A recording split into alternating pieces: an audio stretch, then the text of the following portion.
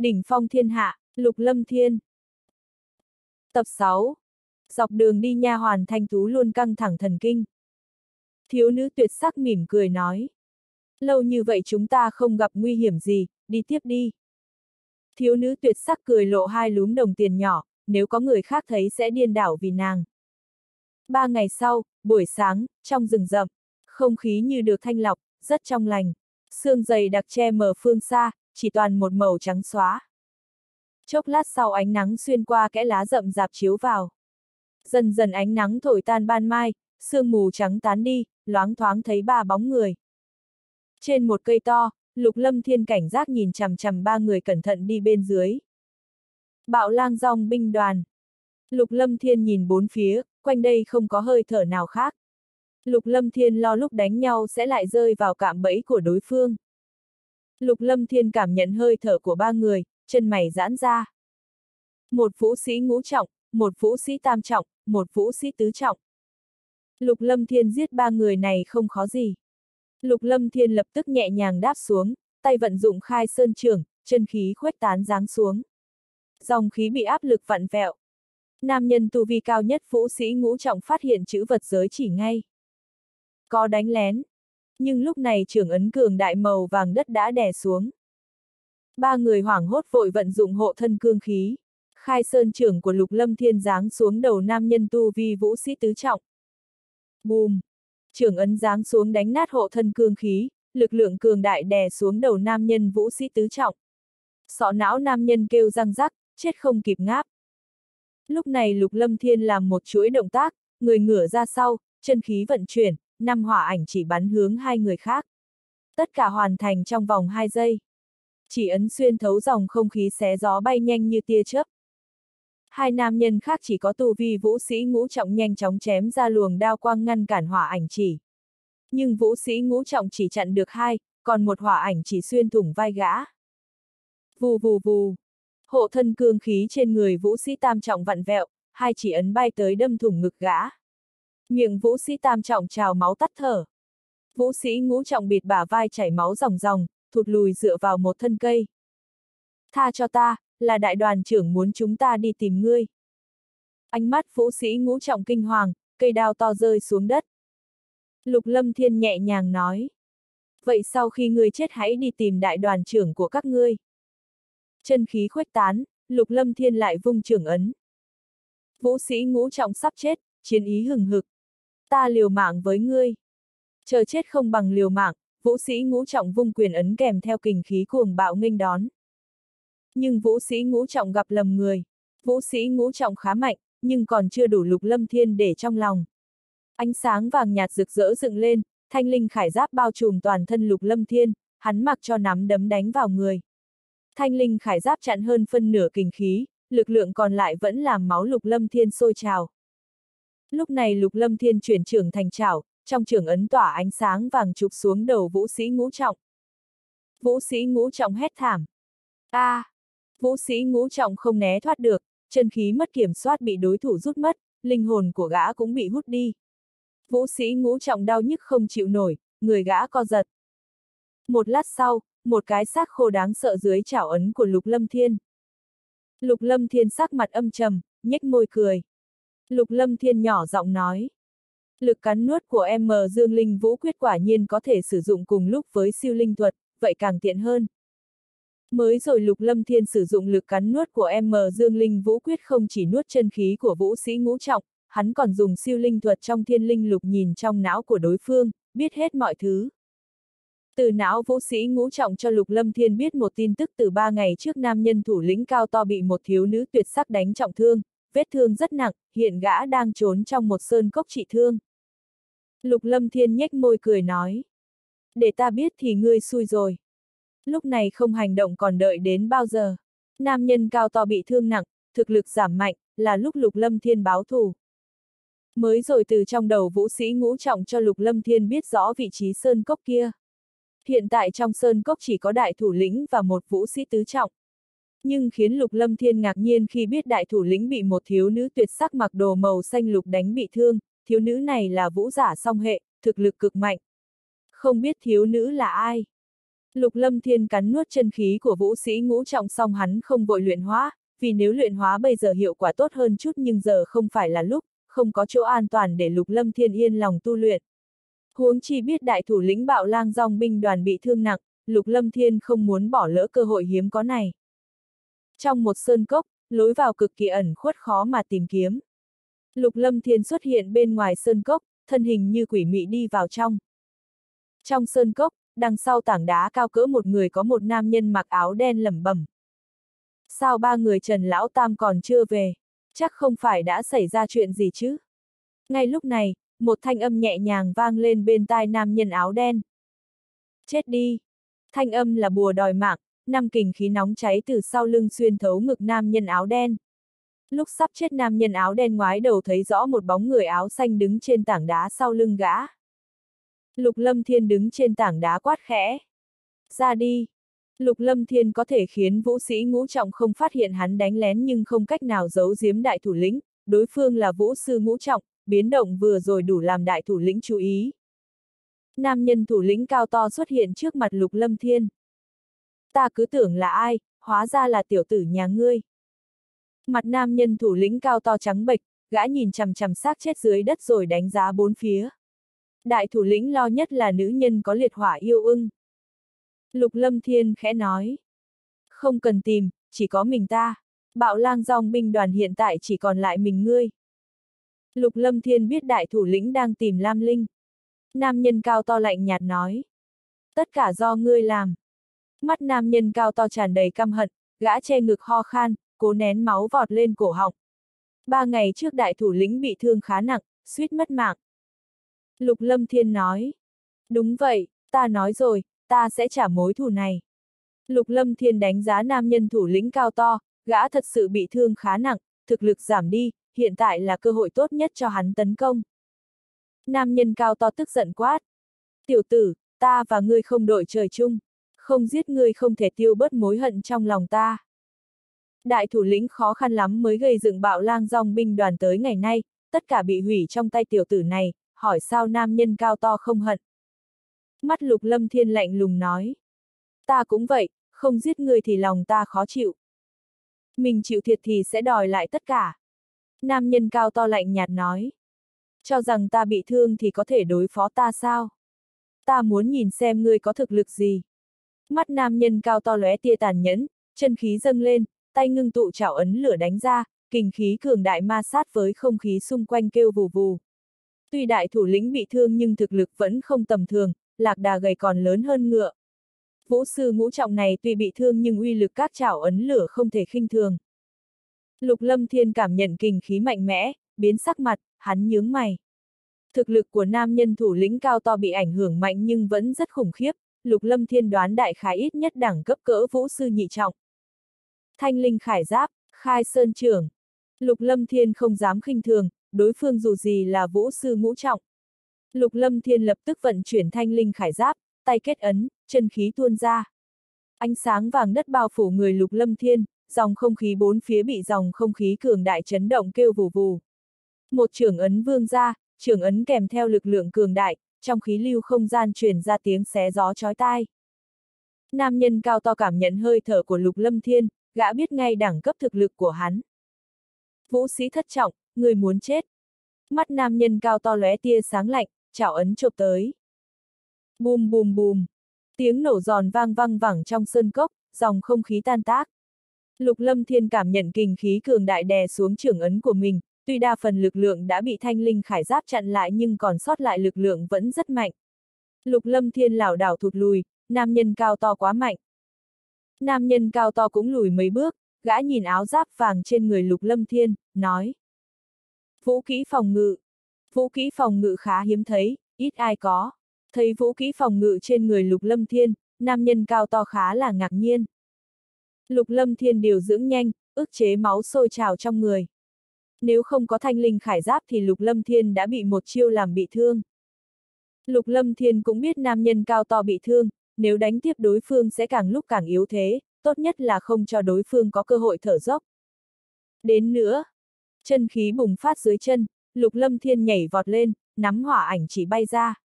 Tiếng xé gió sắc bén vang lên, hỏa ảnh chỉ vạch năm đường cong nóng cháy. Cơ mặt nam nhân cao to cứng ngắc. Lại là vũ sư song hệ. Ba ngày trước nam nhân cao to đỡ upsilon.ng phải một vũ sư song hệ, thiếu niên này cũng vậy. Chiêu thứ nhất là thổ hệ, giờ là hỏa hệ, thiếu niên là vũ giả song hệ. Đầu năm nay vũ giả song hệ đều đến sơn mạch vụ đô sao. Nam nhân cao to nhảy vọt lên, thân hình cao to lại dẻo dai vặn người giữa không trung né thoát năm chỉ ấn công kích. Bùm bùm bùm. Năm hỏa ảnh chỉ giáng xuống mấy tảng đá, hòn đá nứt vỡ, dòng khí cuồng bạo khuếch tán. Tiểu tử, chết đi. Nam nhân cao to đánh ra thủ ấn, nhiệt độ dòng không khí trở nên nóng cháy. Giữa hai bàn tay nam nhân cao to ngưng tụ một quả cầu lửa to nửa thước bay hướng vạn thú tông. Quả cầu lửa ập đến kèm theo kình khí nóng rực, không gian bị đè ép, khí lưu kêu vù vù, tiếng xé gió vang lên. Lục lâm thiên sắc mặt âm trầm, trong mắt tràn đầy chăm chú cẩn thận. Lục lâm thiên đánh ra thủ ấn, màn sáng lam bao phủ người hắn. Thoáng chốc lực lượng cuồng bạo cường đại khuếch tán từ người lục lâm thiên, trong không gian tràn ra năng lượng thuộc tính nước đậm đặc. Những năng lượng này tụ tập với tốc độ kinh người, không gian sơn cốc vô hình bị ức chế. Nộ hải cuồng khiếu. Lục lâm thiên đánh ra thủ ấn, năng lượng thuộc tính thủy đậm đặc trong khoảnh khắc ngưng tụ trước mặt hắn thành màn nước xoay tít. Lực lượng cường đại ầm ầm ập đến, vũ khí hoàng giai rất khủng bố. Lục Lâm Thiên biết muốn đấu với nam nhân cao to thì phải dốc hết sức ra. Cơ mặt nam nhân cao to cứng ngắc. Vũ kỹ thủy hệ, vũ giả tam hệ. Thiếu niên này là vũ giả tam hệ, quá khó tin. Cùng lúc đó, quả cầu lửa đập vào màn nước làm nó lõm vào, gợn sóng lăn tăn. Vù vù vù. Tiếng rít vang lên, không gian run rẩy, màn nước càng lúc càng rộng. Bên trên sơn cốc xuất hiện một màn nước to lớn như muốn che kín sơn cốc, sóng cuồn cuộn gầm giống. Năng lượng thuộc tính thủy đậm đặc nhanh chóng ngưng tụ với tốc độ cực kỳ khủng bố, chỉ dây lát vòng xoáy màu lam khổng lồ 8, 9 chục thước dâng lên. Vòng xoáy không to như lúc trước lục lâm thiên thi triển trong sông, nhỏ hơn 20 thước. Vòng xoáy màu lam xoay tít như sóng thần dâng lên, biển cả gầm giống. Hơi thở khủng bố khuếch tán, uy thế sắc bén đáng sợ. Trong sơn cốc vang lên một chuỗi tiếng nổ. Thoáng chốc vòng xoáy ngừng lại rồi xoay tít. Trong tiếng rít đinh tai nhức óc vòng xoáy nhanh chóng trướng to, khí thế đáng sợ, uy nhiếp sắc bén tràn ra. Dòng không khí vặn vẹo như vòi rồng khuếch tán. Lực lượng cực kỳ khủng bố nhấn chìm quả cầu lửa, cũng bao phủ nam nhân cao to. Xẹt xẹt xẹt. Nam nhân cao to biến sắc mặt dựng lên cương quyển đỏ rực, nhanh chóng thụt lùi. Nhưng vòng xoáy khủng bố bao phủ, nam nhân cao to không cách nào rút ra bên ngoài được. ầm ầm ầm, vòng xoáy xoay nhanh nổ tung, vang tiếng nổ điếc tai khắp sơn cốc. Kinh khí khủng bố như cơn bão thổi quét, trong sơn cốc vòng xoáy nổ như trời đổ mưa rào, các tảng đá bị đánh bay đi, không gian mấy trăm thước giờ đây đất nát ra lún xuống hõm lỗ to.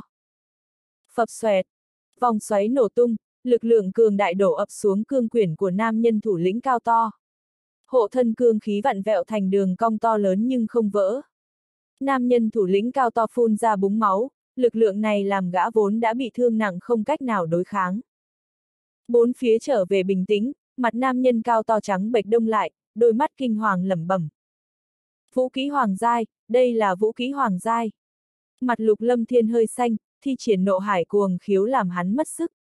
Đáng tiếc nộ hải cuồng khiếu không giết được nam nhân cao to. Nam nhân cao to nói. Tiểu tử, lần sau gặp lại ta sẽ không tha cho ngươi. Nam nhân cao to lao ra ngoài sơn cốc, lúc này gã bị thương càng thêm thương, không đánh lại nổi vũ sĩ thất trọng. Còn muốn trốn sao? Lục lâm thiên vận chuyển chân khí dưới chân nhanh chóng đuổi theo, năm hỏa ảnh chỉ bắn ra. Chỉ ấn xuyên thấu dòng không khí va vào hộ thân cương khí trên người nam nhân cao to. Hộ thân cương khí lại nứt vỡ, nam nhân cao to lảo đảo tiến lên trước mấy bước, phun máu. Nhưng nam nhân cao to lao tới trước. Lục lâm thiên hừ lạnh một tiếng. Hừ. Lục lâm thiên đuổi theo không bỏ.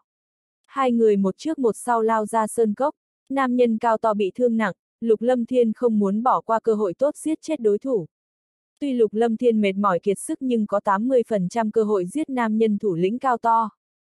Tiểu tử, ta muốn đi, người không giữ ta lại được. Nam nhân thủ lĩnh cao to ngoái đầu nhìn Lục Lâm Thiên theo đuổi không bỏ, chân khí cuồng bạo tuôn ra, tốc độ lại tăng vọt. Nhưng chỉ có nam nhân cao to biết máu trong người đang sôi trào, thương thế càng thêm nặng, đã không thể ức chế. Sợ là qua giây lát nam nhân cao to sẽ gặp rắc rối to. Lục Lâm Thiên nét mặt xa sầm nói. Vậy sao? Lục Lâm Thiên dốc sức vận dụng chân khí tăng tốc độ, hôm nay hắn quyết tâm giết nam nhân cao to, chờ khi gã chữa lành thì không có cơ hội nữa. Lục Lâm Thiên lao nhanh rượt đuổi, lòng nhẹ nhõm nhiều. Nhớ mấy tháng trước hắn bị nam nhân cao to rượt đuổi như chó cụp đuôi, Lục Lâm Thiên thể sẽ báo thù, bây giờ xem như hoàn thành. Chết tiệt! Nam nhân cao to cắm đầu bỏ chạy, gã chưa từng nghĩ mình sẽ có ngày nay, bị một vũ sĩ rượt chạy như điên. Nam nhân cao to càng chạy máu càng sôi sục, gã không kiềm nổi lại phun máu. Phụt! Mặt nam nhân cao to không còn chút máu. Vù vù vù! Lục lâm thiên bắn ra năm hỏa ảnh chỉ mang theo lực lượng cuồng bạo xé rách dòng không khí. Nam nhân thủ lĩnh cao to sắc mặt âm trầm, nghiêng người né thoát, năm chỉ ấn lướt qua sát người gã. Hỏa ảnh chỉ đánh vào năm cái cây to, vang một chuỗi tiếng nổ. Năm chạc cây thô cỡ miệng chén bị đánh gãy, lá rơi rụng. Trong thời gian này Lục Lâm Thiên đã đến bên cạnh nam nhân cao to. Lục Lâm Thiên trêu đùa nhìn nam nhân cao to. Thế nào, sao không chạy tiếp đi? Lục Lâm Thiên biết nam nhân cao to bị thương nặng không chống đỡ được lâu hơn. Nam nhân cao to lạnh lùng nói. Tiểu tử, đừng ép ta, nếu không ngươi cũng chẳng yên lành gì. Ngươi chưa đủ tư cách giết ta. Trong mắt nam nhân cao to tràn ngập căm hận. Vậy sao, ta muốn thử xem. Chân khí nhanh chóng tuôn ra ngoài, chân khí gợn sóng quanh thân lục lâm thiên, khí thế ngày càng dữ dội. Có tia lửa nhạt bay ra khỏi người lục lâm thiên, một quyền ấn kèm theo ngọn lửa, khí thế mạnh mẽ đánh vào nam nhân cao to. Lục lâm thiên quát to. Nộ diễm quyền. Lực lượng cuồng bạo ập đến, xẹt qua dòng không khí khiến khí lưu không gian bốn phía dao động dữ dội. Nam nhân cao to giống to. Tiểu tử, người cũng không sống yên. Mắt nam nhân cao to lóe tia độc ác đánh ra từng thủ ấn quái dị, năng lượng quanh thân run rẩy. Trên bầu trời, năng lượng nóng cháy chợt ập đến. Nhiệt độ tăng cao, lá cây bốn phía ố vàng, nhánh cây héo tàn, cây bắt lửa chậm rãi khô héo như ở trong một lò lửa. Xung quanh nam nhân cao to trăm thước ngọn lửa cháy hừng hực, không khí kêu xèo xèo. Nam nhân cao to hét to một tiếng. Hỏa viêm bảo. Chân khí từ người nam nhân cao to rót hết vào ngọn lửa, trong lửa chứa năng lượng khủng bố đã đến cực hạn.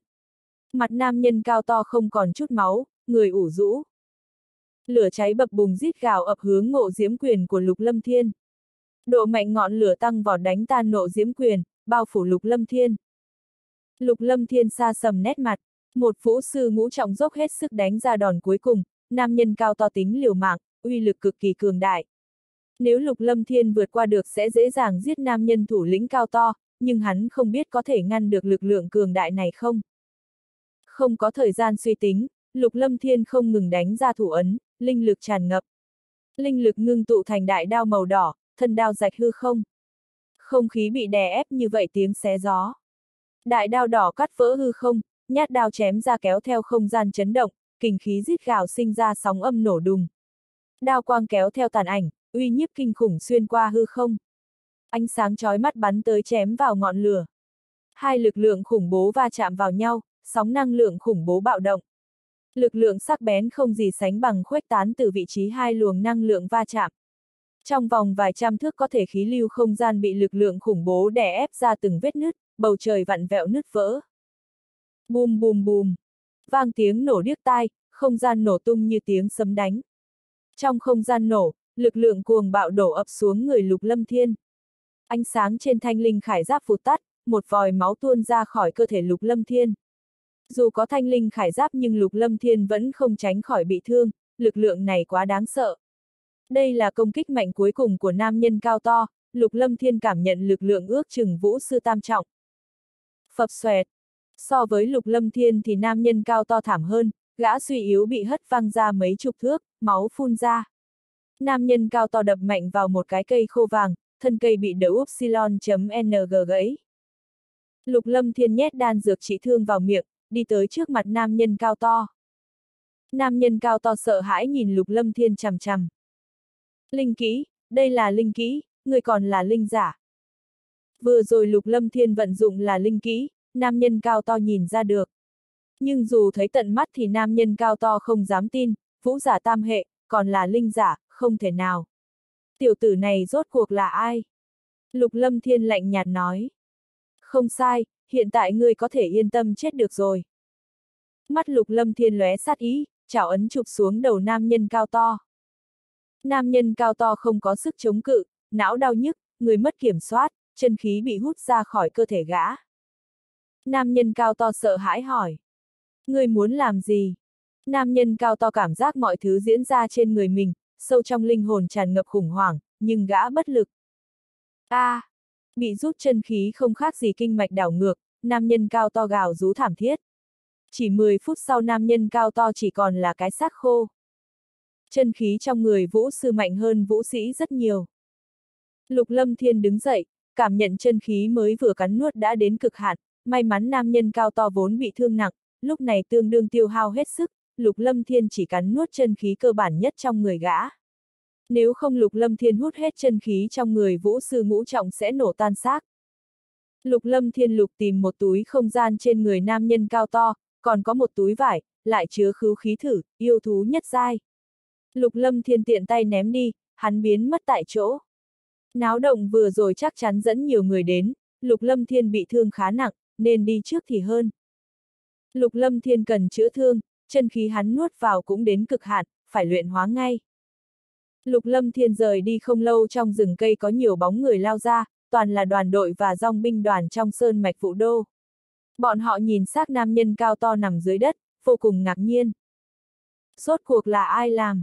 Sau này không còn bạo lang dòng binh đoàn nữa rồi. Cũng đáng đời, bạo lang dòng binh đoàn luôn làm kiểu buôn bán không bỏ vốn, giờ bị người diệt sạch là báo ứng. Wow, không ngờ ở đây đẹp vậy. Trong một hiệp cốc ẩn khuất có hai bóng dáng yêu kiều, là thiếu nữ tuyệt sắc mặc áo lục, nha hoàn thanh tú. Hai nàng đi lung tung trong sơn mạch vụ đô, vô tình tìm đến hiệp cốc này, đây là chỗ lục lâm thiên hiện đang cư trú. Nha hoàn thanh tú nhìn chằm chằm suối nước nóng trong suốt thấy đáy, nói. Tiểu thư nhìn kìa, chỗ này có suối nước nóng, còn tốt hơn trong tông chúng ta. Thiếu nữ tuyệt sắc mỉm cười nói. Vào trong sơn mạch vụ đô đã lâu chưa tắm, vừa lúc. Nha hoàn thanh tú kinh kêu. Tiểu thư định tắm tại đây, nếu có người đến thì sao? Thiếu nữ tuyệt sắc nói. Đông Mai, người cũng cùng tắm đi. Thiếu nữ tuyệt sắc nhảy vào suối nước nóng, tóc xóa ra, quần áo bị ném bên bờ. Bùm! Thiếu nữ tuyệt sắc đã ở trong suối nước nóng, vai ngọc lộ ra ngoài mặt nước, tóc xóa lềnh bềnh trên nước tăng phần quyến rũ. Nha hoàn thanh tú nhìn bốn phía, lẩm bẩm. Được rồi, chắc không ai đến đây. Nha hoàn thanh tú cởi đồ, tóc xóa vai, da trắng mịn. Nhìn từ phía sau mông căng tròn trắng mềm, eo nhỏ xinh, đùi ngọc cất bước đi vào suối nước nóng. Nha hoàn thanh tú tuy không xinh đẹp bằng thiếu nữ tuyệt sắc nhưng vóc dáng nhấp nhô, nếu không so sánh với tiểu thư thì nàng cũng thuộc hàng mỹ nhân bại hoại. Hai nữ nhân chơi đùa trong suối nước nóng. Một tháng không tắm rửa trong sơn mạch vụ đô đối với nữ giới là hành hạ, giờ thì hai nàng thoải mái tắm rửa. Lục Lâm Thiên chạy về, hắn phải nhanh chóng trị thương. Hiệp cốc Lục Lâm Thiên ở mấy ngày nay là nơi tốt nhất, chỗ đó địa thế ẩn khuất, bình thường không có người tìm đến. Lục Lâm Thiên xuyên qua khu rừng um tùm, chui qua lùm cây, trở về hiệp cốc. Lục Lâm Thiên không nhìn bốn phía, lao về hướng sơn động. Khóe mắt Lục Lâm Thiên liếc thấy một thứ màu sắc kỳ lạ, nhìn kỹ thì là áo của nữ nhân. Lục Lâm Thiên lại nhìn hướng suối nước nóng, hắn bản năng suy đoán chẳng lẽ có nữ nhân tắm rửa ở đây. Lục Lâm Thiên trông thấy hai thân hình yêu kiều không mảnh vải che thân đang chơi đùa trong suối nước nóng. Người bên trái khuôn mặt thanh tú, người bên phải thì làm Lục Lâm Thiên nhìn ngây người. Trên đời có nữ nhân đẹp đến mức này sao? Đây là một thiếu nữ tuyệt sắc hạng nhất, da như bạch ngọc lóe ánh sáng, tóc đen như mực không gió nhẹ bay, tóc dài nổi trên mặt nước mềm mại tinh xảo tăng nét quyến rũ. Mặt mày tinh xảo như ngọc điêu, cổ thon dài, da trắng bóc, trong ánh sáng nàng đẹp hút hồn. Đôi mắt trong veo, con người sâu thẳm có đốm sáng lấp lánh, mắt sáng răng trắng, đẹp tựa nàng tiên. Đây là một trong những nữ nhân đẹp nhất Lục Lâm Thiên từng thấy, nàng không thua gì Lục Vô Song. Có lẽ thiếu nữ tuyệt sắc nhỉnh hơn Lục Vô Song một chút. Lục Lâm Thiên nghĩ tới Lam Linh, Dương Diệu, Lục Mị, Độc Cô Băng Lan. Thiếu nữ tuyệt sắc trước mắt còn hơn mấy nàng kia. Suối nước nóng trong suốt thấy đáy, dòng nước lăn tăn sóng gợn. Lục Lâm Thiên mơ hồ thấy thân hình trắng trẻo trong nước, bộ ngực nhún nhảy theo mặt nước, dưới bụng phẳng có rúm đen mông lung. Tất cả hợp thành bức tranh mỹ nhân ra khỏi nước, làm Lục Lâm Thiên ký máu nóng chạy dần dần. Nha hoàn thanh tú hét to. a, à, nha hoàn thanh tú trông thấy có người đứng gần suối nước nóng, còn là một nam nhân. Lòng Lục Lâm Thiên chìm xuống thầm nghĩ. Nguy rồi. Lục Lâm Thiên sớm cảm nhận được tu vi của thiếu nữ tuyệt sắc khá cao, hắn định chạy. Lục Lâm Thiên nhảy vọt ra ngoài hiệp gốc. Chợt vang tiếng quát. Tiểu tặc muốn chết. Một tàn ảnh màu lục bay hướng lưng Lục Lâm Thiên. Tiếng xé gió sắc bén chớp mắt ập đến, Lục Lâm Thiên không dám chậm rãi vội vận dụng thanh linh khải giáp ngăn cản. Thực lực của đối phương mạnh hơn Lục Lâm Thiên tưởng tượng nhiều. Bốp, bốp. Nhưng Lục Lâm Thiên vẫn đánh giá thấp thực lực của thiếu nữ tuyệt sắc, lực lượng mạnh mẽ đánh vào người hắn. Thanh linh khải giáp phụt tắt, Lục Lâm Thiên bị quất té cái bịch xuống đất. Lục Lâm Thiên vốn bị thương giờ máu trào lên cổ họng, phun ra búng máu. Một bóng người màu xanh đáp xuống trước mặt Lục Lâm Thiên, áo xanh thêu hoa văn lam nhạt, áo vẽ đường cong thân hình yểu điệu, eo nhỏ mông vểnh, chân thon dài. Khuôn mặt xinh đẹp tràn ngập tức giận chỉ muốn xé xác Lục Lâm Thiên ra. Thiếu nữ tuyệt sắc quá to. Ta giết tên giặc nhìn lén nhà ngươi. Thiếu nữ tuyệt sắc vỗ trưởng xuống. Lục Lâm Thiên thầm nghĩ. Thực lực mạnh quá, thiếu nữ này hình như thiếu nữ tuyệt sắc đã bị thương nam nhân thủ lĩnh cao to bạo lang dòng binh đoàn. Lục Lâm Thiên nhớ lại ký ức nhìn thấy từ não thành viên bạo lang dòng binh đoàn, thiếu nữ chính là người đã bị thương nam nhân thủ lĩnh cao to, thực lực rất kinh khủng. Lục Lâm Thiên bối rối lăn một vòng dưới đất, trưởng ấn vỗ xuống vị trí Lục Lâm Thiên vừa nằm, mặt đất nứt mấy cái khe. Lòng Lục Lâm Thiên chìm xuống thầm nghĩ. Trốn, nếu không chết chắc. Lục Lâm Thiên không đánh lại thiếu nữ tuyệt sắc, nếu không chạy thì sẽ chết. Chân khí vận chuyển, Lục Lâm Thiên vọt ra sau. Thiếu nữ tuyệt sắc hét lên. Muốn trốn, mơ đi. Tay thiếu nữ tuyệt sắc cầm tàn ảnh màu lục quất vào người Lục Lâm Thiên, hắn té cái bịch xuống đất, máu sôi trào vọt ra từ khoang miệng. Lục Lâm Thiên bò dậy chừng thiếu nữ tuyệt sắc. Nữ nhân kia, đủ rồi. Mặt Lục Lâm Thiên tức giận chứa tức giận làm thiếu nữ tuyệt sắc sững sốt.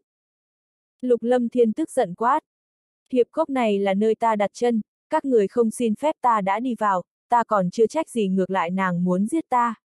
Nữ nhân đúng là vô lý. Hắn trêu ai chọc ai, đâu phải hắn muốn nhìn lén. Thiếu nữ tuyệt sắc lại nổi giận. Tiểu tặc ăn nói ngang ngược, ta móc mắt của ngươi ra trước, ai cho ngươi nhìn lén. Lục lâm thiên tức giận nói. Buồn cười, nàng nghĩ ta muốn nhìn sao, ta không kêu các người cởi đồ, cùng lắm ta liều mạng. Nữ nhân thật là vô lý. Thiếu nữ tuyệt sắc hét lên. Tiểu tặc cứng miệng, chân khí chuyển động, trưởng ấn vỗ vào lục lâm thiên giấy lên tiếng gió rít, kinh khí mạnh mẽ tuôn ra. Thiếu nữ tuyệt sắc cứ kêu tiểu tặc chọc giận lục lâm thiên, hắn chửi lại.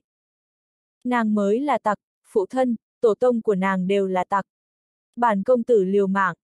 Lục lâm thiên không do dự gì nữa, hắn vận dụng chân khí, thủ ấn đánh ra các thủ ấn kỳ dị. Lục lâm thiên cắn răng thầm nghĩ. Liều mạng. Hiện giờ lục lâm thiên không trốn đi được, thực lực của đối phương quá mạnh. Trong ký ức của thành viên bạo lang dòng binh đoàn, lục lâm thiên biết thiếu nữ tuyệt sắc là vũ giả song hệ. Thủ ấn vẽ đường cong huyền diệu, ánh sáng chói mắt bao phủ lục lâm thiên. Lục lâm thiên đánh ra các thủ ấn huyền ảo, ánh sáng thần dị che trước mặt hắn. Khí thế của lục lâm thiên thay đổi kỳ dị, hắn quyết định thi triển chu tước quyết. Nếu liều mạng còn có cơ hội trốn thoát. Thiếu nữ tuyệt sắc cảm giác biến đổi từ người lục lâm thiên, nàng nhíu mày. Đối phương chỉ có thực lực vũ sĩ thất trọng nhưng lúc này cho thiếu nữ tuyệt sắc cảm giác rất nguy hiểm.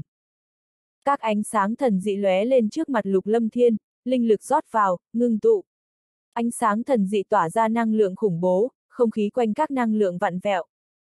Lực lượng khủng bố dung hợp với nhau, chân khí trong người lục lâm thiên như bị nước lũ nuốt mất, khí thế kinh khủng từ thạch đài bắn lên cao, biến cuồng bạo.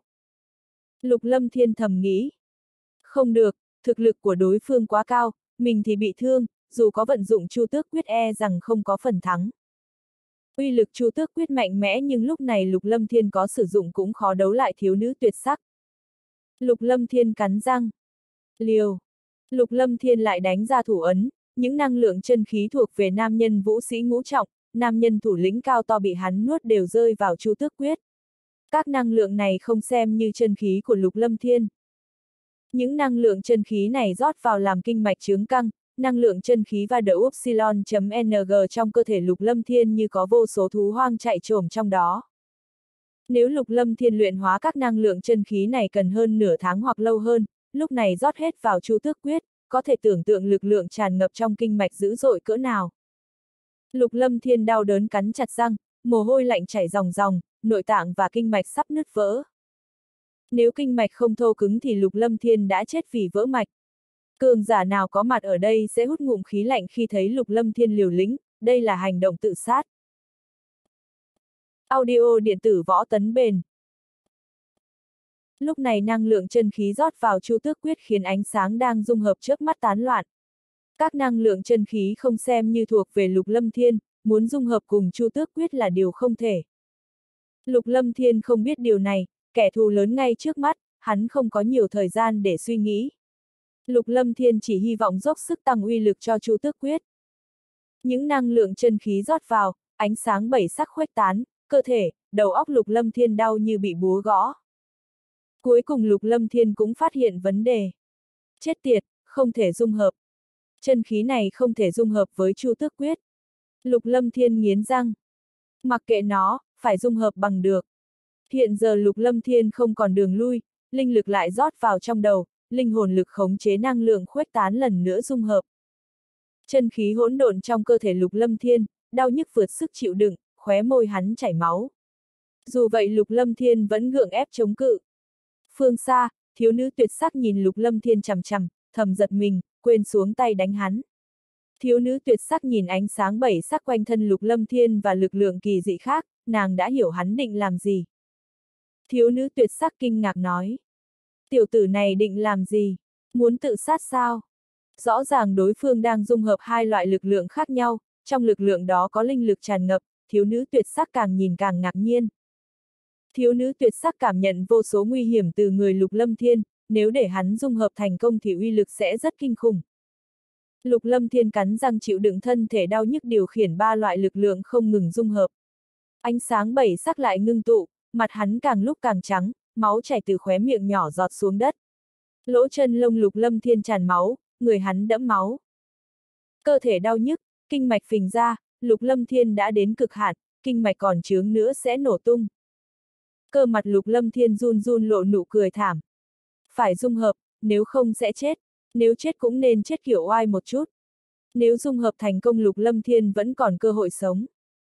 Thiếu nữ tuyệt sắc nét mặt xa sầm nói. Nguy rồi. Thiếu nữ tuyệt sắc cảm nhận hơi thở nguy hiểm từ người lục lâm thiên càng lúc càng đậm đặc, nàng cũng căng thẳng thần kinh. Thiếu nữ tuyệt sắc kinh ngạc nói. Vũ kỹ thật kỳ dị. Thiếu nữ tuyệt sắc vươn tay ra, bàn tay kết mấy thủ ấn. Năng lượng khủng bố từ bốn phương tám hướng tụ tập lại quanh thân nàng, nét mặt thiếu nữ tuyệt sắc trầm trọng chưa từng có. Mặt thiếu nữ tuyệt sắc tái nhợt, chân khí trong người bị năng lượng khủng bố xung quanh hút ra. Lục lâm thiên cố nén đau nhức, hắn điều khiển ánh sáng bảy sắc dung hợp lại, bảy sắc màu trói lọi hơn vừa rồi nhiều. Ánh sáng bảy sắc luân phiên khá là thần dị, trên cao phát ra năng lượng kinh khủng vặn vẹo dòng không khí. Trong khoảnh khắc lục lâm thiên đánh ra một thủ ấn, năng lượng cuồng bạo bỗng chốc yên lặng ngưng tụ thành con phượng hoàng đỏ rực cỡ bốn thước. So với lúc lục lâm thiên ngưng tụ chu tước quyết tại Trấn Thanh Vân thì lần này năng lượng phượng hoàng lớn hơn một thước. Phượng hoàng màu đỏ rực như lửa, trên đầu có phượng quan bằng lông chim bảy sắc, cái đuôi kéo dày lông chim bảy sắc, đôi cánh giang rộng kéo theo lửa, không gian dao động theo nó. Cảm giác hơi thở xung quanh, khóe môi lục lâm thiên cong lên. Lần này vận dụng chu tước quyết mạnh hơn mới rồi ngưng tụ gấp mấy lần, có chân khí của vũ sĩ ngũ trọng, nam nhân cao to trợ giúp, uy lực chu tước quyết tăng nhiều. Tiếc rằng đây không phải chân khí của hắn, nếu không uy lực sẽ còn kinh khủng hơn nữa. Mặc kệ thế nào, rốt cuộc lục lâm thiên thành công ngưng tụ dung hợp nó, đây là chu tước quyết mới, uy lực tăng nhiều.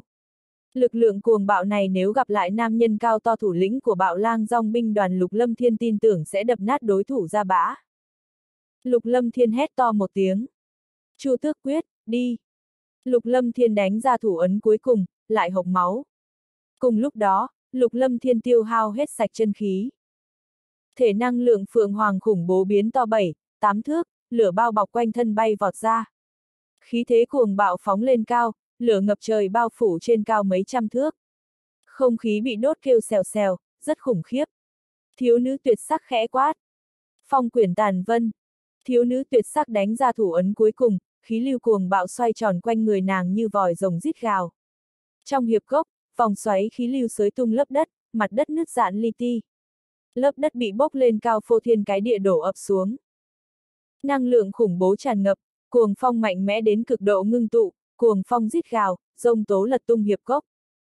Hai năng lượng cuồng bạo cực độ va chạm với nhau, vô số ánh sáng bắn tung tóe. Gió mạnh bao lấy ngọn lửa, lửa khuếch tán trong rông tố. Hiệp cốc vang một chuỗi tiếng nổ.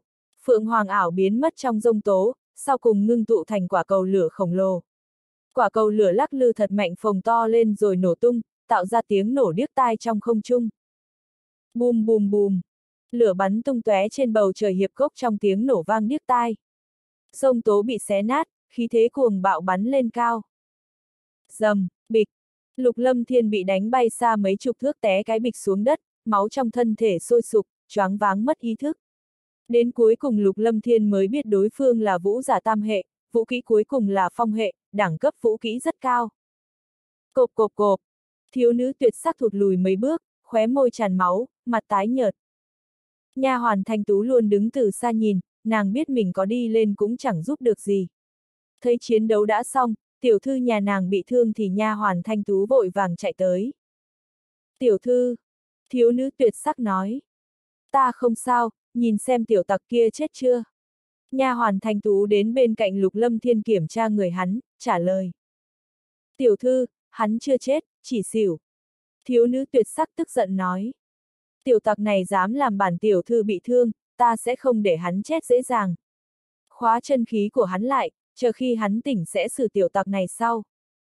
Khuôn mặt xinh đẹp tràn ngập tức giận vẫn toát ra phong tình. Nha hoàn thanh tú nói. Tiểu thư, làm vậy quá tàn nhẫn, hay giết hắn ngay đi. Nha hoàn thanh tú nhớ đến những cách tiểu thư hành hạ người hầu trong tông, thật sự là rất thê thảm. Thiếu nữ tuyệt sắc tức giận nói. Hừ, không để hắn thoát dễ vậy. Nhìn lén bản tiểu thư, còn mắng bản tiểu thư, chờ hắn tỉnh lại rồi tính sổ sau. Được rồi. Nha hoàn thanh tú đồng tình nhìn lục lâm thiên đang hôn mê, mấy thủ ấn điểm vào người hắn. Không biết qua bao lâu, lục lâm thiên mơ màng tỉnh dậy. Chân khí trong cơ thể bị đông lại, trong đan điền chỉ còn sót lại chút chân khí, cơ thể bị thương rất nặng. Lục lâm thiên mở mắt ra thấy mình nằm trong sơn động, một sơn động trong hiệp cốc lúc trước hắn cư ngụ. Lục lâm thiên bị ném trong góc hang, chân khí bị phong tỏa, hai tay và chân bị dây leo trói chặt. Hiện giờ là ban đêm, trong sơn động chỉ có ánh sáng yếu ớt. Lục lâm thiên thấy hai bóng người trước mặt mình, là thiếu nữ tuyệt sắc và nha hoàn thanh tú. Có vẻ thiếu nữ tuyệt sắc đang điều dưỡng tính tỏa. Lòng lục lâm thiên chìm xuống thầm nghĩ. Rắc rối to rồi. Lục lâm thiên rơi vào tay thiếu nữ này e rằng không có kết cục tốt, chân khí bị khóa, hắn lại bị thương nặng, bi kịch a. Không ngờ liều mạng vận chuyển chu tước quyết vẫn không đánh lại thiếu nữ tuyệt sắc, thực lực của nàng quá kinh khủng, lại còn là vũ giả tam hệ nữa. Không biết lai lịch của thiếu nữ tuyệt sắc này là gì. Lục Lâm Thiên thấy hai nữ nhân không phát hiện mình, hắn nhắm tịt mắt, cảm nhận kinh mạch huyệt đạo bị chân khí phong tỏa. Lục Lâm Thiên vận dụng âm dương linh vũ quyết xông phá chân khí bị phong tỏa, nhờ âm dương linh vũ quyết nên khóa chân khí không làm gì được hắn. Lục Lâm Thiên bị thương nặng, không có sức chạy trốn, tạm thời lo điều dưỡng phục hồi. Lục Lâm Thiên ức chế chân khí hỗn độn trong người, chậm rãi điều dưỡng. Trong đầu Lục Lâm Thiên suy tính các cách chạy trốn, nhưng lúc này hắn không có cơ hội để trốn. Thời gian chậm rãi trôi qua, Lục Lâm Thiên lén điều dưỡng thân thể. Một đêm qua đi, hắn phục hồi lại chút ít chân khí, vết thương thì không đỡ hơn bao nhiêu. Lục Lâm Thiên cảm giác thiếu nữ tuyệt sắc thở hắt ra, chắc đã ngừng tu luyện. Lục Lâm Thiên không dám khinh thường, vội ngừng điều dưỡng, giả bộ xỉu. Lục Lâm Thiên nghe nha hoàn thanh tú hỏi. Tiểu thư, vết thương của tiểu thư sao rồi? Gần lành rồi, Đông Mai, nhìn xem tiểu tặc kia tỉnh chưa? Thì ra nha hoàn thanh tú tên Đông Mai, không biết thiếu nữ tuyệt sắc gọi hắn là tiểu tặc thì có tên là gì. Đông Mai đến gần Lục Lâm Thiên liếc sơ, không phát hiện hắn đã tỉnh. Tiểu thư, còn chưa tỉnh, có khi nào bị thương nặng qua mãi mãi không thức tỉnh. Thiếu nữ tuyệt sắc nói. Nếu không tỉnh dậy coi như hắn may. Vậy đi, dù chết cũng không thể để hắn chết yên, đào con mắt của hắn ra, sau đó cắt lưỡi cho yêu thú ăn. Đông Mai nói. Tiểu thư, làm như vậy tàn nhẫn quá. Nhiều đây mà tàn nhẫn, vẫn chưa đủ giảm bớt tức giận trong lòng ta. Thôi để ta tự mình làm. Lục Lâm Thiên mở mắt ra chửi. Được rồi, cho ta một nhát đi luôn đi. Không ngờ người đẹp vậy mà lòng độc như rết. Vì sao hắn gặp nữ nhân xinh đẹp trong sơn mạch vụ đô toàn là tâm ngoan thủ lạt. Có câu độc nhất là lòng nữ nhân quả nhiên quá đúng. Thiếu nữ tuyệt sắc hừ lạnh một tiếng. Ha, chịu tỉnh rồi sao? Sớm biết ngươi đang giả chết. Dù tức giận vẫn không làm giảm sắc đẹp của thiếu nữ tuyệt sắc, ngược lại thêm phần đáng yêu. Lúc này Lục Lâm Thiên không có tâm tình ngắm sắc đẹp, dù sao bản thân giữ nhiều lành ít, hắn chửi cho sứ y gờ miệng. Muốn giết cứ giết, bản công tử chết rồi làm quỷ cũng không tha cho ngươi. Thiếu nữ tuyệt sắc nhìn Lục Lâm Thiên chằm chằm, hỏi.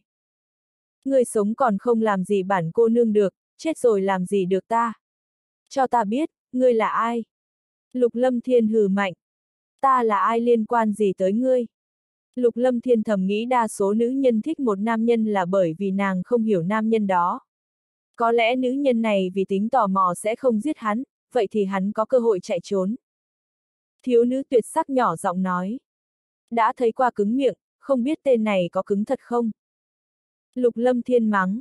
Bản công tử có chỗ khác càng cứng hơn, muốn thử không? Nhưng dù ngươi muốn thì ta cũng không thích. Lục Lâm Thiên chưa nói hết câu đã la lên. a à, miệng Lục Lâm Thiên đau rát. Thiếu nữ tuyệt sắc cầm cây kim màu lục đâm vào mặt Lục Lâm Thiên, cơ mặt hắn tê dại như bị ngàn vạn con kiến cắn. Cây kim có độc. Thiếu nữ tuyệt sắc mỉm cười nói. Đây là vạn nghĩ toàn tâm châm, loại độc yếu nhất của bản tiểu thư.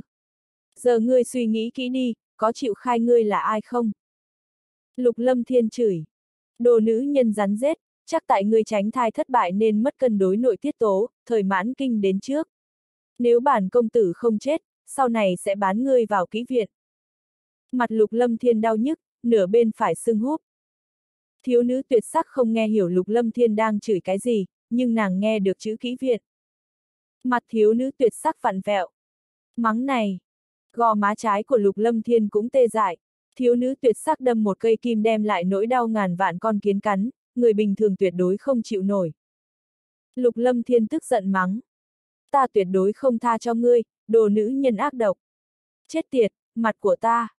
Lục lâm thiên không làm gì được đối phương, mặc dù đã giải được phong ấn cho chân khí nhưng hai tay và chân hắn bị trói chặt không thể nhúc nhích. Thiếu nữ tuyệt sắc hừ lạnh một tiếng. Ta chờ xem ngươi làm sao không tha cho ta. Ta đổi ý rồi, ta sẽ không giết ngươi, mỗi ngày hành hạ ngươi một lần cho đến khi ngươi chết. Thiếu nữ tuyệt sắc không quan tâm Lục Lâm Thiên đe dọa, nàng vươn bàn tay bóp miệng hắn. Lục Lâm Thiên không thể vùng vẫy, chợt cảm giác đầu lưỡi đau nhức. Lục Lâm Thiên rú lên. a, à, lưỡi là một trong những chỗ nhạy cảm, thịt mềm nhất trong thân thể con người. Vạn nghĩ toàn tâm châm đâm vào làm lưỡi Lục Lâm Thiên tê dại sau đó cứng như cục đá, không nói ra lời. Thiếu nữ tuyệt sắc hừ mạnh. Hừ, ai kêu ngươi mắng ta, dám nhìn lén bản tiểu thư. Mắng, mắng tiếp đi, sao không mắng nữa. Ta còn vô số cách chờ hành hạ ngươi đây, nhớ đừng chết quá sớm. Lục Lâm Thiên rất muốn chửi nhưng lưỡi sưng lấp kín khoáng miệng, hắn không nói nên lời. Lục Lâm Thiên chỉ có thể dùng đôi mắt rực lửa chửi trong cổ họng, chửi thầm 18 đời tổ tông nhà thiếu nữ tuyệt sắc, nhưng dù làm vậy vẫn không thể giảm bớt đau đớn trên mặt và miệng Lục Lâm Thiên. Lúc này Lục Lâm Thiên mặt sưng húp, miệng phồng lên như cái đầu heo. Lục Lâm Thiên không soi gương, nếu không hắn sẽ sợ đứng tim. Đông Mai hỏi. Tiểu thư, nếu không giết hắn thì đưa đi đâu? Chúng ta có nên quay về không? Thiếu nữ tuyệt sắc hờ hững nói. Để hắn tự đi, cởi trói hai chân của hắn, dù sao không sợ hắn chạy. Chờ ta lành vết thương sẽ xuất phát. Thiếu nữ tuyệt sắc đắc ý rút về cây kim, phủi tay, liếc xéo lục lâm thiên gào la thảm thiết. Thiếu nữ tuyệt sắc ngồi xếp bằng tập trung điều dưỡng. Nha hoàn đông mai đồng tình nhìn lục lâm thiên, nhưng chỉ có thế, nàng cũng ngồi tu luyện. Lục Lâm Thiên đau đớn gào rú một lúc sau toàn thân tê dại mới đỡ khó chịu hơn. Lục Lâm Thiên trừng mỹ nhân rắn rết kia, hắn bất đắc dĩ không biết nên làm sao. Đối phương mạnh hơn hắn rất nhiều. Nhìn hai nữ nhân tính tọa, Lục Lâm Thiên âm thầm điều dưỡng, dù có trốn cũng phải chờ vết thương lành mới được, nếu không thì hắn chẳng có cơ hội nào. Trong rừng cây rậm rạp sơn mạch vụ đô có mấy trăm bóng người đang tìm kiếm thứ gì. Ba người đi đằng trước nhất, trong đó có hai người là lão nhân mặc trường bào, một nam nhân trung niên. Nam nhân trung niên là thành chủ thành vụ đô, trưởng lão ngoại môn Vân Dương Tông, Vương Minh Nguyệt. Một lão nhân mặc trường bào màu trắng sốt ruột nói. Minh Nguyệt lão đệ, nhanh lên, chúng ta phải nhanh chóng tìm ra tiểu thư. Nếu tiểu thư xảy ra chuyện gì thì ba chúng ta đều tiêu đời. Lão nhân tóc dài xóa vai, khí thế dao động mơ hồ quanh thân, thực lực siêu phàm. Vương Minh Nguyệt lộ vẻ mặt sốt ruột trả lời. Ngô trưởng lão, mọi người đều đang cẩn thận tìm kiếm. Những người có thể điều động từ thành vụ đô thì ta đã phái đi hết tìm tiểu thư.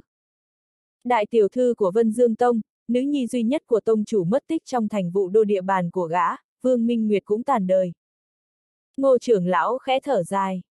Mấy ngày hôm trước chúng ta còn tìm thấy ấn ký Vân Dương Tông, chắc là nhà đầu Đông Mai để lại, tiểu thư sẽ ở quanh đây thôi. Tiểu thư không thể xảy ra chuyện gì, nếu sớm biết thế này đã không mang theo tiểu thư đi. Một nam nhân trung niên khác nói. Chúng ta đừng quá lo, tiểu thư ham chơi nhưng thực lực không yếu, còn mang theo vũ khí bí mật, dù là chúng ta nếu đánh với tiểu thư cũng không làm gì được tiểu thư.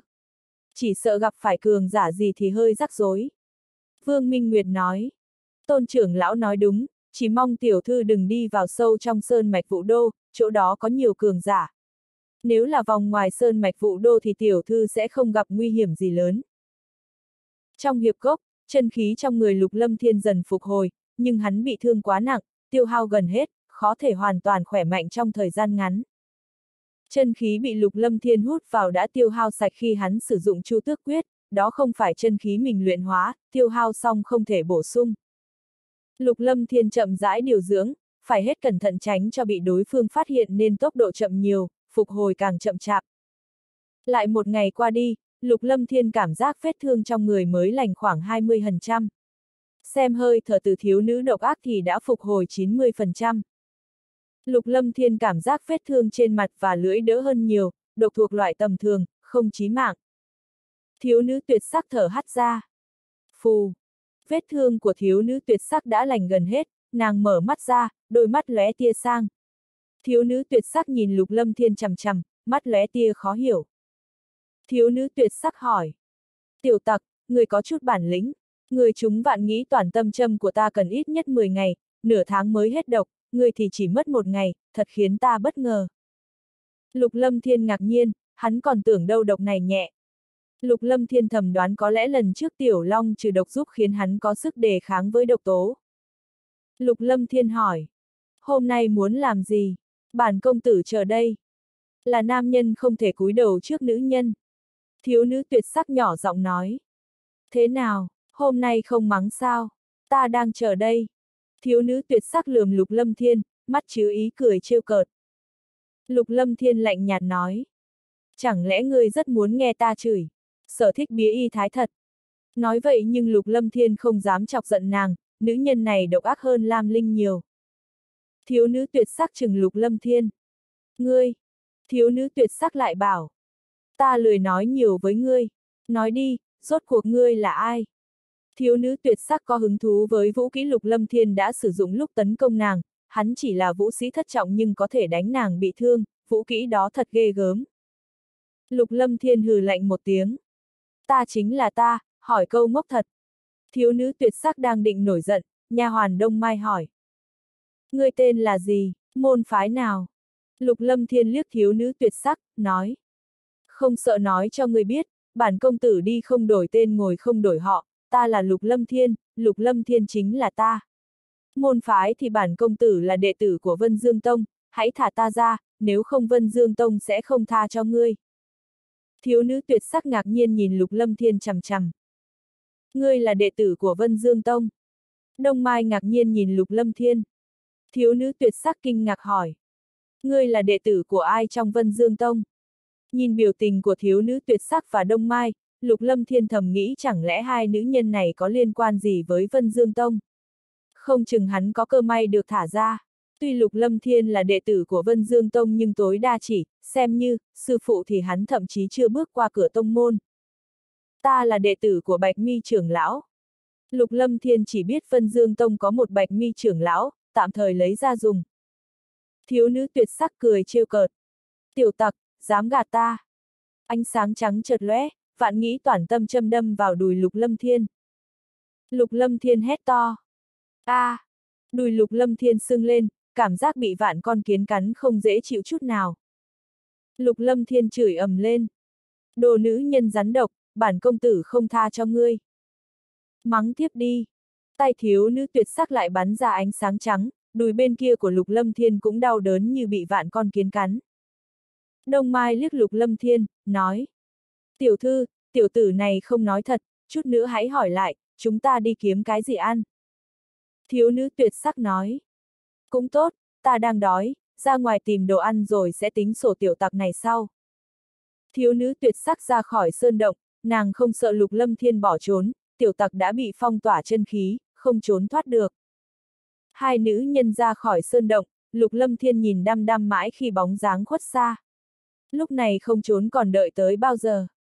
Chân khí khuếch tán, lục lâm thiên thúc dục nộ diễm quyền, quyền ấn tràn ngập lửa nóng cháy.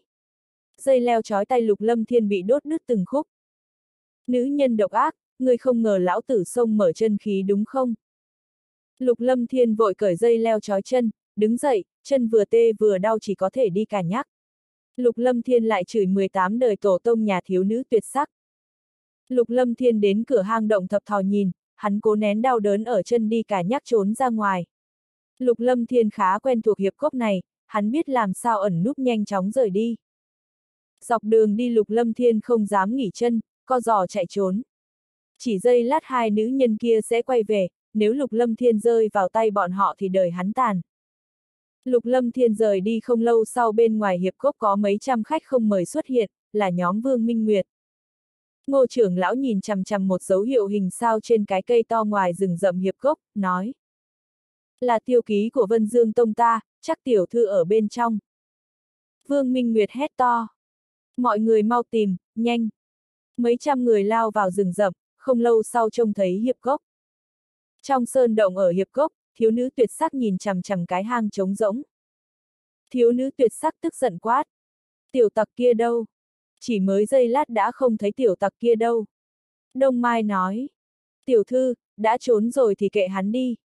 Thiếu nữ tuyệt sắc hừ lạnh một tiếng. Người hắn có vết thương, không chạy xa được, còn chúng vạn nghĩ toàn tâm châm, chúng ta đuổi theo. Thiếu nữ tuyệt sắc buông xuống mấy con dã thú vừa tìm được, chạy ngay ra ngoài sơn động. Nha hoàn đông mai vội chạy theo. Tiểu thư nhờ với. Trong hiệp cốc một bóng người vọt lên lướt qua hư không đáp xuống trước mặt thiếu nữ tuyệt sắc, là ngô trưởng lão áo trắng. Là tiểu thư, tiểu thư, rốt cuộc chúng ta đã tìm được tiểu thư. Thiếu nữ tuyệt sắc ngây người. Ngô trưởng lão, sao ngô trưởng lão đến đây? Thiếu nữ tuyệt sắc nhìn mấy trăm người và ngô trưởng lão trong hiệp cốc, không ngờ bọn họ đến mau vậy. Ngô trưởng lão nói, tiểu thư, chúng ta tìm tiểu thư hơn một tháng, tiểu thư không có việc gì thì tốt. Hãy mau trở về, nếu tiểu thư còn không chịu về e rằng tông chủ sẽ tự mình tìm người. Đông Mai lên tiếng, tiểu thư, chúng ta trở về đi. Thấy đám người ngô trưởng lão đến, Đông Mai thở phào nhẹ nhõm. Trong khoảng thời gian này mỗi ngày Đông Mai phập phồng lo sợ. Thiếu nữ tuyệt sắc quát. Nhưng tiểu tặc kia đã chạy, ta phải bắt được hắn đã. Thiếu nữ tuyệt sắc còn nhớ mãi lục lâm thiên. Ngô trưởng lão nghi hoặc hỏi. Tiểu tặc gì? Mặt thiếu nữ tuyệt sắc hay hồng. Không có gì, chỉ là một con yêu thú. Thiếu nữ tuyệt sắc xấu hổ không dám nói mình tắm rửa bị người ta nhìn trộm. Chỉ là một con yêu thú, chờ khi tiểu thư đột phá vũ phách thì chọn một con yêu thú huyết mạch tốt bồi dưỡng thành tọa kỵ là được. Trong sơn mạch vụ đô này không có yêu thú gì tốt. Thiếu nữ tuyệt sắc bực tức nhỏ giọng nói. Tiểu tặc, lần sau gặp mặt ta sẽ không tha cho ngươi. Vương Minh Nguyệt, tôn trưởng lão đến bên cạnh thiếu nữ tuyệt sắc, nói. Tiểu thư, chúng ta về thôi. Trong hiệp gốc, mấy trăm nam đệ tử trẻ tuổi của thành vụ đô ngây người nhìn thiếu nữ tuyệt sắc, bọn họ chưa từng thấy nữ nhân nào đẹp như vậy. Tuy thiếu nữ tuyệt sắc là đại tiểu thư trong tông nhưng bọn họ không có cơ hội vào Vân Dương Tông, trước kia chưa từng gặp nàng. Có nam đệ tử chảy máu mũi, nhưng bọn họ chỉ có thể chảy máu mũi, lén tưởng tượng, bọn họ không trèo cao đại tiểu thư trong tông nổi. Thiếu nữ tuyệt sắc lẩm bẩm. Thôi, trong sơn mạch vụ đô không có gì vui, chờ ta trở lại tông đột phá đẳng cấp vũ phách rồi mới tìm một con tòa kỵ chơi. Tôn trưởng lão nói. Tiểu thư còn ba năm nữa, ba năm sau vừa lúc là lúc so tài tam tông tứ môn 15 năm một lần. Tiểu thư có thể tranh một hơi cho Vân Dương Tông. Lục Lâm Thiên chạy nhanh như điên, máu trong cơ thể sôi trào, vết thương vừa mới lành được hai phần giờ lại bị nặng hơn. Lục Lâm Thiên đi cả nhắc, người rất là chật vật.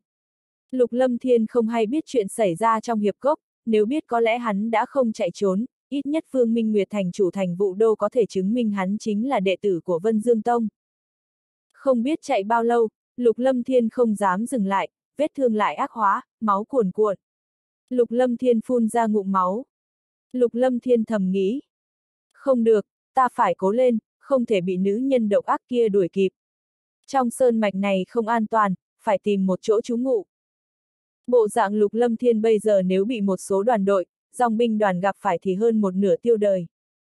Cũng may trên đường đi Lục Lâm Thiên không gặp chuyện họa vô đơn chí, không đỡ Upsilon.ng phải đoàn đội, dòng binh đoàn gì. a à, không biết đến chỗ nào Lục Lâm Thiên bước hụt té từ sườn núi lăn xuống bụi cỏ và lùm cây, quần áo bị móc rách, lưng bị nhánh cây cắt mấy vết chày. Lục Lâm Thiên rơi xuống một sơn cốc nhỏ, sơn cốc rất ẩn khuất, không lớn, lại bị lùm cây che kín. Lục Lâm Thiên hộc máu. Phụt. Lục Lâm Thiên lồm cồm bò dậy, nhìn quanh sơn cốc quan sát.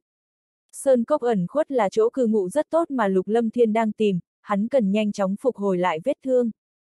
Lục Lâm Thiên quan sát thấy trong sơn cốc có nhiều tảng đá, trên vách đá có các cửa hang phong hóa, diện tích lớn đủ chứa Lục Lâm Thiên vào ở. Lục Lâm Thiên đi vào trong hang, một hơi nuốt hai viên đan dược trị thương tam phẩm, khoanh chân điều tức. Lục Lâm Thiên bị thương quá nặng, ưu tiên hàng đầu bây giờ là chữa lành vết thương. Thời gian chậm rãi trôi qua, Lục Lâm Thiên bận điều tức không có khái niệm thời gian. Từng ngày chậm rãi qua đi, hai viên đan dược trị thương tam phẩm có giá trị khá lớn nên vết thương cũng nhanh lành hơn một chút, chỉ một chút vì vết thương của Lục Lâm Thiên khá nặng. Mười ngày sau, sáng sớm trong sơn mạch vụ đô luôn đầy sương mù. Ban mai bị ánh nắng phá mở, tia nắng chiếu vào rừng cây lấp lánh nhiều ánh sáng. Giọt sương lung linh nhiều sắc màu rất đẹp. Cộp cộp cộp. Đột nhiên một chuỗi tiếng bước chân hỗn loạn phá vỡ bình tĩnh lúc sáng sớm trong sơn mạch, một bóng người áo đen lướt qua. Người áo đen nhảy vọt mấy lần đã vượt qua mấy trăm thước. Nhìn gần thì thấy là một lão nhân áo đen, tay phải bịt vai, máu chảy ròng ròng, mặt trắng bệch. Lão nhân áo đen nhảy vọt mấy lần biến mất tại chỗ, lão bị thương nhưng tốc độ vẫn nhanh như hồn ma, có thể thấy thực lực của lão cực kỳ cường đại. Lão nhân áo đen biến mất nửa canh giờ sau trong sơn mạch vụ đô lại xuất hiện hai lão nhân, bọn họ như hồn ma hiện hình, tu vi rất khủng khiếp. Một lão nhân ngồi xuống bên vũng máu, nói. Lão độc vật bị trọng thương, chạy không xa. Lão nhân sắc mặt âm trầm nói. Phải tìm ra lão độc vật, nếu không sẽ họa lớn. Lão nhân kia nói. Chúng ta đuổi theo nguyên sơn mạch vụ đô này, đánh nhau hai lần vẫn để lão độc vật chạy thoát, công nhận lão độc vật mạnh thật. Lão nhân sắc mặt âm trầm lạnh nhạt nói. Lão độc vật chỉ dựa vào dùng độc, nếu không chúng ta cần gì sợ. Hai lão nhân biến mất tại chỗ. Trên một sườn núi, lão nhân áo đen quan sát bốn phía. Một lát sau lão nhân áo đen dường như phát hiện điều gì nhảy người xuống. Trong sơn động, quanh người lục lâm thiên tỏa ánh sáng nhạt, sắc mặt hồng hào hơn. Qua 10 ngày điều tức đến ngày thứ 6 Lục Lâm Thiên lại phí phạm nuốt một viên đan dược trị thương tam phẩm, vết thương tốt hơn 80%. Ý thức cảnh giác, Lục Lâm Thiên lập tức phát hiện có điều không bình thường, dường như có hơi thở nào khác đến gần hắn. Ai đó? Lục Lâm Thiên bỗng không thể nhúc nhích, có mấy chỉ ấn rơi vào người hắn. Chân khí ngưng tụ, kinh mạch huyệt đạo bị phong, Lục Lâm Thiên nằm sụi lơ dưới đất. Lục Lâm Thiên thấy một lão nhân áo đen, khoảng 50 tuổi, mặt không chút máu, ánh mắt sắc bén, vạt áo lấm tấm vệt đỏ. Trong bộ dạng của lão nhân áo đen bị thương khá nặng. Lão nhân áo đen nhìn lục lâm thiên chằm chằm. Tiểu tử, ta cần tìm một chỗ chữa thương, hôm nay không muốn giết người. Ngươi hãy ngoan ngoãn ở đây, chờ ta lành vết thương sẽ tha cho ngươi. Lão nhân áo đen đánh ra vài thủ ấn, một luồng khói đen bám vào cửa hang. Lão nhân áo đen nhét mấy viên đan dược vào miệng, ngồi xếp bằng điều tức. Lục lâm thiên chửi thầm trong bụng. Tổ cha nó, năm nay lão tử phạm thái tuế sao? Mới thoát ma chảo lại bị bắt. Lục lâm thiên không hiểu, năm nay không phải năm bổn mạng của hắn, sao chuyến này xui xẻo hết sức. Đột nhiên bị người ta bắt, Lục Lâm Thiên không biết xảy ra chuyện gì. Lục Lâm Thiên cảm giác vài luồng linh lực phong tỏa kinh mạch huyệt đạo, hắn ngạc nhiên thầm nghĩ. Linh lực, là linh giả. Lão nhân áo đen là linh giả sao? Lục Lâm Thiên vận dụng âm dương linh vũ quyết lén luyện hóa vài luồng linh lực, thứ này không làm khó được Lục Lâm Thiên. Thời gian chậm rãi trôi, một ngày sau Lục Lâm Thiên rốt cuộc luyện hóa xong mấy cấm chế linh lực trong người. Lão nhân áo đen rất mạnh, luyện hóa xong mấy linh lực này khiến hắn cảm giác linh lực trong đầu mình mạnh hơn một chút. Lục Lâm Thiên luyện hóa xong cấm chế linh lực, vết thương trên người cũng lành tám phần nhưng hắn không dám nhúc nhích. Trực giác cho Lục Lâm Thiên biết lão nhân áo đen tuyệt đối không dễ chọc, sơ sẩy một cái là hắn sẽ mất mạng. Khí thế từ người lão nhân áo đen mạnh hơn bất cứ cường giả nào Lục Lâm Thiên đã thấy. Lục Lâm Thiên nhìn lén lão nhân áo đen, tóc dài màu đen, dáng người mảnh khảnh, ánh sáng đen đặc bao bọc toàn thân lão. Lục Lâm Thiên nhìn chằm chằm lão nhân áo đen, thầm nghĩ. Linh giả. Lục Lâm Thiên không nhìn thấu đẳng cấp tu vi của lão nhân áo đen nhưng lão có thực lực mạnh nhất trong những người hắn đã gặp. Lão nhân áo đen thở hắt ra. Phù. Lão nhân áo đen vụt ngoái đầu nhìn Lục Lâm Thiên, ánh mắt sắc bén làm hắn dùng mình. Mắt lão nhân áo đen như nhìn thấu linh hồn Lục Lâm Thiên. Lão nhân áo đen nhìn Lục Lâm Thiên đăm đăm, nói. Tiểu tử giỏi, không ngờ có thể lén giải trừ cấm chế của ta, nhưng chút thủ đoạn của ngươi không lừa được ta đâu. Lòng Lục Lâm Thiên chìm xuống, cực kỳ ngạc nhiên, thực lực của lão nhân áo đen quá khủng khiếp, thật sự nhìn thấu được hắn.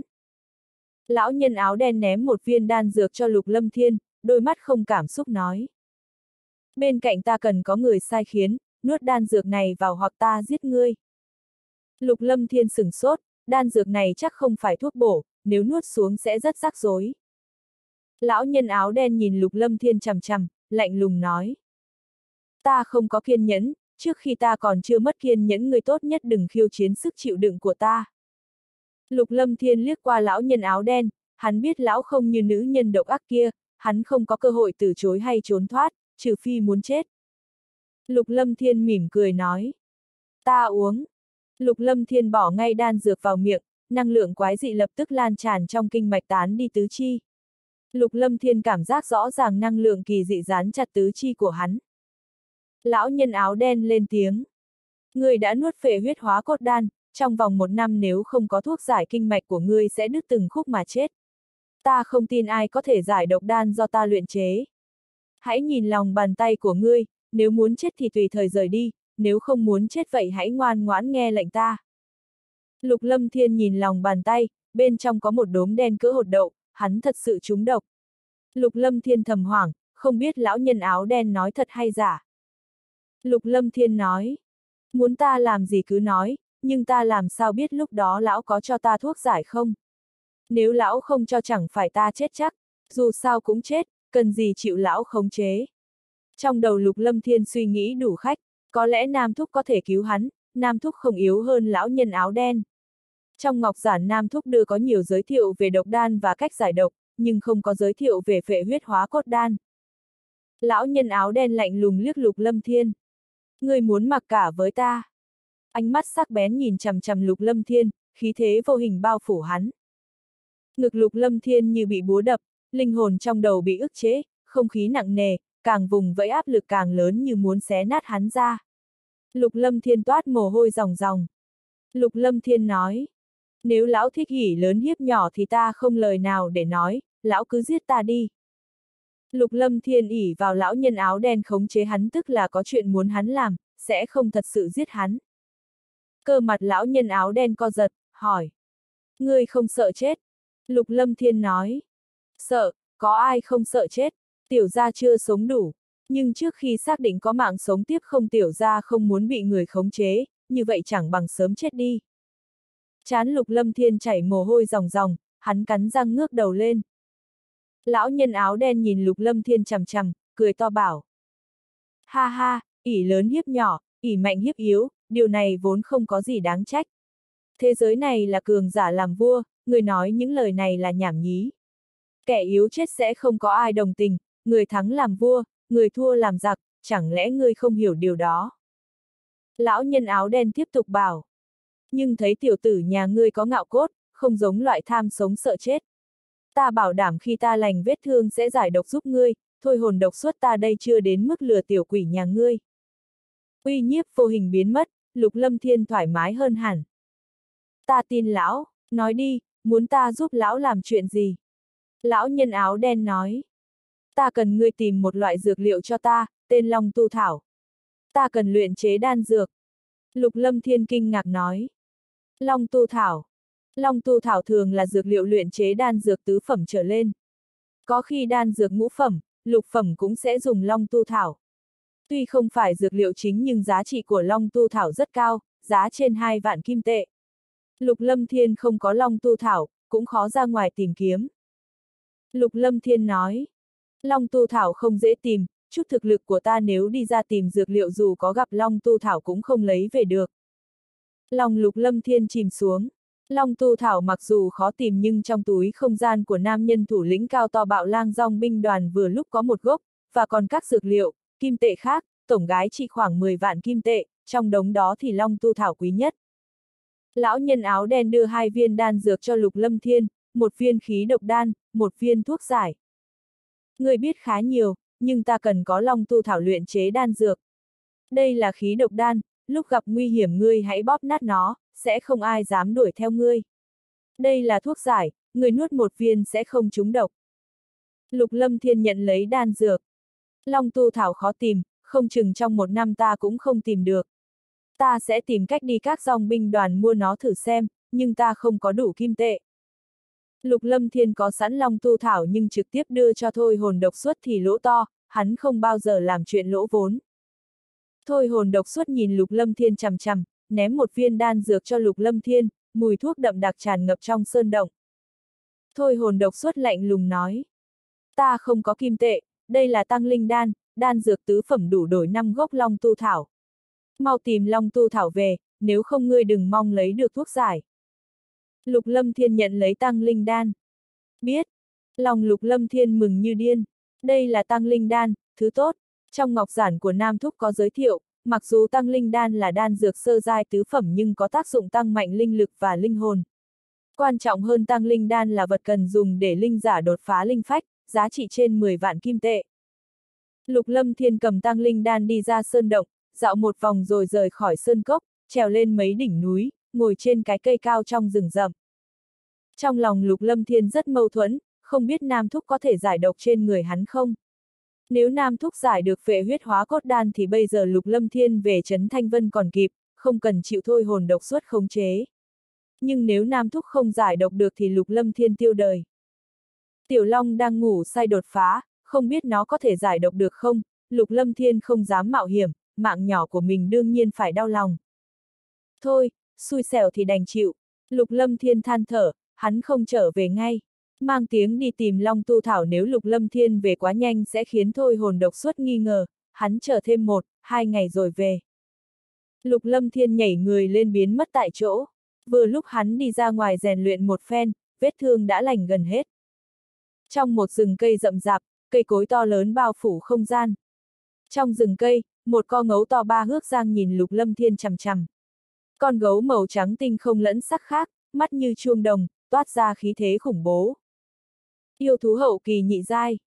Lục Lâm Thiên cảm giác hơi thở từ người con gấu đã đến trình độ yêu thú hậu kỳ nhị giai, vũ sư nhất trọng cũng khó làm gì nó, đây là một loại thổ chi yêu hùng, da dày thịt béo, phòng ngự cực mạnh, rất khó đối phó. Thổ chi yêu hùng phát ra tiếng gầm đáng sợ. Growl. Thân hình to lớn dẫm nền đất vọt lên, chi trước vỗ vào người Lục Lâm Thiên. To con, xem bản công tử giải quyết ngươi thế nào. Lục Lâm Thiên không bỏ chạy, chân khí dồn dưới chân nhanh nhẹn né đòn công kích của thổ chi yêu hùng. Con thổ chi yêu hùng, da dày thịt béo, phòng ngự cực mạnh nhưng hơi cồng kềnh, tốc độ không mau. Lục Lâm Thiên gầm lên. Khai Sơn trưởng. Lục Lâm Thiên né người, tay vỗ trưởng ấn vàng nhạt vào thổ chi yêu hùng to lớn, tăng nhanh tốc độ giáng xuống lưng nó. Bùm! Lục Lâm Thiên cảm giác bàn tay như vỗ trúng tảng đá, bàn tay hắn tê dại. Thổ chi yêu hùng thì lảo đảo tiến lên trước mấy bước. Thổ chi yêu hùng gầm lên. Growl! Thổ chi yêu hùng xoay người vỗ mạnh vào Lục Lâm Thiên, lực lượng cường đại đè ép khí lưu vang tiếng xé gió. Lục Lâm Thiên nhanh chóng thụt lùi. Không thể đấu cứng với thổ chi yêu hùng, sẽ chịu thiệt. Lục Lâm Thiên kết ấn, linh lực bốn phía tụ tập lại, gió đè ép không gian vặn vẹo, khí thế cường đại khuếch tán. Một thanh đại đao màu đỏ nhanh chóng ngưng tụ trong tay Lục Lâm Thiên, quanh đại đao sóng gợn không gian lăn tăn, tiếng xé gió chói tai vang lên. Đao hồn chảm. Cây đao linh lực màu đỏ xé dòng không khí ra như thái sơn áp đỉnh, lực lượng cuồng bạo chém xuống thổ chi yêu hùng. Growl. Vầng sáng nhạt đậm đặc ngưng tụ trên người thổ chi yêu hùng to lớn, nó nhìn chằm chằm đòn công kích của Lục Lâm Thiên, trong mắt lộ tia sợ hãi. Yêu thú đề dai không có trí tuệ cao, cảm thấy sợ sẽ chạy trốn, không như dã thú. Một số dã thú không biết chết là gì, sẽ bất chấp tất cả giết đối thủ, rất khó giải quyết. Nhưng yêu thú cao dài trí tuệ bằng nhân loại là khó đối phó nhất. Đao đỏ như máu cắt vỡ hư không, nhát đao chém ra dẫn đến không gian chấn động, khí kình gào thét sinh ra tiếng nổ. Đao quang kéo theo chuỗi tàn ảnh, uy thế kinh khủng. Ánh sáng chói mắt bắn tới, đao chém mạnh vào người thổ chi yêu hùng. Bùm! Vầng sáng vàng nhạt trên người thổ chi yêu hùng vặn vẹo, thoáng chốc nứt vỡ. Sóng năng lượng khủng bố bạo động, lực lượng sắc bén không gì sánh bằng khuếch tán, không gian vặn vẹo. Thân hình to lớn của thổ chi yêu hùng bị xẻ đôi, đao quang tan biến trong không trung. Lục lâm thiên kinh thán uy lực đao hồn kỹ của mình. Không uổng là linh kỹ huyền giai. Lúc lục lâm thiên là vũ sĩ thất trọng thi triển linh kỹ huyền giai này có thể giết yêu thú hậu kỳ nhị giai, tức là hắn có thể giết vũ sư nhất trọng bình thường. Linh kỹ huyền giai, linh kỹ cũng là chia làm sáu giai thiên, địa, huyền, hoàng, tinh, thần. Tiểu gia tộc bình thường có vũ kỹ sơ giai hoàng giai đã là trọng bảo, linh kỹ huyền giai càng khó khăn hơn. Vũ kỹ, linh kỹ huyền giai thì là trọng bảo trong đại môn đại phái. Vũ kỹ, linh kỹ mỗi lên một bậc uy lực sẽ mạnh hơn một đẳng cấp. Linh kỹ sơ giai huyền giai và linh kỹ cao giai hoàng giai chênh lệch như trời với đất. Lục Lâm Thiên tu luyện đao hồn kỹ là linh kỹ sơ giai huyền giai, Chu Tước quyết là vũ kỹ cao giai hoàng giai. Hiện tại Lục Lâm Thiên không chắc tứ thần quyết có phải là vũ kỹ không, dù sao Chu Tước quyết khác biệt rất lớn với vũ kỹ bình thường. Nhưng Lục Lâm Thiên biết rõ Chu Tước quyết là thủ đoạn mạnh nhất hiện nay của Lục Lâm Thiên, tuy Chu Tước quyết cỡ đẳng cấp vũ kỹ cao giai hoàng giai nhưng uy lực mạnh hơn đao hồn kỹ một chút. Nếu giống như lần trước dùng lực lượng bên thứ ba dung hợp Chu Tước quyết, uy lực của Chu Tước quyết càng thêm cường đại, rất khủng bố. Thủ đoạn thứ hai của Lục Lâm Thiên là đao hồn kỹ, thứ ba là nộ hải cuồng khiếu vũ kỹ thủy hệ. Hiện tại Lục Lâm Thiên chỉ còn thiếu hai vũ kỹ mộc hệ, phong hệ. Dọn dẹp xong Lục Lâm Thiên đi về, cũng đã tới lúc nên về, dù sao hắn có một gốc long tu thảo. Lục Lâm Thiên nhìn đốm đen trong lòng bàn tay mình, hắn cười khổ. Lục Lâm Thiên đi về sơn động trong sơn cốc, hắn thấy thôi hồn độc suốt đang điều tức, mặt trắng bệch, hơi thở tốt hơn một chút, vết thương trên vai đã kết già. Cảm giác Lục Lâm Thiên trở về, lão nhân áo đen mở mắt ra hỏi dồn. Tìm thấy Long Tu Thảo chưa? Dường như Long Tu Thảo giúp ích rất lớn cho thôi hồn độc suất. Lục Lâm Thiên lấy ra Long Tu Thảo bình thường sẵn đưa cho thôi hồn độc suất. Đã đổi được. Long Tu Thảo cao khoảng nửa thước, tỏa mùi thuốc đậm đặc. Chín miếng lá như dâu, thân cỏ cong nên được gọi là Long Tu Thảo. Long Tu Thảo có tác dụng lớn trong việc giải độc, tăng mạnh linh khí, củng cố tinh thần nên giá trị rất cao. Lão nhân áo đen mừng rỡ, sau đó nhìn Lục Lâm Thiên chằm chằm, nói. Ta sắp luyện chế đan dược, người yên phận chút, không được quấy giày ta. Lục Lâm Thiên lùi vào góc hang. Mời tự nhiên. Lục Lâm Thiên hào hứng nhìn thôi hồn độc xuất luyện chế đan dược thế nào. Thôi hồn độc xuất móc một dược đỉnh ra khỏi chữ vật giới chỉ. Đinh! Lục Lâm Thiên sớm chú ý chữ vật giới chỉ trên tay thôi hồn độc xuất. người có chữ vật giới chỉ tất nhiên địa vị không thấp. Dược đỉnh cao cỡ một thước, màu xanh sậm, rậm rạp hoa văn tỏa ánh sáng nhạt. Phẩm chất dược đỉnh không tệ, Lục Lâm Thiên cảm giác dược đỉnh này không thua gì long đỉnh của hắn. Thôi hồn độc xuất bắt đầu đánh ra thủ ấn, linh lực tràn ngập trong tay lão rót vào dược đỉnh. Thoáng chốc trong dược đỉnh bùng cháy ngọn lửa, lửa rất nóng, không khí trong sơn động oi bức, nhiệt độ tăng nhanh. Khi nhiệt độ lên cao nhất định, Lục Lâm Thiên thấy thôi hồn độc xuất điều khiển lửa lớn nhỏ, mức độ quen thuộc hơn xa hắn. Lục Lâm Thiên nhìn hoa cả mắt. Tiếp theo thôi hồn độc xuất móc ra nhiều dược liệu lần lượt bỏ vào trong dược đỉnh luyện hóa. Lửa trong dược đỉnh đã đến mức độ cực kỳ chính xác, cái này cần có linh hồn lực rất mạnh mới khống chế nổi. Thôi hồn độc suất lấy ra dược liệu làm lục lâm thiên ngạc nhiên, toàn là thứ đáng giá. Xem bộ dạng thôi hồn độc suất sắp luyện chế đan dược đẳng cấp ngũ phẩm trở lên. Nhìn thôi hồn độc suất luyện chế dược liệu làm lục lâm thiên càng lúc càng ngạc nhiên, lão khống chế linh hồn lực và lửa cực kỳ chính xác, không lãng phí chút tài liệu nào, tốc độ rất nhanh. Nhưng dược liệu rất nhiều, muốn luyện hóa cần nhiều thời gian. Nhìn thôi hồn độc xuất luyện chế cho lục lâm thiên học lóm được nhiều. Từ khí thế của lão nhân áo đen, danh hiệu độc xuất lục lâm thiên đoán thôi hồn độc xuất có lẽ đến tình độ linh xuất Linh giả linh xuất đây là cường giả. Thôi hồn độc xuất tập trung tinh thần tu luyện, lão hết sức cẩn thận, từng bước luyện hóa các loại dược liệu. Mãi đến ngày thứ hai thôi hồn độc xuất mới tinh luyện hết dược liệu, thủ ấn lại thay đổi, lão thở hắt ra. Thôi hồn độc xuất bắt đầu dung hợp linh dịch tinh luyện từ dược liệu. Thủ ấn liên tục bay múa, lửa trong dược đỉnh cháy hừng hực, mùi thuốc đậm đặc tỏa ra. Lục lâm thiên không thấy, không cảm giác được tình huống trong dược đỉnh, nhưng nhìn mùi thuốc, hơi thở từ dược đỉnh thì linh dược chậm rãi ngưng tụ thành hình, tốc độ bình ổn, linh giả bình thường khó thể làm được. Thời gian dần tuổi mùi dược trong sơn động càng lúc càng đậm đặc. Lại một ngày qua đi, mùi thuốc trong sơn động đã đậm đặc quánh. Người mùi thuốc làm lục lâm thiên thầm giật mình, đan dược đẳng cấp gì mà trong mùi thơm chứa lực lượng cuồng bạo. Ong ong ong. Dược đỉnh rung bần bật như có lực lượng bạo lực đỡ upsilon.ng vào dược đỉnh, rất thần dị. Thôi hồn độc suất hét lên. Tụ đan. Thôi hồn độc suất đổi thủ ấn, dược đỉnh rung lắc càng dữ dội hơn, lực lượng vô hình khuếch tán. Đinh. Trong dược đỉnh phát ra thanh âm trong trẻo, nắp dược đỉnh bật mở, một viên đan dược màu xanh to cỡ nắm tay trẻ sơ sinh lao ra, đan dược xoay quanh trong sơn động. Năng lượng cuồng bạo tràn ngập, đan dược tỏa ánh sáng chói mắt.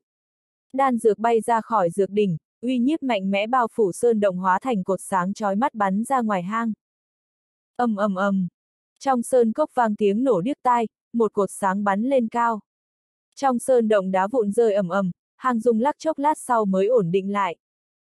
Tay thôi hồn độc suốt cầm viên đan dược màu xanh, ánh sáng đã thu vào đan, mùi thuốc đậm đặc và năng lượng cuồng bạo vẫn tỏa ra. Mặt lục lâm thiên trắng bệch, năng lượng cuồng bạo làm hắn chịu khổ nhiều, buộc hải vận dụng chân khí chống cự. Lục lâm thiên tò mò hỏi. Đan dược này mấy phẩm? Đan dược ra khỏi đỉnh gây náo động lớn như vậy thật là đáng sợ, lục lâm thiên đoán đẳng cấp đan dược chắc cỡ ngũ phẩm nhưng không dám kết luận là mấy giai. Lục lâm thiên chưa từng tiếp xúc loại đan dược đẳng cấp này. Thôi hồn độc Xuất trả lời. Chỉ là ngũ phẩm trung giai, ta bị thương, chỉ luyện ra được đan dược ngũ phẩm, miễn cưỡng chữa lành vết thương một ít. Bây giờ ta phải trị thương, ước chừng 10 ngày. Người có thể đi ra ngoài hoặc ở lại trong hang. Lục Lâm Thiên nói. Ta ở lại, nếu lão không cho ta thuốc giải mà đi luôn thì ta biết làm sao. Thôi hồn độc Xuất liếc Lục Lâm Thiên. Vậy ngươi cứ ở lại. Thôi hồn độc suốt nuốt đan dược, bắt đầu trị thương. Lục Lâm Thiên ngồi xếp bằng, 10 ngày vừa lúc cho hắn tu luyện, chữa lành vết thương hoàn toàn. Lục Lâm Thiên ném đan dược tam phẩm vào miệng, hắn định thừa dịp luyện hóa ít đan dược tăng mạnh thực lực. Lần trước Lục Lâm Thiên dùng chân khí vũ sư ngũ trọng thi triển chu tước quyết, giờ hắn chỉ có thể dựa vào luyện hóa đan dược mới tăng mạnh chân khí nổi. May mắn đan dược trong tay Lục Lâm Thiên mặc dù phẩm cấp không cao nhưng số lượng nhiều, trong túi không gian của đại thủ lĩnh bạo lang dòng binh đoàn có khá nhiều đan dược. Lục Lâm Thiên hơi xem trọng đan dược tam phẩm, còn nhị phẩm thì hắn ăn như nhai kẹo. Đan dược nhị phẩm không có tác dụng lớn cho Lục Lâm Thiên, hiện tại hắn là vũ sĩ thất trọng, 300 viên đan dược nhị phẩm cũng không khiến thực lực của hắn tăng mạnh một trọng. Lát sau Lục Lâm Thiên điều tức, đan dược vào miệng tan thành năng lượng khổng lồ, hắn chậm rãi luyện hóa nó. Trong khí hải đan dược tăng dần chân khí, nhưng còn xa mới đột phá vũ sĩ bát trọng nổi. Lục lâm thiên mải mê luyện hóa quên đi thời gian. Mười ngày không dài, đúng 10 ngày sau lão nhân áo đen thở hắt ra, tỉnh lại. Phù phù. Lục Lâm Thiên ngừng tu luyện, hắn cảm giác trong đan dược khí hải tràn đầy chân khí, đẳng cấp đến trung giai vũ sĩ thất trọng. Luyện hóa đan dược không có hiệu quả lớn như trực tiếp thôn phệ chân khí. Thôi hồn độc xuất nhìn Lục Lâm Thiên, vẻ mặt kinh ngạc nói. Mới 10 ngày mà thực lực của tiểu tử tiến bộ nhiều. Lục Lâm Thiên không giấu đi hơi thở nên không lừa được thôi hồn độc xuất. Lục Lâm Thiên nhìn thôi hồn độc xuất. Vết thương của lão sao rồi? Sắc mặt thôi hồn độc xuất đã tốt hơn nhiều, khí thế càng mạnh, chắc vết thương không trầm trọng. Thôi hồn độc xuất nhớ đến vết thương trên người, sắc mặt âm trầm nói. Không nghiêm trọng, nhưng muốn lành hẳn thì còn lâu. Thôi hồn độc xuất nói với Lục Lâm Thiên. Tiểu tử, người rất can đảm, người bình thường ở trước mặt ta đã sợ run lẩy bẩy. Lục Lâm Thiên mỉm cười nói. Ta có gì phải sợ hãi run rẩy? Tuy lão mạnh thật nhưng không lý do tùy tiện giết ta đi. Lục Lâm Thiên lại thầm lo lắng, nếu thôi hồn độc xuất nổi hứng muốn lấy mạng hắn thì đúng là không có chỗ để kêu oan. Thôi hồn độc xuất nói. Hừ, đừng dùng chiêu khích tướng trước mặt ta, vuốt mông ngựa cũng vô dụng. Ta muốn giết người liền giết, không ai ngăn được, cũng không lo được, miễn ta thích, nhưng ta đã hứa không giết người thì sẽ giữ lời. Chúng ta đi. Lục Lâm Thiên kinh ngạc hỏi. Đi, chúng ta đi đâu? Kẻ thù của ta sẽ không ngờ ta chịu thiệt lớn thế này lại nhanh chóng trở về cổ vực, ta phải làm ngược lẽ thường, trở về cổ vực. Thù này sẽ có ngày ta trả. Mắt thôi hồn độc xuất bắn ra tia sáng lạnh làm lục lâm thiên dùng mình. Nhìn ra được thôi hồn độc xuất có thủ rất sâu. Lục lâm thiên ngây người. Đi cổ vực. Lục lâm thiên có nghe nói về cổ vực, xuyên qua sơn mạch vụ đô là đến cổ vực. Nhưng muốn vượt qua sơn mạch vụ đô sẽ mất hơn nửa năm, dù cưỡi yêu thú bay cũng cần hai tháng. Lục lâm thiên trầm giọng hỏi. Chẳng lẽ lão muốn ta đi với lão? Sâu trong sơn mạch vụ đô có nhiều yêu thú cao dai, lục lâm thiên không muốn đi chút nào. Hơn nữa lục lâm thiên cần phải đi vân dương tông, nếu cùng thôi hồn độc xuất đến cổ vực muốn trở về sẽ rất rắc rối. Thôi hồn độc xuất trả lời. Đúng vậy, vết thương của ta chưa lành hẳn, cần có người sai khiến. Lục lâm thiên nói ta thuê một bà vệ upsilon cho lão sai khiến được không? Lão thích thiếu phụ thì ta cũng tìm được, ta không muốn đi cổ vực, lão làm ơn tha cho ta. Thôi hồn độc xuất nói. Ngươi thích thì cứ đi, nhưng một năm sau ta mới cho thuốc giải, ngươi cứ đến cổ vực tìm ta, đó là nếu như ngươi có thể tìm thấy ta. Lục lâm thiên lẩm bẩm, Coi như lão giỏi. Mạng nhỏ nằm trong tay đối phương, lục lâm thiên chỉ có thể nghe theo thôi hồn độc suốt bài bố. Thôi hồn độc xuất nói. Chúng ta đi, tìm dòng binh đoàn đi cổ vực, chúng ta lẫn vào trong dòng binh đoàn. Lục lâm thiên ậm ừ. Biết rồi. Trong sơn mạch vụ đô có nhiều dòng binh đoàn đi cổ vực, dọc đường đi sẽ hái linh dược, bắt yêu thú, hộ thống thương nhân hoặc người xuyên qua sơn mạch vụ đô qua lại giữa cổ vực và linh vũ đại lục. Loại dòng binh đoàn này thông thường rất mạnh, nếu không có thực lực mà muốn đi qua sơn mạch vụ đô là chuyện không thể. Sâu trong sơn mạch vụ đô đầy yêu thú tam giai, cũng có nhiều yêu thú tứ giai. Nếu xui đỡ upsilon.ng chúng yêu thú ngũ giai cũng không lạ gì. Đổi lại mỗi lần dòng binh đoàn đều thu hoạch lớn hơn, hay có linh giả đi chung. Lục Lâm Thiên nghe Lam Linh nói Bạch Lang dòng binh đoàn thuộc loại dòng binh đoàn mạo hiểm này. Nhưng Bạch Lang dòng binh đoàn bị một trưởng lão vạn thú tông tiêu diệt chỉ trong một đêm, có thể tưởng tượng vạn thú tông mạnh cỡ nào. Lục Lâm Thiên đi theo thôi hồn độc xuất rời khỏi sơn cốc. Thôi hồn độc xuất nhìn phương hướng, tiến tới trước. Thôi hồn độc xuất hỏi. Có biết gần đây có dòng binh đoàn nào nghỉ chân không? Lục Lâm Thiên trả lời. Đằng trước có một cái. Lần trước ra ngoài Lục Lâm Thiên tình cờ phát hiện một sơn cốc nơi dòng binh nghỉ tạm. Thôi hồn độc suất nói. Chúng ta tìm một dòng binh đoàn, khiến bọn họ hộ tống chúng ta đi cổ vực. Lục Lâm Thiên hỏi. Nếu kẻ thù của lão ở bên này chẳng phải càng dễ bị phát hiện sao? Hiện nay người lục lâm thiên có độc, hắn không mong thôi hồn độc suất gặp phải kẻ thù. Thôi hồn độc suất nói. Bọn họ sẽ không ngờ ta khiến dòng binh đoàn hộ tống đi. Nhớ kỹ là từ bây giờ ngươi chính là cháu của ta, còn ta là thúc thúc của ngươi, tránh cho trên đường đi bị người nghi ngờ. Lục lâm thiên nhìn thôi hồn độc suốt chằm chằm. Lão ăn hiếp ta. Bỗng dưng có thêm một thúc thúc, không chơi kiểu này. Vớ vẩn, ta ăn hiếp ngươi thế nào? Ta làm thúc của ngươi đã là xem trọng ngươi. Thôi hồn độc suất lườm lục lâm thiên. Đến cổ vực rồi ta sẽ trừ độc cho ngươi, nhưng nếu trên đường đi ngươi dở trò gì sẽ chết rất thảm. Chút thực lực của ngươi thì ta chỉ cần một đầu ngón tay đủ nghiền nát. Lục lâm thiên bất đắc dĩ nói. Ta làm sao dám, mạng nhỏ của ta rất đáng giá, hy vọng lão cũng giữ lời hứa, đến cổ vực làm ơn giải độc cho ta. Hai người vượt qua mấy ngọn núi. Có thôi hồn độc xuất đi theo ích lợi duy nhất là lục lâm thiên không cần cẩn thận những khi đi ngang rừng cây. Một sơn cốc xuất hiện trước mắt lục lâm thiên, thôi hồn độc xuất. Trong sơn cốc rộn ràng tiếng người đã lâu mới nghe thấy, khá là náo nhiệt. Sơn cốc cỡ hai ngàn thước, có nhiều kiến trúc gỗ. Lúc hai người vào sơn cốc, thôi hồn độc xuất giấu đi hơi thở, bề ngoài như một lão nhân bình thường, không thấy dấu hiệu gì là lão quái vật khí thế cực kỳ cường đại. Trong sơn cốc có nhiều người ngồi dưới đất, trước mặt bày một tấm vải, đặt các loại dược liệu, da lông yêu thú đê dai vân vân để buôn bán. Có người bán binh khí, trông như chợ giao dịch, nhiều người đang cò kè mặc cả. Khá nhiều thương nhân trực tiếp mua dược liệu, những thứ khác ở nơi đám dòng binh đoàn tụ hợp lại. Trong sơn mạch vụ đô thường có những chỗ nhốn nháo thế này. Lục lâm thiên quan sát sơn cốc, so với chỗ dòng binh đoàn tụ tập lần trước hắn cùng Lam Linh ghét qua thì nơi này náo nhiệt hơn. Lục lâm thiên đi vào một chỗ trông như tử quán, tiểu nhị nhiệt tình chào hỏi. Hai vị đại nhân muốn nghỉ lại hay ăn gì? Lục lâm thiên móc 20 khối kim tệ ra giao cho tiểu nhị. Có đồ ăn gì ngon cứ bưng lên. Sẵn đây xin hỏi chỗ này có dòng binh đoàn đi cổ vực không? Chúng ta muốn nhờ dòng binh đoàn hộ tống đi cổ vực. Muốn hỏi thăm tin tức dòng binh đoàn thì các tiểu nhị tia mắt nhanh nhẹn, bia nhiều tin tức nhất. Thấy kim tệ thì mắt tiểu nhị càng nhiệt tình hơn. Đại nhân, vừa lúc chỗ chúng ta có một dòng binh đoàn đi cổ vực, ta sẽ hỏi thăm xem bọn họ có thể mang các vị đi hơn, nhưng không thể thiếu phí dụng. Lục Lâm Thiên nói, cái này không thành vấn đề, nếu ngươi làm tốt lát nữa ta sẽ thưởng. Lục Lâm Thiên biết ngay tìm tiểu nhị là chính xác.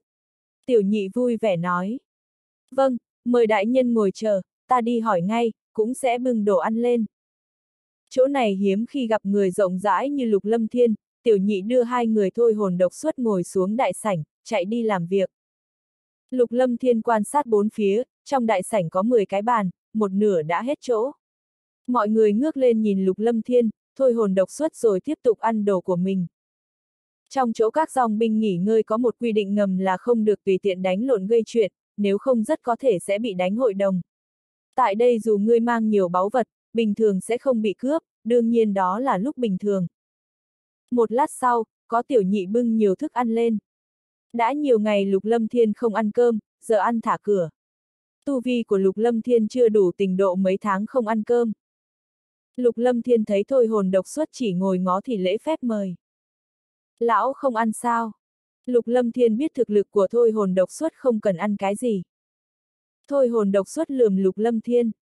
Gọi ta là thúc. Thôi hồn độc xuất tiếp tục bảo. Ngũ cốc hoa màu, rượu thịt vào bụng để lại chọc khí, lâu dần thân thể chịu ảnh hưởng. Sau này cơ thể nặng nề kéo theo tu vi không thể tiến bộ, cho nên ngươi ăn chúng nó ít chút đi. Lục Lâm Thiên kinh ngạc hỏi. Có thật không? Ăn chút gì mà hỏng việc tu luyện thì đúng là khủng khiếp. Thôi hồn độc suất nói. Tin hay không tùy ngươi, chờ khi tu vi cao ngươi sẽ hiểu. Lòng lục lâm thiên chìm xuống. Có lẽ thôi hồn độc suất nói đúng, nhưng hơi phóng đại. Trên đời này có ai không ăn gì? Lục lâm thiên thấy tiểu nhị vừa rồi đưa một nam nhân cao to đến. Nam nhân khá đặc biệt, vóc dáng vạm vỡ, sau khi cõng thanh đại đao, khí thế siêu phàm. Tiểu nhị tới gần bàn lục lâm thiên, giới thiệu.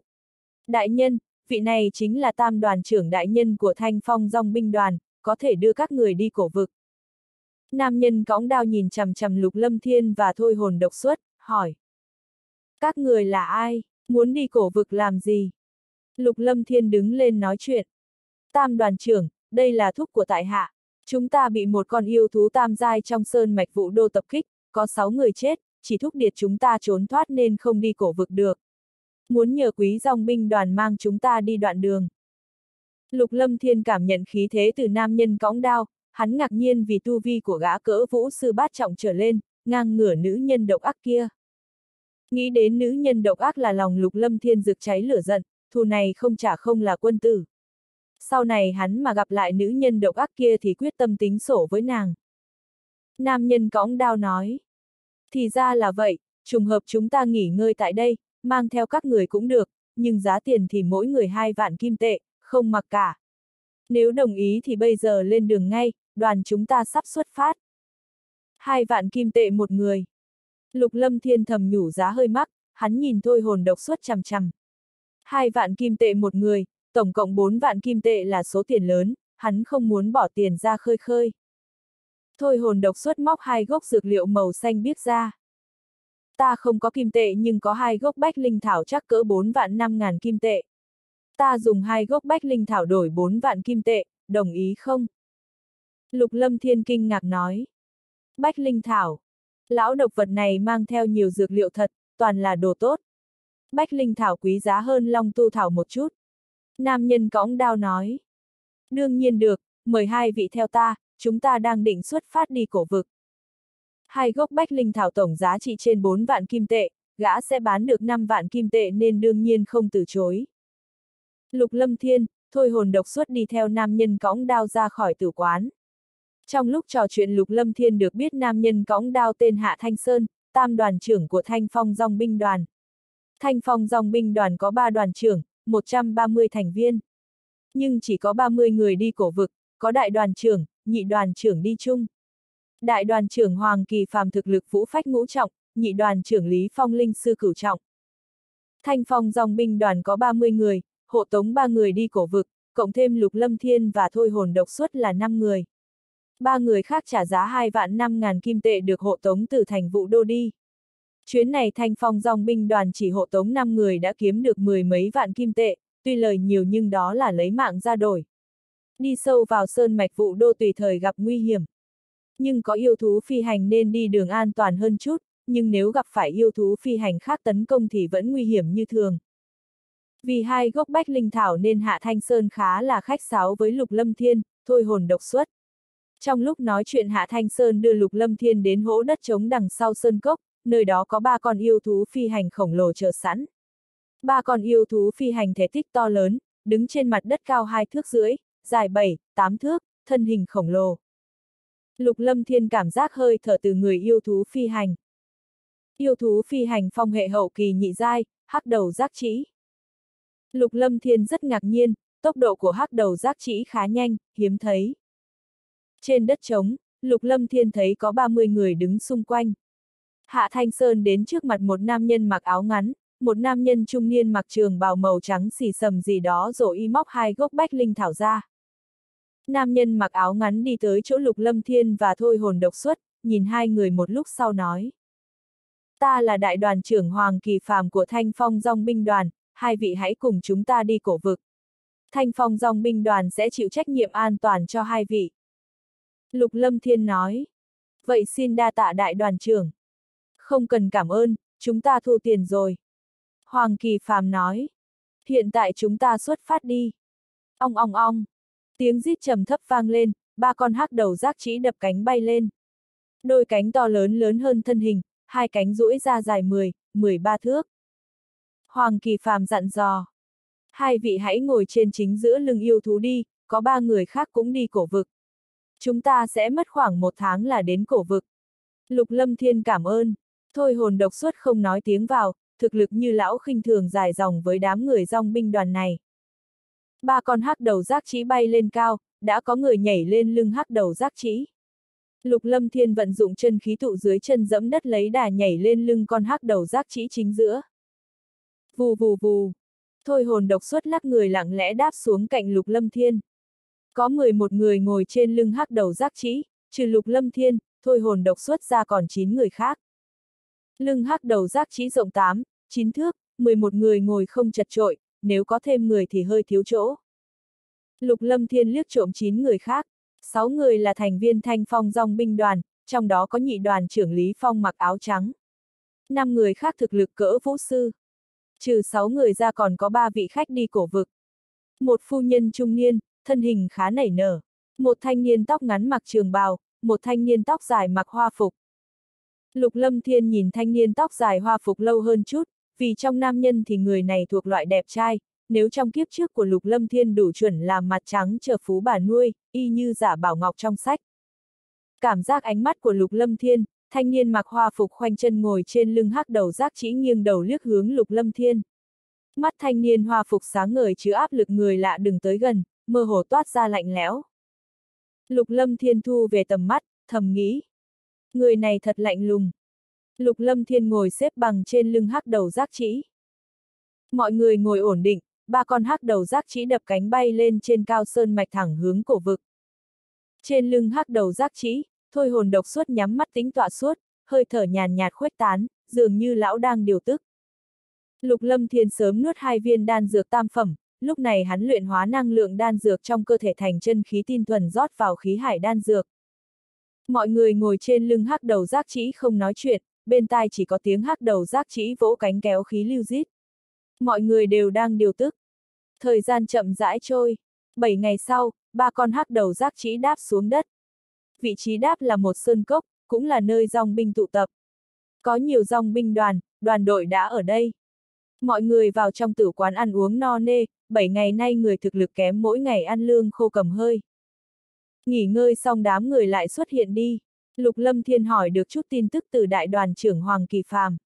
Phía trước là khu vực sâu trong sơn mạch vụ đô, bên trong không còn chỗ cho dòng binh đoàn cư trú, thông thường dòng binh đoàn đến đây thì ngừng lại.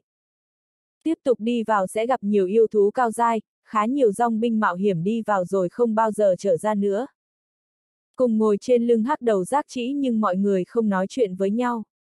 Đặc biệt là thanh niên tóc dài mặc hoa phục, hầu như không lên tiếng bao giờ, chỉ toàn khoanh chân nhắm mắt. Thôi hồn độc suốt cũng vậy, chìm trong điều tức, mặc kệ lục lâm thiên. Lại năm ngày qua đi, lục lâm thiên chợt cảm giác LIG ngực mấp máy, tiểu long luôn ngủ ấy bỗng nhúc nhích. Lục lâm thiên chợt mở mắt ra. Tiểu long sắp tiến hóa sao? Tiểu long mấp máy một chút rồi ngừng, dường như lại chìm vào giấc ngủ. Cùng lúc đó, ba con hắc đầu giác chỉ chợt nóng nảy táo bạo như gặp cường địch, người lắc lư kinh động mọi người. Két két, người thanh phong dòng binh đoàn trấn an ba con hắc đầu giác chỉ dần bình tĩnh lại, mọi người căng thẳng cảnh giác. Lòng lục lâm thiên chìm xuống, hình như vừa rồi tiểu long phát ra chút hơi thở khiến ba con hắc đầu giác chỉ sao động. Tiểu long đột phá vào lúc này không đúng lúc, nếu bị người phát hiện nó là linh hoàng thú thì rắc rối. Tiểu long tiếp tục ngủ, lục lâm thiên thở phào nhẹ nhõm. Nếu đến cổ vực thì tiểu long muốn đột phá lúc nào cũng được, ít ra không gây chú ý. Mới rồi làm sao vậy? Cứ tưởng gặp yêu thú phi hành nào tập kích, làm ta hết hồn. Lý Phong Linh sư cửu trọng lộ biểu tình khó hiểu. Mới rồi có hơi thở quái dị thoáng qua nhưng biến mất ngay, rất kỳ lạ. Mới rồi Lý Phong cảm giác có hơi thở kỳ lạ lóe qua nhưng bây giờ không còn dấu vết. Tiếp theo mọi người nghi ngờ bàn tán, nhắm mắt tĩnh dưỡng. Hai ngày sau, trong khi mọi người đang nhắm mắt điều tức thì Hoàng Kỳ Phàm ngồi trên con hắc đầu giác chỉ bay đằng trước nhất hét to một tiếng. Có yêu thú phi hành tập kích, chú ý. Mọi người bừng tỉnh, nhìn chăm chú trước mặt, có con yêu thú khổng lồ to cỡ 30 thước đập cánh bay tới, yêu thú phi hành thân hình như én, đầu to như con điêu, vuốt sắc nhọn, mắt lóe tia hung ác. Lý Phong nói với đám người. Xem thể tích thì là bạch đầu điêu, yêu thú phong hệ sơ kỳ tam giai ầm, um, Trong không trung phía trước Hoàng Kỳ Phàm đã đứng thẳng trên lưng hắc đầu giác chỉ, hộ thân cương khí dựng lên bao phủ gã và hắc đầu giác chỉ vào trong. Bàn tay Hoàng Kỳ Phàm liên tục đổi thủ ấn, một cây trường thương màu xanh hóa thành luồng sáng bay hướng bạch đầu điêu. Lực lượng cuồng bạo rít gào chấn phá hư không, xé rách dòng không khí đâm vào bạch đầu điêu khổng lồ. Bạch đầu điêu rít lên. Két két. Bạch đầu điêu đập cánh, đôi cánh giấy lên rông bão hàng trăm thước quét hướng trường thương, khí lưu cuồng bạo khác xé gió va chạm vào Hoàng Kỳ Phàm. Hoàng Kỳ Phàm hét to một tiếng. Xúc sinh muốn chết. Thủ ấn thay đổi, không khí thuộc tính thủy đè ép. Một quả cầu nước to mấy chục thước bay lên cao, hai tay Hoàng Kỳ Phàm đẩy mạnh, chân khí tuôn ra. Quả cầu nước khổng lồ đỡ upsilon.ng vào khí lưu cuồng bạo. Hai lực lượng va chạm nổ tung trong không trung. ầm ầm ầm. Quả cầu nước đỡ upsilon.ng tan bão khí lưu, giọt nước rơi tung tóe, phương xa hóa thành khí lưu tan biến trong hư không. Bạch đầu điêu ăn đau hét lên. Két két. Cơ thể khổng lồ bị lực lượng đè lảo đảo, nó chừng mắt nhìn Hoàng Kỳ Phàm, rồi đập cánh xoay người bỏ chạy. Yêu thú tam giai có linh trí khá cao, bạch đầu điêu cảm giác thực lực của đối phương mạnh thì không dám trêu chọc nữa. Hoàng Kỳ Phàm thu về thủ ấn, trường thương ở trên bầu trời hóa thành luồng sáng bay vào tay gã. Hoàng Kỳ Phàm không đuổi theo bạch đầu điêu, yêu thú phi hành không dễ bắt, chúng có thiên phú phi hành khiến nhiều cường giả chịu thua. Lục Lâm Thiên liếc thôi hồn độc suốt ngồi cạnh mình, thầm nghĩ. Lão độc vật bình tĩnh hay thật? Mới rồi mọi người căng thẳng thần kinh chỉ có lão độc vật là không mở mắt cái nào. Thanh niên hoa phục chỉ hé mắt liếc bạch đầu điêu một cái rồi tiếp tục nhắm mắt lại. Hoàng kỳ phàm ở phía trước lên tiếng. Mọi người nghỉ ngơi một lát rồi đi. Ba con hắc đầu giác chỉ đáp xuống một sơn cốc. Không biết sơn mạch vụ đô to cỡ nào, trong thời gian này mọi người vẫn luôn bay bên trên không trung của sơn mạch vụ đô. Dưới sơn mạch toàn là rừng cây, sơn cốc, rừng rậm rạp che kín không gian. Ba con hắc đầu giác chỉ được thành viên tam đoàn trưởng chăm sóc đang nghỉ ngơi, chúng nó không thể cứ liên tục bay đi được. Mọi người nghỉ ngơi trong sơn mạch. Hoàng Kỳ Phàm mở miệng nói. Nơi này đã rất nguy hiểm, ít ai vào sâu trong sơn mạch vụ đô thế này. Nếu mọi chuyện thuận lợi chúng ta có một tháng để đến cổ vực. Nhưng có một chặng đường rất nguy hiểm, đến gần khu vực cổ vực thì an toàn hơn nhiều. Cho nên nửa tháng tiếp theo là thời kỳ chúng ta nguy hiểm nhất. Chủ yếu là nói cho năm người lục lâm thiên nghe, thành viên tam đoàn trưởng đều rõ ràng nguy hiểm trên đường đi. Phụ nhân trung niên hỏi. Hoàng đoàn trưởng, sẽ không xảy ra chuyện gì chứ? Phụ nhân có thân hình nảy nở, dáng người lồi lõm toát ra khí chất thành thục làm nhiều dòng binh liếc trộm liên tục. Hoàng Kỳ Phàm ngước nhìn bầu trời, trả lời. Chúng ta đã đi con đường này 10 lần, không có chuyện gì xảy ra, hy vọng lần này cũng bình an. Hoàng Kỳ Phàm biết rõ sơn mạch đằng trước nguy hiểm, nếu xảy ra chuyện gì thì tiêu đời. Ngực lục lâm thiên lại mấp máy. Tiểu Long. Tiểu Long bắt đầu biến hóa. Sắp đột phá sao? Lòng lục lâm thiên chìm xuống, hắn cảm giác Tiểu Long đã đến lúc đột phá. Lục lâm thiên nói với mọi người. Ta đi chút bầu tâm sự chút. Hạ Thanh Sơn nói. Đi gần đây được rồi, chỗ này cực kỳ nguy hiểm, đừng đi quá xa. Biết rồi. Lục Lâm Thiên vội vàng chạy đi, hắn biết sơn cốc này nằm sâu trong sơn mạch vụ đô, nguy hiểm hơn hẳn vòng ngoài. Nhưng Tiểu Long sắp đột phá, Lục Lâm Thiên hết cách. Có lẽ Tiểu Long đột phá sẽ dẫn đến náo động, không thể để ai phát hiện. Lục Lâm Thiên vội chạy lên một đỉnh núi. Tiểu Long luôn ngủ say lúc này vặn vẹo kịch liệt, khí thế cường đại khuếch tán, áp lực vô hình mạnh mẽ. Vù vù vù. Lục Lâm Thiên đang định lôi Tiểu Long ra thì một cái bóng vàng nhạt tự động nhảy ra rơi xuống đất, ánh sáng chói lòa lan tràn. Ánh sáng nở rộ, thân hình Tiểu Long hiện ra. Mắt thường thấy rõ Tiểu Long không ngừng biến to, 5 thước, 10 thước, 15 thước. Trong lúc đó Tiểu Long phát ra hơi thở làm Lục Lâm Thiên cảm nhận cuồng bạo và đáng sợ. Hơi thở đó xuyên thấu linh hồn, kéo theo linh hồn cùng dao động. Giây lát sau Lục Lâm Thiên không còn cảm giác bị áp chế nữa, ngược lại thấy thân thiết với áp lực này. Lục Lâm Thiên đoán có lẽ vì hắn và Tiểu Long có huyết khế nên hơi thở này không áp chế hắn. Khí thế trên người Tiểu Long càng lúc càng tăng cao, thân hình tạm dừng khoảng 15 thước, đây là thể tích lớn nhất của Tiểu Long mà Lục Lâm Thiên từng gặp. 16 thước, 18 thước, 20 thước, 25 thước. Một lát sau cơ thể Tiểu Long lại trướng to ra, vảy trên người nó càng rõ ràng hơn. Từng miếng vảy tỏa ánh sáng vàng che đậy người Tiểu Long, khí thế càng đậm đặc. Growl, growl growl. Trong sơn mạch xung quanh vọng lại tiếng gầm giống, như thể đáp lại. 50 thước, 55 thước, 60 thước, 80 thước. Chỉ chớp mắt cơ thể lục lâm thiên dài 80 thước, đủ sức nuốt một con sói, khí thế càng lúc càng mạnh mẽ. Thân hình tiểu long biến to, khí thế cũng dữ dội hơn. Muốn cường đại, phải luôn luôn trở lên mạnh hơn nữa. Growl! Tiểu long phát ra tiếng gầm như tiếng sấm vang vọng trên bầu trời, khí thế cường đại lúc này càng bạo lực khuếch tán. Các cây to trong sơn mạch lung lay theo tiếng giống, vô số lá cây rơi rụng tứ tán. Trong tiếng gầm như chứa lực lượng to lớn nào đó. Trong chỗ tam đoàn trưởng nghỉ ngơi, ba con hắc đầu giác chỉ chợt run cầm cập, quỳ dạp dưới đất. Mọi người sớm cảm nhận khí thế cường đại khuếch tán giờ càng ngạc nhiên nhìn hắc đầu giác chỉ. Khí thế mạnh quá, có chuyện gì xảy ra sao? Mọi người cẩn thận. Hoàng Kỳ Phàm hét to. Có yêu thú cường đại tiến đến, mọi người chú ý. Thôi hồn độc suất luôn nhắm mắt điều tức chợt biến sắc mặt. Ủa! Mắt thôi hồn độc suất bắn ra tia sáng, dây lát biến mất tại chỗ. Thanh niên hoa phục biểu tình ngạc nhiên, mắt lóe tia khó hiểu, lao hướng phát ra hơi thở. Đám người khác thấy hai người đi thì do dự một chút rồi tò mò theo đuôi, bọn họ muốn biết là yêu thú gì phát ra khí thế cường đại như vậy. Trong một rừng cây, thôi hồn độc xuất như hồn ma đáp xuống trước mặt lục lâm thiên, mắt quét bốn phía nhưng không thấy gì. Tiểu tử, người ở đây làm gì? Có phát hiện cái gì không? Lục lâm thiên ngồi trồm hổm dưới đất, ngửa đầu nhìn thôi hồn độc xuất. Lão thúc, có thể tránh ra chút được không? Ta đang, đi, thúc đứng bên cạnh thế này thì ta kẹt. Thôi hồn độc suốt cúi đầu nhìn lục lâm thiên ngồi trên bãi cỏ, chồng mông trắng bóc, mùi hôi nồng nặc. Khốn kiếp, người đi kiểu gì mà hôi vậy? Vù vù vù. Một người đáp xuống bên cạnh thôi hồn độc xuất, là thanh niên hoa phục tóc dài. Đôi mắt sáng thấy nửa cái mông trắng kèm theo mùi hôi thối. Thanh niên hoa phục hét to. a à.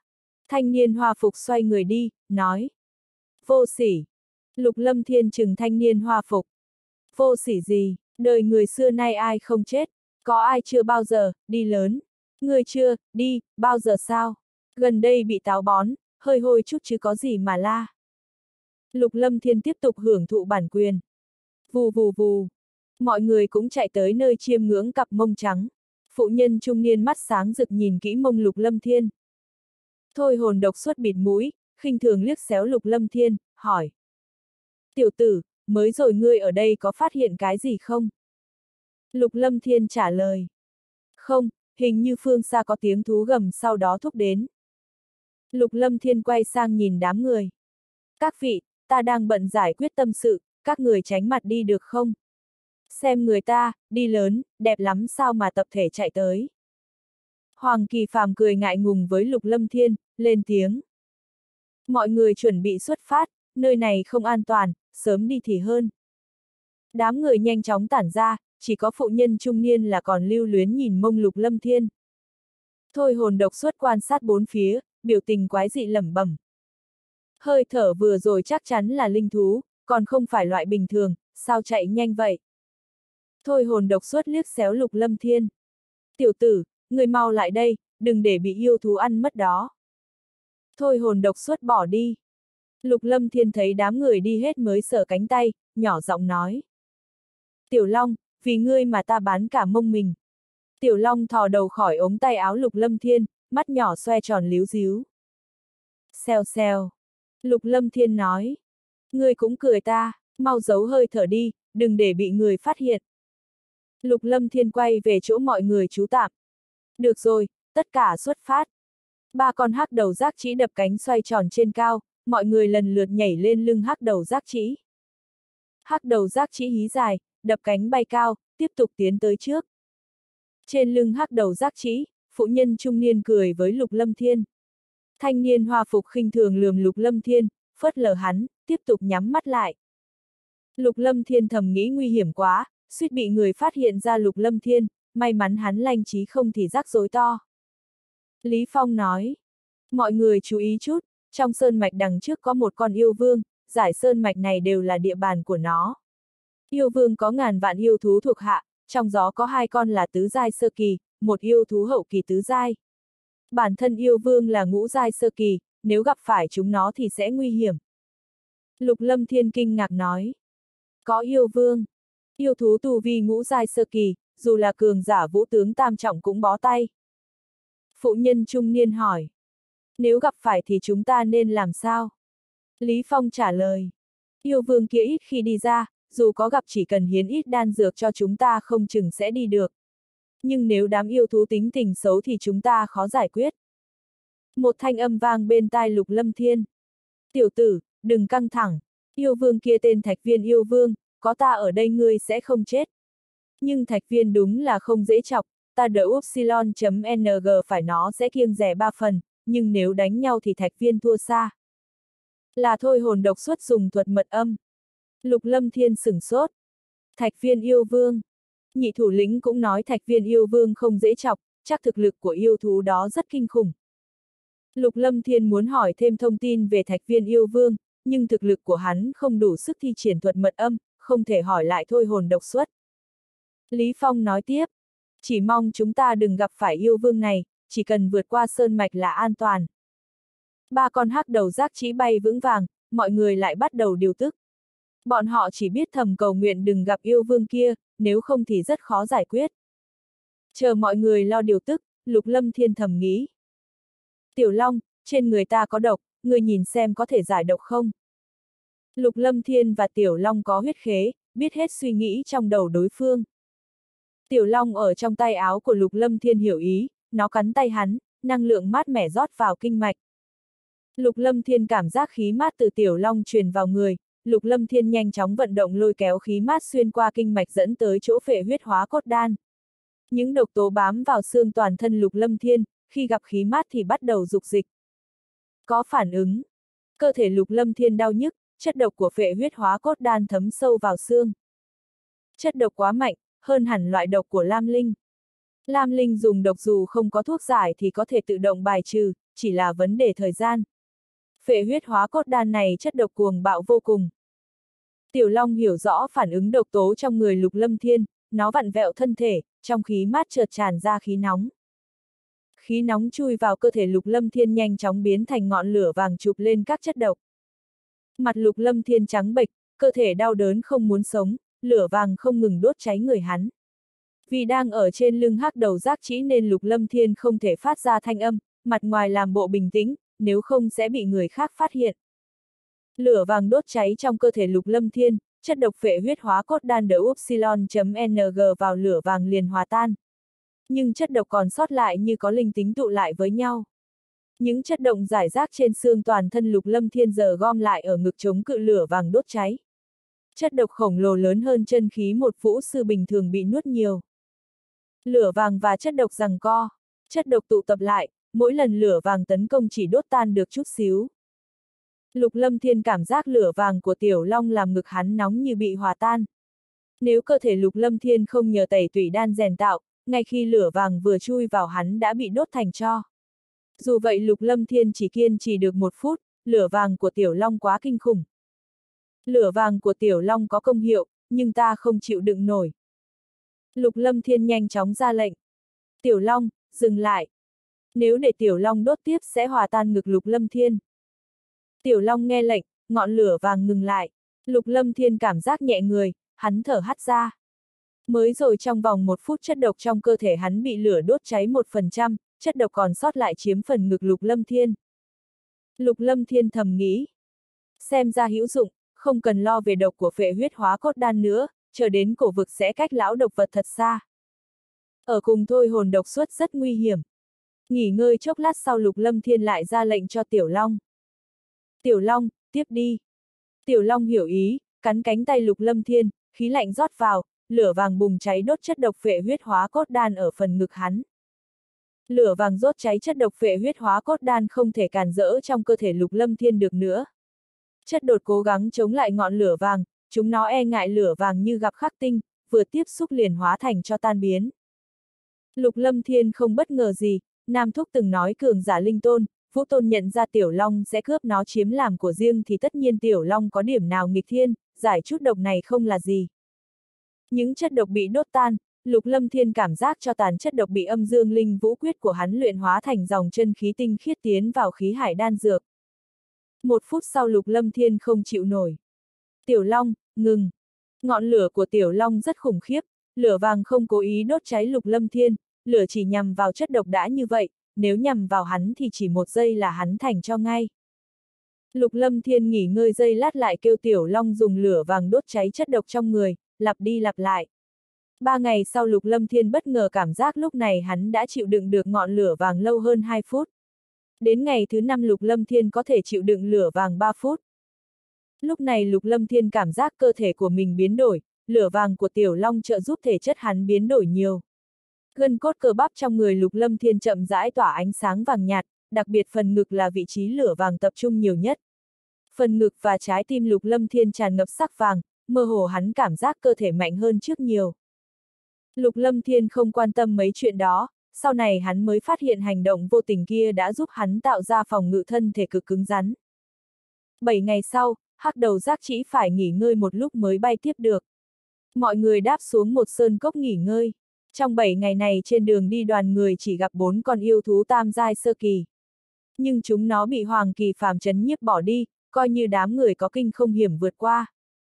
Trong 7 ngày này Lục Lâm Thiên không dừng lại luyện hóa, chất độc phệ huyết hóa cốt đan trước ngực đã bị lửa vàng từ người tiểu long đốt cháy tám phần, hắn cũng được nhiều ích lợi, tu vi chân khí đã là hậu kỳ thất trọng.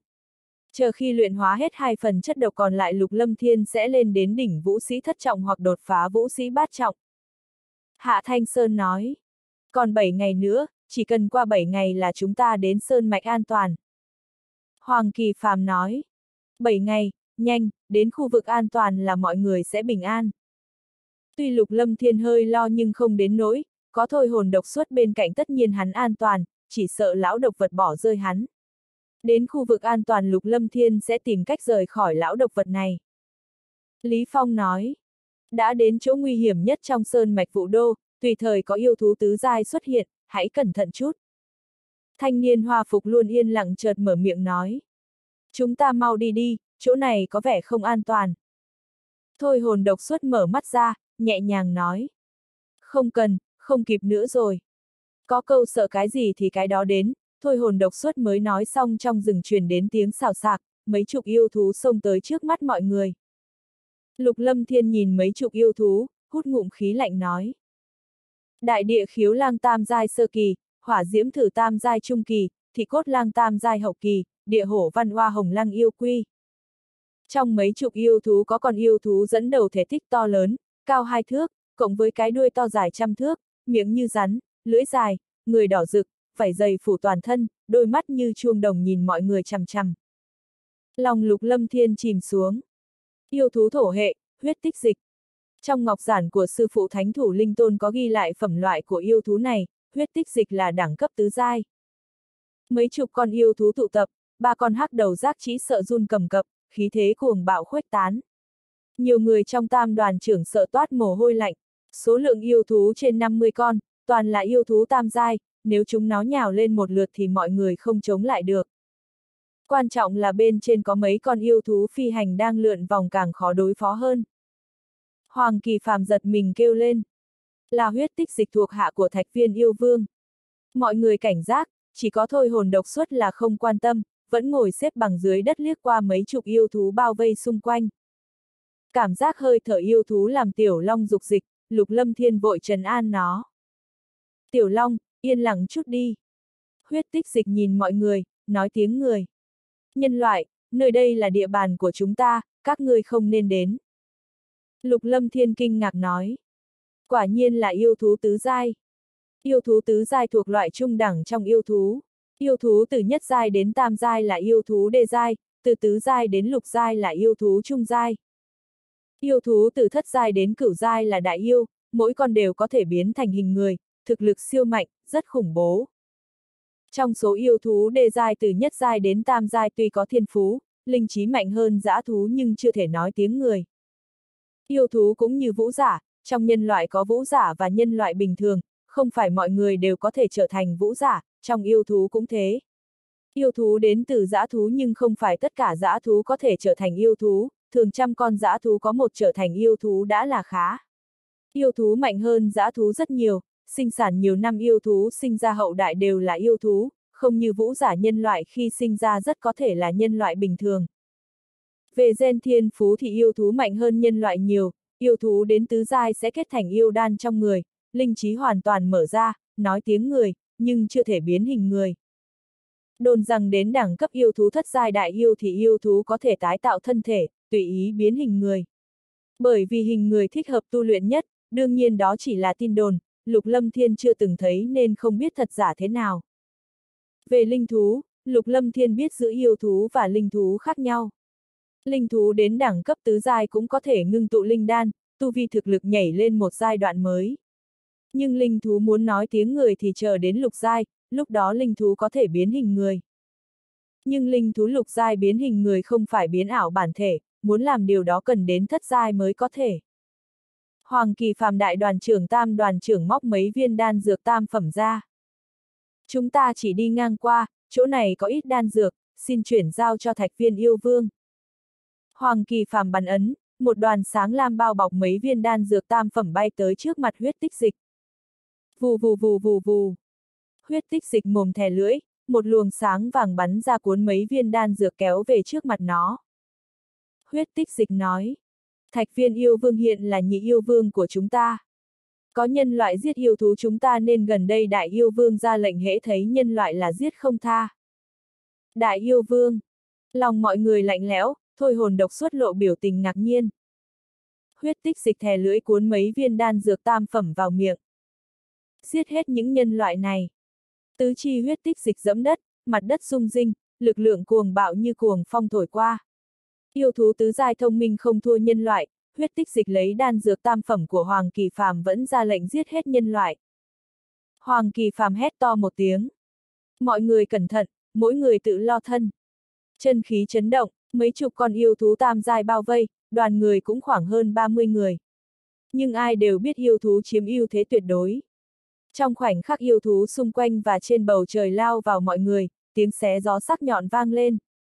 Huyết tích dịch nhanh như chớp lao hướng Hoàng Kỳ Phàm, phải dựng đứng lóe tia sáng lạnh đỏ máu. Khí thế cuồng bạo mở rộng ngút trời. Lục Lâm Thiên cảm nhận khí thế ngút trời từ người huyết tích dịch, mắt lóe tia kinh ngạc nói. Yêu thú tứ giai, thật đáng sợ. Huyết tích dịch đẳng cấp cỡ tứ giai sơ giai, nhưng nhìn từ khí thế thì Hoàng Kỳ Phàm không làm gì được nó. Bùm! Đã có nhân loại và yêu thú đánh nhau, chân khí cuồng bạo khuếch tán. Đối mặt đám yêu thú có tổ chức, mọi người trừ dốc hết sứ công kích ra không còn cách nào khác. Đám yêu thú có tổ chức không giống yêu thú độc hành. Yêu thú một mình nếu không đánh lại sẽ rút lui, còn yêu thú có tổ chức trừ khi yêu thú thủ lĩnh rút về, không thì có chết cũng không lùi. Thôi hồn độc xuất lạnh nhạt nói. Tiểu tử, người cứ ở đây đừng nhúc nhích. Thôi hồn độc xuất đánh ra thủ ấn dựng vầng sáng màu đen nhạt cỡ ba thước. Bên ngoài vòng sáng khuếch tán mùi nồng nặc khó ngửi, đám yêu thú không dám tới gần. Huyết tích dịch vọt hướng Hoàng Kỳ Phàm, thể hình nó cao lớn nhưng tốc độ cũng rất nhanh, nó biến mất tại chỗ phóng hướng Hoàng Kỳ Phàm. Hoàng Kỳ Phàm không lơ là, biểu tình trầm trọng, chân khí vận chuyển dưới chân nhanh chóng thụt lùi. Xẹt xẹt xẹt. Trong khi Hoàng Kỳ Phàm thụt lùi thì chi trước to lớn của huyết tích dịch như đại đao xuyên thủng dòng không khí. Chi trước chộp hư không xé rách dòng không khí như tạo ra không gian khác. Hoàng Kỳ Phàm bối rối bắn ra trường thương đâm thủng dòng không khí, trường thương lao tới trước mặt huyết tích dịch. Hoàng Kỳ Phàm là cường giả vũ phách ngũ trọng, không phải kẻ yếu. Xẹt xẹt xẹt. Hai lực lượng xẹt qua rồi lại va chạm. Người Hoàng Kỳ Phàm tuôn ra chân khí, trường thương lóe lên ánh sáng màu lam, tiếng xé gió vang lên. Thực lực cường giả vũ phách ngũ trọng tuy không làm gì huyết tích dịch được nhưng chính nó cũng không thể làm gì Hoàng Kỳ Phàm. Lúc này Hạ Thanh Sơn đang đấu với thực cốt lang, yêu thú phong hệ tam giai hậu kỳ. Hạ Thanh Sơn bắt đầu hụt hơi, liên tục chém đại đao cõng sau lưng, khí thế hùng hồn tuôn ra. Thực cốt lang gầm giống liên tục, thân hình to năm, sáu chục thước mà di chuyển cũng rất nhanh. Thực cốt lang bắn ra phong nhẫn kỳ dị, tiếng xé gió vang lên không dứt. Hạ Thanh Sơn có thực lực vũ sư cửu trọng, đối phó thực cốt lang tam giai hậu kỳ thì rất vất vả nhưng miễn cưỡng không thua. Lý Phong là linh sư cửu trọng linh khí không ngừng dao động, vầng sáng rực rỡ bao phủ quanh thân. Từng đợt linh lực ngưng tụ thành lực công kích và linh hỏa đấu với yêu thú hỏa diễm thử trung kỳ tam giai và yêu thú hắc mao yêu hầu trung kỳ tam giai. Lý Phong không dám để hai con yêu thú tới gần, linh giả không thích hợp đánh sáp lá cà. Đánh cận thân linh giả sẽ chịu thiệt, linh giả sở trường công kích nhanh nhẹn, hai con yêu thú tam giai cũng không thể đến gần Lý Phong. Những người khác hỗn chiến với yêu thú, vang lên một chuỗi tiếng nổ đi đùng. 30 thành viên tam đoàn trưởng không yếu, toàn là đẳng cấp vũ sư trở lên, thấp nhất là vũ sư nhất trọng. Chiến trường hỗn loạn, hỏa cầu, cột nước, đất đai nứt nẻ. Các loại công kích cuồng bạo, có yêu thú công kích, có nhân loại ngưng tụ năng lượng. Chợt vang tiếng hét thảm. A, à, cơ mặt lục lâm thiên co giật, thanh niên tóc ngắn mặc trường bào nằm trong ba người đi cổ vực bị một con yêu thú tam giai cắn nứt thành hai khúc. Thực lực của phụ nhân trung niên đến trình độ vũ sư nhị trọng, bị hai con yêu thú tam giai vây công đã bị thương nặng. Khi Lục Lâm Thiên nhìn thấy thanh niên hoa phục tóc dài thì rất ngạc nhiên, hắn không thể nhìn thấu thực lực của thanh niên. Có một con yêu thú trung kỳ tam giai chết dưới chân thanh niên hoa phục. Thanh niên hoa phục khoảng 19, 20 tuổi nhưng thực lực đã kinh khủng thế này làm Lục Lâm Thiên rất ngạc nhiên. Lục Lâm Thiên luôn tự phụ có âm dương linh vũ quyết, tu vi tăng nhanh, nhưng không ngờ ngoài núi có núi, ngoài người có người, thiên địa to lớn không thiếu người có thiên phú nghịch thiên, từ nhỏ được bồi dưỡng. Dù Lục Lâm Thiên có âm dương linh vũ quyết chưa chắc đánh thắng được đối phương. Lục Lâm Thiên hỏi thôi hồn độc xuất. Lão thúc không định ra tay sao? Đến lúc này thôi hồn độc xuất vẫn không nhúc nhích. Thôi hồn độc xuất nói. Bọn họ chết sống liên quan gì ta? Ta cần gì cứu họ? Lục Lâm Thiên thuyết phục. Lão thúc đừng quên nếu bọn họ chết thì chúng ta làm sao xuyên qua dãy sơn mạch này. Chúng ta không có yêu thú phi hành. Nghe Lục Lâm Thiên phân tích, cơ mặt thôi hồn độc xuất co giật. Thôi hồn độc xuất nói. Ngươi ở lại trong vòng phòng hộ độc của ta, yêu thú sẽ không dám đến gần. Dứt lời thôi hồn độc xuất biến mất tại chỗ, quanh người lục lâm thiên dựng lên màn sáng màu đen nhạt. Mấy con yêu thú tam giai cũng dám cản rỡ. Muốn chết. Thôi hồn độc xuất vọt lên cao lơ lửng giữa hư không, tay co lại. Một quả cầu ánh sáng đen ngưng tụ, tiếng bùm bùm trầm đỡ upsilon, C vang vọng không ngừng. Quả cầu đen nhanh như chớp giáng xuống ba con yêu thú tam giai bên dưới. Lục lâm thiên nhìn chằm chằm trên cao, thầm nghĩ. Thật mạnh. Lão độc vật phát ra khí thế cực kỳ khủng bố. Bùm bùm bùm. Quả cầu ánh sáng đen nổ tung, các năng lượng khủng bố khuếch tán sóng khí. Dù cách thật xa lục lâm thiên vẫn cảm nhận được uy nhiếp chứa trong đó, linh lực tràn ngập mạnh hơn hắn rất nhiều. Ba con yêu thú tam giai nổ nát, cơ thể to lớn chia năm xẻ bảy. Mọi người kinh sợ nhìn chân chân thôi hồn độc xuất ở trên cao, thì ra lão nhân này mạnh đến mức đó. Lý Phong, Hoàng Kỳ Phàm ngây người. Cường giả linh xuất, là cường giả linh xuất.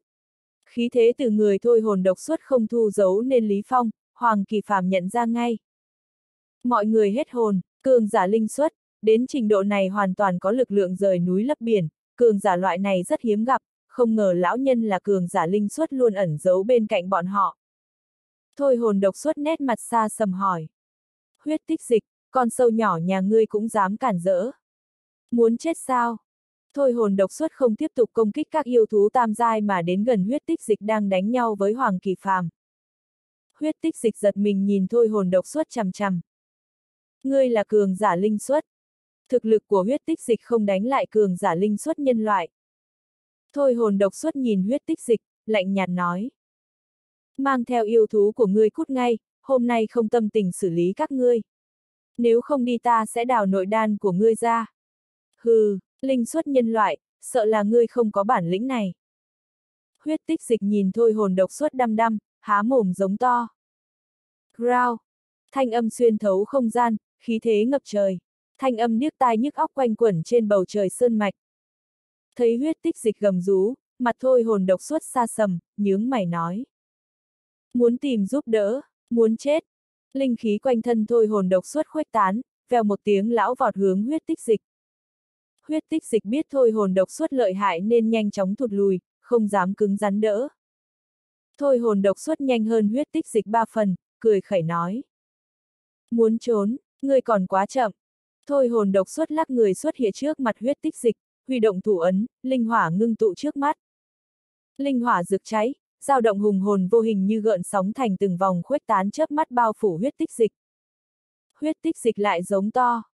Growl. Người huyết tích dịch tỏa huyết quang chói lòa, miệng phun ra quang thuẫn màu vàng chặn trước mặt. Vù vù vù. Linh hỏa gào thét, nhiệt độ nóng cháy lan tràn.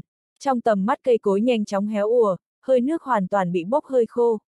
Quang thuẫn vàng trước mặt huyết tích dịch chậm rãi vặn vẹo, linh hỏa bao bọc như lửa đốt miếng nhựa, quang thuẫn bắt đầu vặn vẹo biến hình, cuối cùng hòa tan. Grau grau. Phía chân trời có một chuỗi tiếng gầm xé gió lao tới, thanh âm đinh tai nhức óc sen lẫn khí thế ngút trời rơi vào tai mọi người, linh hồn bị chấn động. Tiếng xé gió ngừng, phương xa trong rừng, khí thế cuồng bạo hùng hổ nhanh chóng tuôn ra. Giữa không trung, một luồng sáng khổng lồ xé gió bay tới. Lục lâm thiên ngước lên nhìn, hút ngụm khí lạnh. Yêu thú mạnh quá. Yêu thú này dài khoảng 300 thước, người đầy vảy đỏ. Kinh khủng nhất là con yêu thú như con chăn có 5 cái đầu, mặt mũi hung tợn, 10 con mắt lóe tia hung ác. Cái đầu bên trái nhỏ hơn chút, như chưa phát dục hết. Thân hình cửu đầu yêu dao có đôi cánh đỏ rực, cánh dương ra dài 200 thước. Trong đầu lục lâm thiên hiện lên ghi chép trong ngọc giản của sư phụ thánh thủ linh tôn. Yêu thú hỏa hệ ngũ giai, cửu đầu yêu dao. Cửu đầu yêu dao là loài yêu thú có huyết mạch rất cao, bình thường có thể đột phá đẳng cấp thất giai. Trong yêu thú rất xem trọng huyết mạch, tựa như thiên phú của nhân loại. Người thiên phú rất tốt sau này đường tu luyện không thành vấn đề, bồi dưỡng đàng hoàng thì trở thành cường giả dễ như chơi. Đan có chia mạnh yếu, có trở thành vũ xuất, có trở thành vũ tướng rồi khó tiến bộ thêm nữa. Yêu thú cũng vậy, có tu luyện cả đời không thể ngưng tụ yêu đan, mọi người cả đời chỉ thành tứ giai, ngũ giai. Tất cả phải xem huyết mạch thế nào. Hiện tại cửu đầu yêu dao chỉ có 5 cái đầu chứng minh nó mới có ngũ giai. Cửu đầu yêu dao mỗi khi đột phá một tầng sẽ mọc thêm một cái đầu, uy lực tăng vọt. Cái đầu bên trái hơi nhỏ nên chưa đến hậu kỳ ngũ giai. Lục Lâm Thiên nhận ra cửu đầu yêu dao là trung kỳ ngũ giai.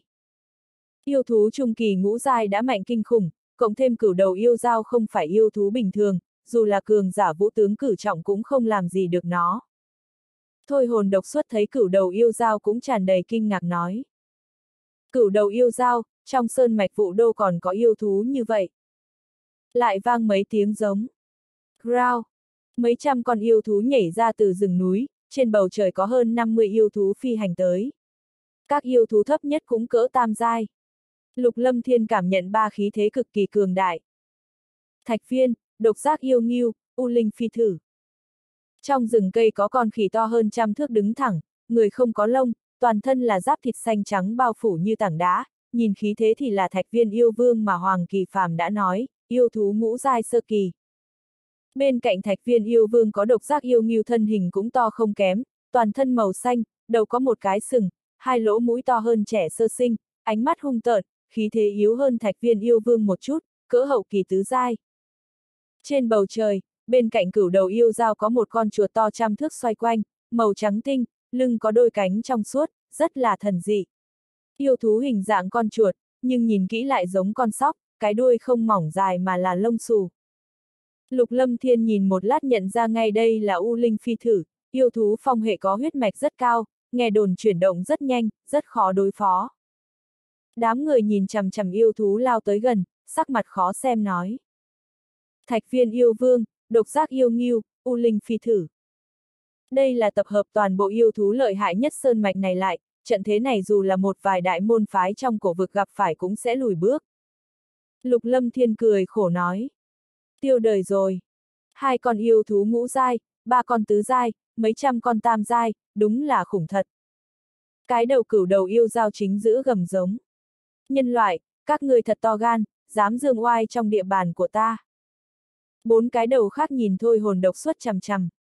Thôi hồn độc suất nói với cửu đầu yêu giao.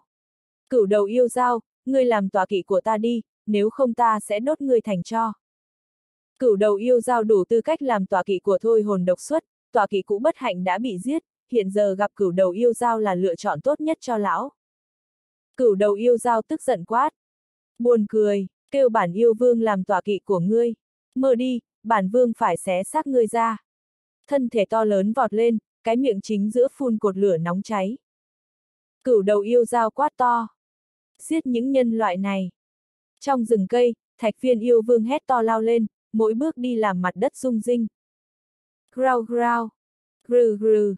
Tiếng thú gầm cao về Upsilon T, mấy trăm con yêu thú bao vây đoàn người. Lục Lâm Thiên sắc mặt khó xem nói. Nguy rồi. Lục Lâm Thiên ở trong vòng sáng, yêu thú tam giai không thể đến gần nhưng nếu đỡ Upsilon.ng phải yêu thú tứ giai thì khó nói. Lục Lâm Thiên nhanh chóng có quyết định. Trốn. Nếu không trốn sẽ chết chắc. Chân khí dồn xuống chân, Lục Lâm Thiên nhảy vọt lên chạy trốn. Bùm bùm bùm. Trên bầu trời, tay thôi hồn độc xuất ngưng tụ linh hỏa đấu với cửu đầu yêu dao. Thạch viên yêu vương giống to. Grau grau. Đôi mắt đỏ máu nhìn chằm chằm thôi hồn độc xuất trên cao, há to miệng phát ra lực hút muốn nuốt trời, khí lưu xoay tròn cuồng bạo công kích thôi hồn độc xuất. Thạch viên yêu vương, cửu đầu yêu giao vây công, thôi hồn độc xuất thận trọng ứng đối. Hai con yêu thú ngũ dai, thôi hồn độc suất chưa lành vết thương, trong một lúc không làm gì được chúng nó. Nếu thôi hồn độc suất trong thời kỳ đỉnh phong thì lão không sợ gì hai con yêu thú ngũ dai. Huyết tích dịch tiếp tục đánh nhau với Hoàng Kỳ Phàm, cái đuôi to đâm thủng không gian bắn vào Hoàng Kỳ Phàm, tiếng xé gió sắc nhọn, năng lượng cuồng bạo phát tán. Trên bầu trời, U Linh Phi thử kêu chít chít xả xuống hạ thanh sơn. Độc giác yêu nghiêu gầm giống vọt hướng Lý Phong. Tiếng hét thảm liên tục vang lên. A! À, nhiều thành viên dòng binh đoàn bị yêu thú vây công nhanh chóng chết đi, thành đồ ăn của chúng. Cứu ta, cứu mạng, a! À. Năm con yêu thú tam giai vây công, phụ nhân trung niên phong vận thành thục bị con đại địa khiếu lang tam giai cắn nứt một tay. Phụ nhân trung niên chưa hét xong thì mấy con yêu thú khác lao lên xé xác nàng thành mấy mảnh. Growl! Sư hổ thú yêu thú thổ hệ sơ kỳ tam giai chặn trước mặt lục lâm thiên đang trên đà chạy trốn, tiếng gầm làm rách màng tai lục lâm thiên. Thanh linh khải giáp, nộ hải cuồng khiếu. Lục lâm thiên lập tức tấn công, nếu không liều mạng thì kết cuộc của hắn sẽ rất thảm. Bất cứ con yêu thú nào ở đây đều là đẳng cấp tam giai. Đơn độc đánh với con yêu thú sơ kỳ tam giai nào lục lâm thiên cũng không sợ, nhưng hiện tại có đến mấy trăm con yêu thú tam giai. Thanh linh khải giáp có vảy vàng nhạt bao phủ người lục lâm thiên, hắn nhanh chóng kết thủ ấn. Lực lượng cuồng bạo khuếch tán, không gian tuôn ra năng lượng thuộc tính thủy đậm đặc. Những năng lượng này tụ tập nhanh kinh người, trong không trung tụ lại thành màn nước xoay tròn trước mặt lục lâm thiên, hóa thành vòng xoáy gần trăm thước rít gào tràn ra. Vòng xoáy như sóng thần trong đại dương, khí thế khủng bố, uy nhiếp sắc bén kinh khủng. Vòng xoáy xoay nhanh, tiếng gió đinh tai nhức óc. Vòng xoáy nhanh chóng trướng to, khí thế đáng sợ, uy nhiếp sắc bén tràn ra bao phủ thân thể sư tử hổ báo chặn đường. Bùm bùm bùm. Khí lưu không gian vặn vẹo như vòi rồng quét qua, vòng xoáy xoay nhanh nổ tung.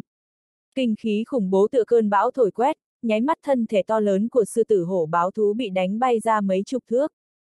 Con sư hổ thú chưa chết, nó gầm giống vùng vẫy bỏ dậy, lực phòng ngự của nó đã đến mức độ đáng sợ làm lục lâm thiên hoảng hốt. Trốn! Lục lâm thiên co giò bỏ chạy, do hắn không ở giữa khu vực chiến trường mà gần ngoài rìa nên nhanh chóng chạy ra khỏi bầy yêu thú. Vang mấy tiếng gầm gừ. Growl! Khí thế cường đại ập đến, lục lâm thiên hốt hoảng ngoái đầu nhìn lại, hút ngụm khí lạnh. Sau lưng lục lâm thiên có 5 con yêu thú tam giai rượt theo. Tốc độ của yêu thú hơn xa lục lâm thiên, khoảng cách chớp mắt bị kéo gần, mắt thấy hắn sắp bị đuổi kịp. Mặt lục lâm thiên xa sầm, tay vung lên. Khi con yêu thú sắp áp sát, lục lâm thiên bóp nát một viên đan dược, lại ném viên đan dược khác vào miệng. Vù vù vù. Đan dược bị bóp bể hóa thành xương đen đậm đặc che kín không gian 500 thước, mấy con yêu thú lao vào xương mù một mảnh hắc ám, mùi hôi khó ngửi. Mấy con yêu thú cuống cuồng chạy ra. Lát sau sương mù đen tán đi, bóng dán lục lâm thiên cũng mất. Lục lâm thiên thầm nghĩ. Khí độc đan thật lợi hại. Lục lâm thiên thành công trốn ra khỏi đàn yêu thú, hắn chạy như điên về phía trước, không có mục tiêu gì, chỉ biết không thể ở lại bên này. Bùm bùm bùm. Sau lưng lục lâm thiên vang tiếng nổ đinh tai nhức óc, kinh khí cường đại khuếch tán. Lục lâm thiên không cần biết ai chết ai sống, lão độc vật bị hai con yêu thú ngũ dài vây công trong một lúc cũng khó thoát ra, hắn thừa dịp này thoát khỏi ma trường. Có tiểu long giải độc phệ huyết hóa cốt đan không lâu sau sẽ hết hẳn. Lục lâm thiên xuyên qua rừng cây, không biết chạy đi bao xa, mãi khi tiếng nổ đinh tai nhức óc mất hẳn hắn mới thở phào nhẹ nhõm. Lục lâm thiên quan sát rừng cây xung quanh, ước chừng hắn đã cách xa đàn thú. Lục lâm thiên thầm nghĩ. Nguy rồi, nên đi hướng nào bây giờ? Sơn mạch này vẫn trong khu vực nguy hiểm, trở về thì không được, yêu thú phi hành còn mất chặng đường một tháng, nếu lục lâm thiên đi về sẽ cần khoảng nửa năm, không chừng nửa năm cũng không đủ. Đám người Hoàng Kỳ Phàm nói còn 7 ngày là đến khu vực an toàn đi cổ vực, yêu thú phi hành mất 7 ngày nếu lục lâm thiên đi đường sẽ là một tháng. Đi cổ vực vậy, sau đó tìm cách trở về. Lục lâm thiên không còn lựa chọn nào khác, hắn phải đến cổ vực rồi tìm đường về. Vù vù vù. Tiếng rít phát ra từ bầu trời sau lưng lục lâm thiên, hắn vụt ngẩng đầu lên. Trên bầu trời có một bóng người lao nhanh qua, lục lâm thiên mơ hồ thấy là thanh niên hoa phục. Lưng thanh niên hoa phục có đôi cánh bằng chân khí. Lục lâm thiên nhướng mày nói. Vũ kỹ bay phong hệ. Có luồng sáng to xẹt qua không trung, tốc độ nhanh hơn thanh niên hoa phục nhiều. Lục lâm thiên kinh ngạc kêu lên. U linh phi thử. Luồng sáng đó là U linh phi thử yêu thú phong hệ tứ giai sơ kỳ. Xem ra U linh phi thử đuổi theo thanh niên hoa phục. Lục lâm thiên thầm nghĩ. Không thể tới gần. Vì tránh cho bị U linh phi thử phát hiện tốt nhất hắn nên trốn đi, bên này không quá an toàn, hắn cần sang bên cạnh. Xẹt xẹt xẹt. Tiểu Long bay ra khỏi ống tay áo xoay quanh trên vai Lục Lâm Thiên, thè lưỡi, mắt nhỏ nhìn đằng trước. Sau khi Tiểu Long đột phá thân hình thu nhỏ cỡ 15cm giờ dài khoảng 20cm, màu sắc sáng bóng hơn. Lục Lâm Thiên không đoán được đẳng cấp tu vi hiện tại của Tiểu Long, nó cũng không thể biểu đạt rõ ràng. Lục Lâm Thiên không biết thực lực của Tiểu Long đến trình độ nào, chắc sau khi đột phá nó mạnh hơn nhiều. Lục Lâm Thiên tiến lên trước, cành khô lá úa dưới đất kêu rào rào. Lục Lâm Thiên ở trong sơn mạch bao la vô biên đã mấy tháng, trừ sơn cốc và rừng cây ra không còn gì khác, hắn đã sớm quen hoàn cảnh này rồi. Ánh nắng chiếu vào rừng kéo dài cái bóng sau lưng Lục Lâm Thiên. Mấy tháng qua bất giác Lục Lâm Thiên thay đổi nhiều, da vốn màu tiểu mạch giờ thành màu mật ong, cao hơn một chút, khoảng 1m75. dáng người mảnh khảnh nhưng không gầy gò, cơ bắp săn chắc toát ra nam tính, toàn nhờ Lục Lâm Thiên rèn luyện trong sơn mạch vụ đô. Lúc hoàng hôn Lục Lâm Thiên thấy một con sông nhỏ, nước trong veo. Lục Lâm Thiên ngồi xuống múc mấy ngụm nước uống. Trong nước phản chiếu ra Lục Lâm Thiên ra màu mật ong, hắn cười cười, đã tăng thêm nét nam nhân, một chút thiếu niên non nớt cũng không còn. Lục Lâm Thiên lạnh nhạt nói. Số khổ, đi tiếp vậy, sớm rời xa khu vực nguy hiểm này. Lục Lâm Thiên nghĩ nên đi tiếp thì hơn, dọc đường không gặp yêu thú gì. Có lẽ vì yêu thú bên này đã bị cửu đầu yêu giao, thạch viên yêu vương kêu đi nên lục lâm thiên không gặp yêu thú gì khác, có kinh không hiểm. Lại cất bước lên đường, bóng dáng cô đơn đi trong ánh chiều tà, trên vai chỉ có tiểu long làm bạn. Lục lâm thiên không có gì bứt rứt, hắn hưởng thụ hoàn cảnh này. Vô hình trung tâm trí lục lâm thiên cũng được tẩy rửa. Bùm bùm bùm. Phía không xa bên tay mặt lục lâm thiên vang tiếng nổ dữ dội như có người đang đánh nhau.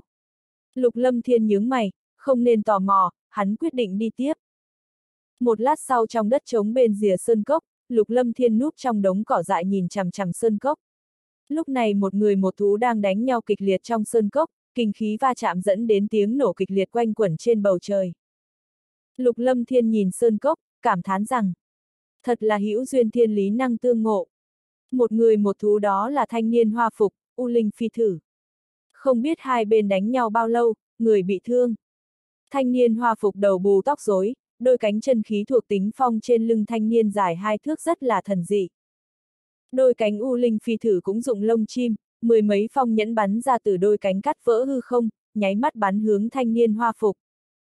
Thanh niên hoa phục biểu tình trầm trọng, tay hô trường kiếm đánh ra kiếm quyết vẽ mấy đường kiếm quang xuyên thấu không gian nghênh hướng phong nhẫn.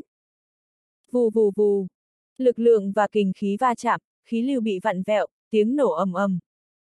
Lục Lâm Thiên cảm nhận thực lực của thanh niên hoa phục, giật mình kêu lên. Là đẳng cấp vũ phách.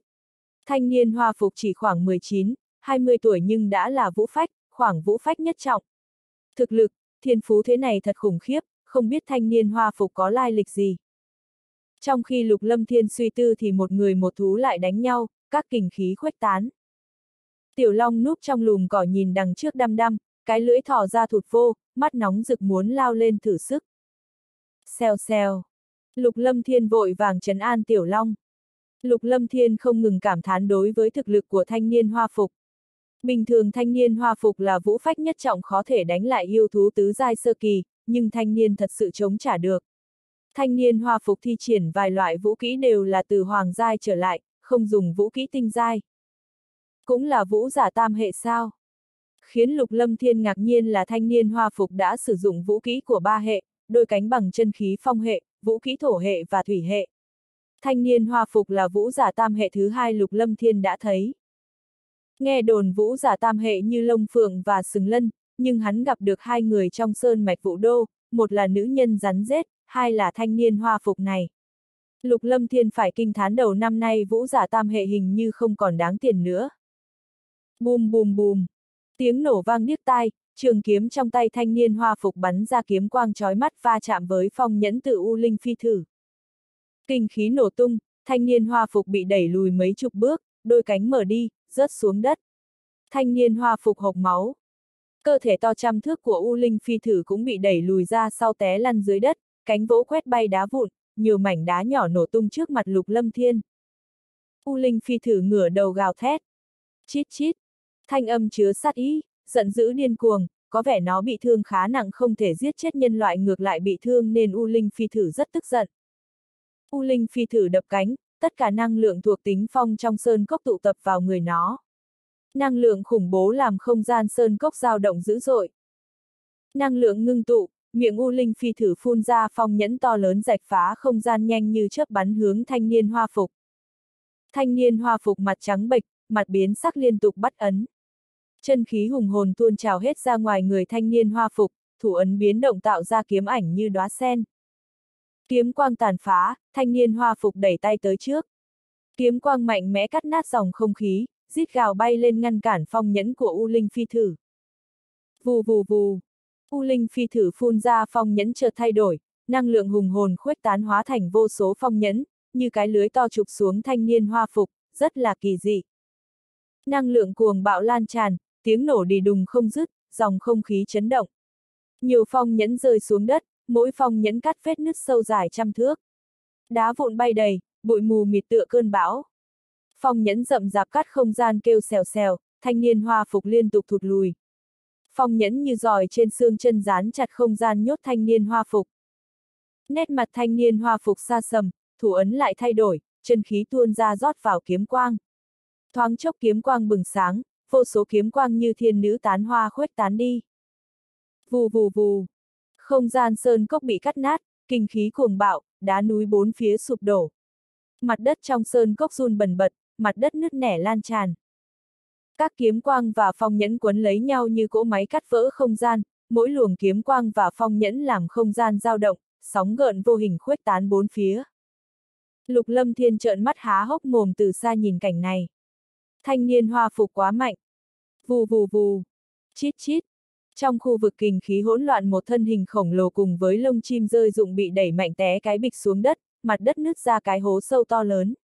Đó là U Linh Phi Thử. U Linh Phi Thử vùng vẫy đập cánh nhưng không thể giảm chậm thế rơi, mấy vết thương ở bụng nó chảy máu. Cuối cùng U Linh Phi Thử nằm thẳng cẳng. Dầm. Thanh niên hoa phục bị đánh bay xa mấy chục thước, hộc máu té xuống một tảng đá, lại hộc máu. Thanh niên hoa phục lăn lông lốc dưới đấy mấy vòng mới ngừng lại. Thanh niên hoa phục vùng vẫy một lúc sau dựa vào trường kiếm làm giá đỡ đứng lên, mặt không còn chút máu đi hướng U Linh phi thử. Dầm! Mấy bước sau thanh niên hoa phục lại té ngã, ngất xỉu. Lục lâm thiên nhìn chằm chằm, nhướng mày nói. Lưỡng bại câu thương. Một lát sau thấy một người một thú không nhúc nhích, lục lâm thiên không kiềm được hấp dẫn đi hướng sơn cốc. U Linh phi thử là yêu thú tứ giai, đã ngừng tụ yêu đan. Đối với lục lâm thiên thì yêu đan có tác dụng cực lớn, hơn 50% U Linh phi thử đã chết, hắn không muốn bỏ qua viên yêu đan miễn phí. Lục lâm thiên chạy nhanh đến bên cạnh U Linh phi thử, cẩn thận tới gần nó. Lục lâm thiên phát hiện U Linh phi thử chết thật, hắn cầm trường kiếm xẻ bụng nó ra. U Linh phi thử dù chết thì sức phòng ngự vẫn rất mạnh, Lục Lâm Thiên dốc hết 80% chân khí mới cắt vỡ bụng U Linh phi thử ra. Xoẹt! Một viên yêu đan màu trắng to cỡ nắm tay trẻ sơ sinh xuất hiện trước mặt Lục Lâm Thiên, năng lượng cuồng bạo tràn ra khiến trái tim hắn đập nhanh. Thu! Lục Lâm Thiên nhanh chóng thu về yêu đan, không tốn chút công sức đã được một viên yêu đan, hắn thật may mắn. Lục Lâm Thiên thu về yêu đan, còn lại xác của U Linh phi thử thì hắn không biết giải quyết thế nào. U Linh phi thử là yêu thú tứ giai, toàn thân có thể bán đổi kim tệ nhưng nếu lục lâm thiên thu nó sẽ chiếm một nửa không gian chữ vật giới chỉ. Tiểu Long chợt gầm gừ. Gri gri. Tiểu Long nhảy xuống vai lục lâm thiên, biến lớn thành 80cm, há to mồm nuốt trọn U Linh phi thử vào bụng. Trong xác, gân cốt cơ bắp, huyết mạch của U Linh phi thử chứa yêu lực của yêu thú tứ giai, nếu Tiểu Long nuốt nó sẽ được ích lợi lớn. Lục Lâm Thiên cười cười, hắn quên mất Tiểu Long. Nam Thúc từng nói Tiểu Long phải nuốt xác yêu thú hoặc linh thú mới lớn nhanh được. Nhìn Tiểu Long mới dài 80 thước nuốt U Linh phi thử khổng lồ trăm thước khiến Lục Lâm Thiên trợn mắt há hốc mồm. Lục Lâm Thiên chậm rãi đến gần thanh niên hoa phục gục ngã dưới đất. Đã chết sao? Thanh niên hoa phục quần áo xốc xếch, rách dưới, tóc dài xõa dưới đất. Lục Lâm Thiên đến bên cạnh thanh niên hoa phục mới cảm nhận chút hơi thở yếu ớt. Vù vù vù. Tiểu Long nuốt u linh phi thử khổng lồ xong lại thu nhỏ còn 20cm, thân hình tròn quay. Tiểu Long bay nhanh lên vai Lục Lâm Thiên, xì xèo nói gì đó. Lục Lâm Thiên hiểu ý. Có yêu thú đến.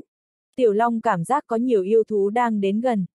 Lục Lâm Thiên nhìn thanh niên hoa phục nằm dưới đất, hắn chần chừ một lúc, nói. Nghĩ tình cùng ngồi trên lưng con yêu thú suốt một tháng, thôi thì cứu ngươi một mạng, để ngươi đừng bị yêu thú ăn. Lục Lâm Thiên cất trường kiếm của thanh niên hoa phục vào túi không gian của mình, ôm thanh niên lên.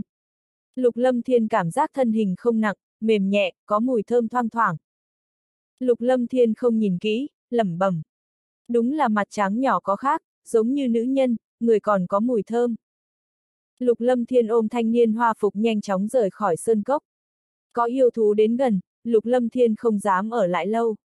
Toàn là yêu thú tam giai, dù một con tam giai sơ kỳ đến thì Lục Lâm Thiên phải liều mạng, nếu gặp hai con là hắn mất mạng.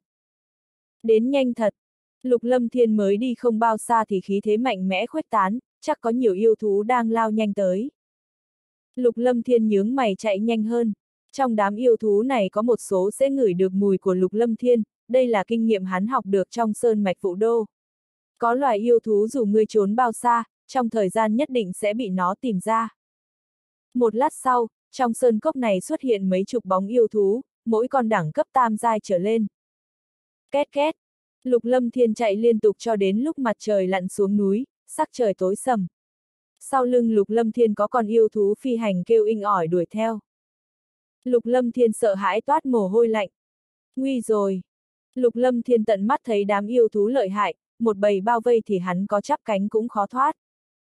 Phía sau vang tiếng đám yêu thú gầm rú. Grau grau. Lục Lâm Thiên cảm giác có yêu thú đuổi theo, sắc mặt hắn trầm trọng. Tiểu Long nghe bầy yêu thú gầm giống chợt ngẩng cao đầu. Xèo xèo. Xem bộ dáng Tiểu Long muốn đánh lột, không hề sợ hãi. Lục Lâm Thiên trấn an Tiểu Long. Tiểu Long, người dáng nhịn chút đi, có quá nhiều yêu thú. Lục Lâm Thiên biết lực phòng ngự của Tiểu Long khá là lợi hại nhưng có nhiều yêu thú, còn có yêu thú ngũ giai, Lục Lâm Thiên không dám để Tiểu Long mạo hiểm. Lục Lâm Thiên cắn răng. Liều mạng. Đằng trước có một hiệp cốc, bên trong có con sông rộng mấy chục thước, dòng nước chảy xiết. Lục Lâm Thiên hít một hơi ôm thanh niên hoa phục nhảy vào nước sông. Trong rừng cây chạy cỡ nào cũng khó thoát khỏi yêu thú tìm kiếm, còn có yêu thú phi hành, chốc lát sau Lục Lâm Thiên sẽ bị phát hiện. Chỉ có trốn vào nước sông mới an toàn. Lục Lâm Thiên chui vào nước sông, nhanh chóng dựng chân khí quang quyển bao phủ quanh mình và thanh niên hoa phục. Tiểu Long thì chui vào nước sông, cũng mất tích theo hắn. Nước sông chảy xiết, hai người theo dòng xuống hạ du. Lục Lâm Thiên không dẫy dụa gì, có thể theo dòng nước rời khỏi bên này. Trên bầu trời, Lục Lâm Thiên vừa nhảy vào nước sông không lâu thì có mấy con yêu thú phi hành khổng lồ xoay quanh.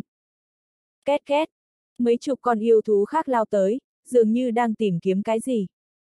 Nước sông chảy xiết rất nhanh, nửa canh giờ sau Lục Lâm Thiên cảm giác hắn trôi đi khoảng hơn chục dặm, ước chừng đám yêu thú không cảm giác được hơi thở của hắn nữa. Lúc này Lục Lâm Thiên cũng không chịu nổi nữa, không khí trong cương quyển hết sạch, hắn dựa vào tu vi mới nhịn nổi nửa canh giờ. Không chịu nổi nữa. Lục Lâm Thiên lao ra khỏi nước sông, hắn thở hắt ra, quần áo ướt đẫm. Thanh niên hoa phục trong ngực Lục Lâm Thiên cũng uống nhiều nước, há mồm ói nước kèm theo máu. Phụt! Thanh niên hoa phục bị thương khá nặng. Lục Lâm Thiên nhanh chóng leo lên bờ, Tiểu Long lót tót theo sau. Không biết chỗ này là đâu, trên trời ánh trăng sáng ngời, bốn phía trống trải, phương xa dãy núi chập trùng, trong rừng cây truyền ra tiếng gào thét, ngẫu nhiên có tiếng thú gầm. Lục Lâm Thiên nói, nghỉ chân ở đây đi. Nơi này địa thế trống trải, an toàn hơn trong rừng một chút. Lục Lâm Thiên đặt thanh niên hoa phục nằm ngửa dưới đất, hắn duỗi lưng, chân khí thuộc tính hỏa phát ra hong khô người trong giây lát. Lục Lâm Thiên nhìn thanh niên hoa phục, lẩm bẩm. Liều mạng cứu người một mạng xem như ta làm chuyện tốt. Đưa Phật đưa đến Tây, lại cho ngươi một viên đan dược, sống chết do số trời vậy. Lần này Lục Lâm Thiên tử bi giúp người, thanh niên hoa phục bị thương khá nặng. Lục Lâm Thiên lấy một viên đan dược trị thương nhị phẩm ra, hắn ngần ngừ, lưu luyến móc viên đan dược trị thương tam phẩm nhét vào miệng thanh niên hoa phục. Lục Lâm Thiên cười khổ nói. Làm người tốt tốn tiền thật. Một viên đan dược tam phẩm, mất đứt mấy ngàn kim tệ. May mắn bây giờ Lục Lâm Thiên thuộc dạng có tiền đầy túi, nếu không hắn cũng tiếc đứt ruột. Lục Lâm Thiên nhìn thanh niên hoa phục ướt sũng, nhỏ giọng nói. Cũng đổi y phục cho ngươi đi, ướt nước sẽ ảnh hưởng vết thương. Nam nhân với nhau, ta không ngại, chắc ngươi cũng không để bụng. Trong chữ vật giới chỉ của Lục Lâm Thiên còn mấy bộ trường bào. Không ngờ mặt ngươi trắng trẻo yếu gió vậy mà có cơ ngực. Lục Lâm Thiên tốt bụng cởi Á Sigma viết thường cho thanh niên hoa phục, bên trong mặc Á Sigma viết thường lót màu đỏ nhạt, trước ngực gồ lên bị vải thô bao chặt, nếu không cởi Á Sigma viết thường thì không nhìn ra. Lục Lâm Thiên ấn nhẹ, xúc cảm mềm mại như của nữ nhân. Chết tiệt! Lục Lâm Thiên phản ứng lại ngay, cơ ngực thì sao mềm được. Nhìn kỹ hóa ra là nữ, ngực nhô ra hai cục, nam nhân có ai cơ ngực bự vậy không? Lục Lâm Thiên ngây người. Là nữ nhân, còn bị ta sờ. Cảm xúc mới rồi thật mềm mại. Lục Lâm Thiên nhìn nữ nhân chỉ mặc á sigma viết thường lót nằm dưới đất, mặt mày tinh xảo, da trắng mịn, rèm mi dài, môi anh đào, nếu mặc áo nữ sẽ là mỹ nhân. Thôi, đổi trường bào giúp nàng vậy. Biết đối phương là nữ nhân thì Lục Lâm Thiên ngại không sàm sỡ, hắn ôm thanh niên hoa phục nữ giả nam, thay trường bào màu xanh trong chữ vật giới chỉ. Lục Lâm Thiên thích màu xanh, quần áo hắn mặc toàn là màu xanh. Thơm thật! Lục Lâm Thiên đặt nữ nhân xuống đất, người nàng toát ra mùi hương, hắn cảm thấy càng ngửi càng thơm. Lục Lâm Thiên làm xong hàng loạt động tác mà nữ nhân chưa tỉnh lại, có lẽ vì nuốt vào đan dược tam phẩm nên hô hấp bình ổn. Tiểu Long, giúp ta giải độc tiếp đi. Lục Lâm Thiên ngồi xếp bằng, chất độc trong người hắn còn lại 20%. Nay đã thoát khỏi thôi hồn độc suất, Lục Lâm Thiên sợ chất độc phệ huyết hóa cốt đan có biến đổi gì, nên hắn muốn nhanh chóng loại bỏ nó là hơn. Xèo xèo.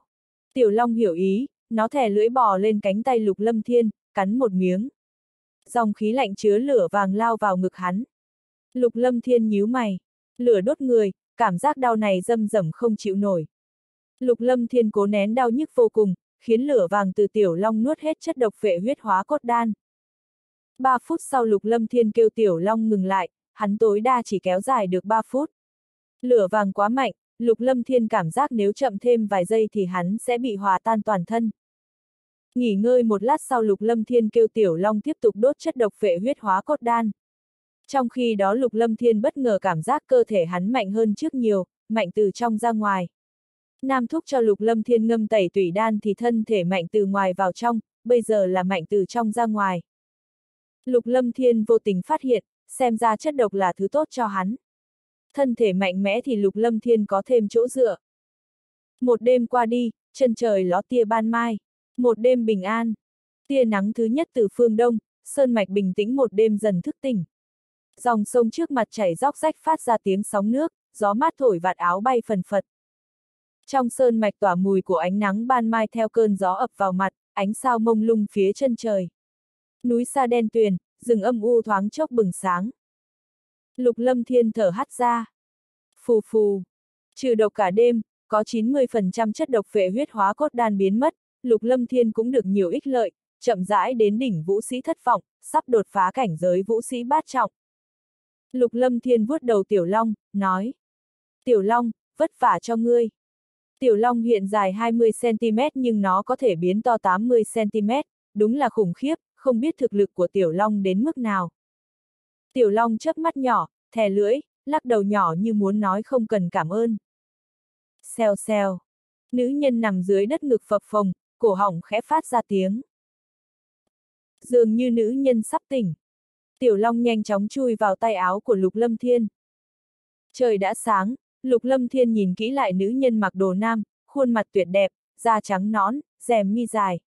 Hèn gì Lục Lâm Thiên luôn thấy lạ, nếu nữ nhân mà mặc đồ nữ vào sẽ là mỹ nhân bại hoại. Lục Lâm Thiên chợt nhớ lần trước mông hắn đã bị nữ nhân này nhìn thì thấy bực, sớm nhớ ra thì đêm qua hắn đã nhìn bù lại. Dường như ý tưởng này thật tà ác.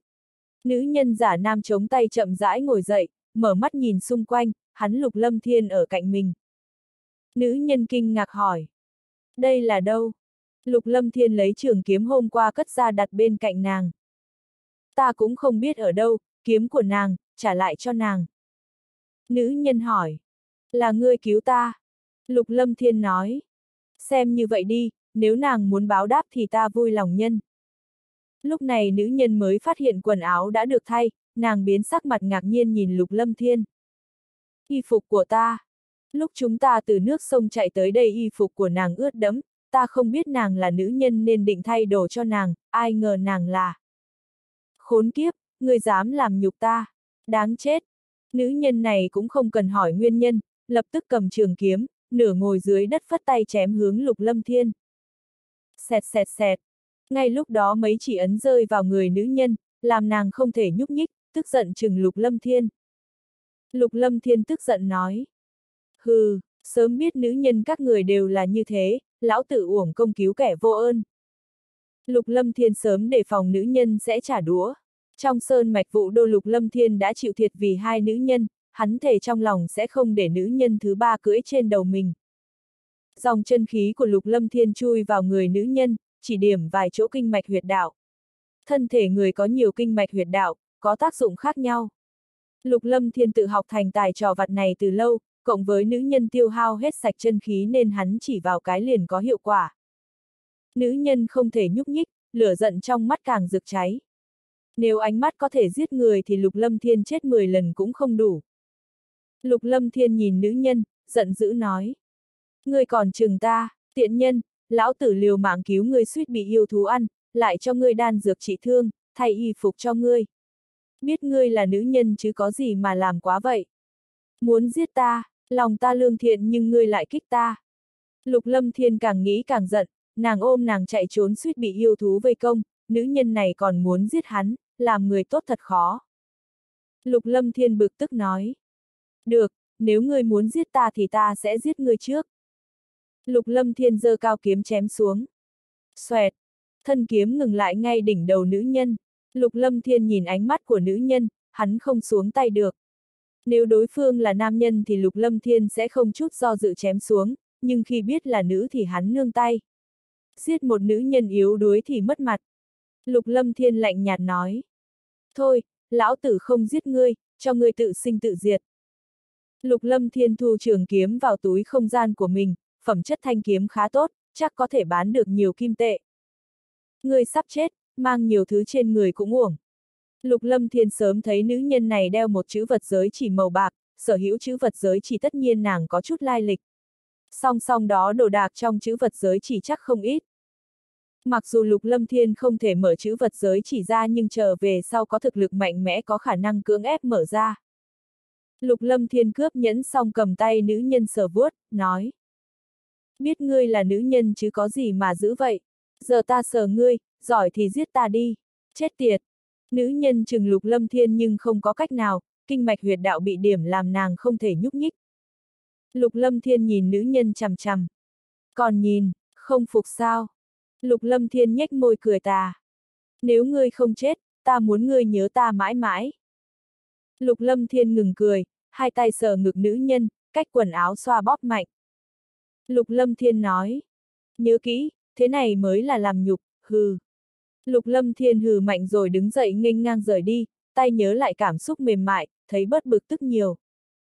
Nữ nhân nhìn chằm chằm bóng lưng Lục Lâm Thiên đi xa, nàng không thể nhúc nhích, giận dữ tan biến, đôi mắt lộ ra uất ức, hai dòng lệ lăn dài. Lục Lâm Thiên nhìn phương hướng, nói với Tiểu Long xoay quanh trên vai hắn. Tiểu Long, chúng ta đi, đến cổ vực trước. Tiểu Long thè lưỡi rồi thụt vô, nghiêng đầu nhỏ nhìn bốn phía. Xèo xèo. Có Tiểu Long ở Lục Lâm Thiên cũng yên tâm hơn nhiều, nếu yêu thú ở gần đây sẽ bị Tiểu Long phát hiện ngay.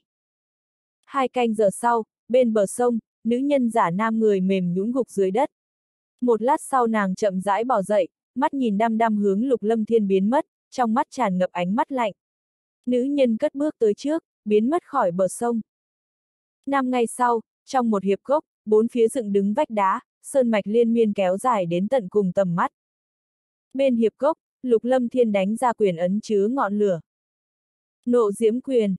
Dòng không khí xung quanh bị rẽ ra, kinh khí nóng cháy mạnh mẽ gợn sóng. Bùm! Cú đấm này ngọn lửa xen lẫn lực lượng cường đại đấm vào đầu con chăn to dài 70 thước, người đầy vảy. Lực lượng đáng sợ lao thẳng tới cái đầu khổng lồ của nó, con chăn rút ngắn mấy thước nhưng đầu chưa bị đánh nát.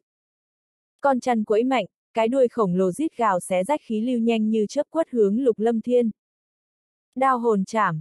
Linh lực ngưng tụ thành đao xé gió chém rách dòng không khí, lực lượng cuồng bạo tràn ngập nghênh hướng cái đuôi con chăn to. Vù vù vù.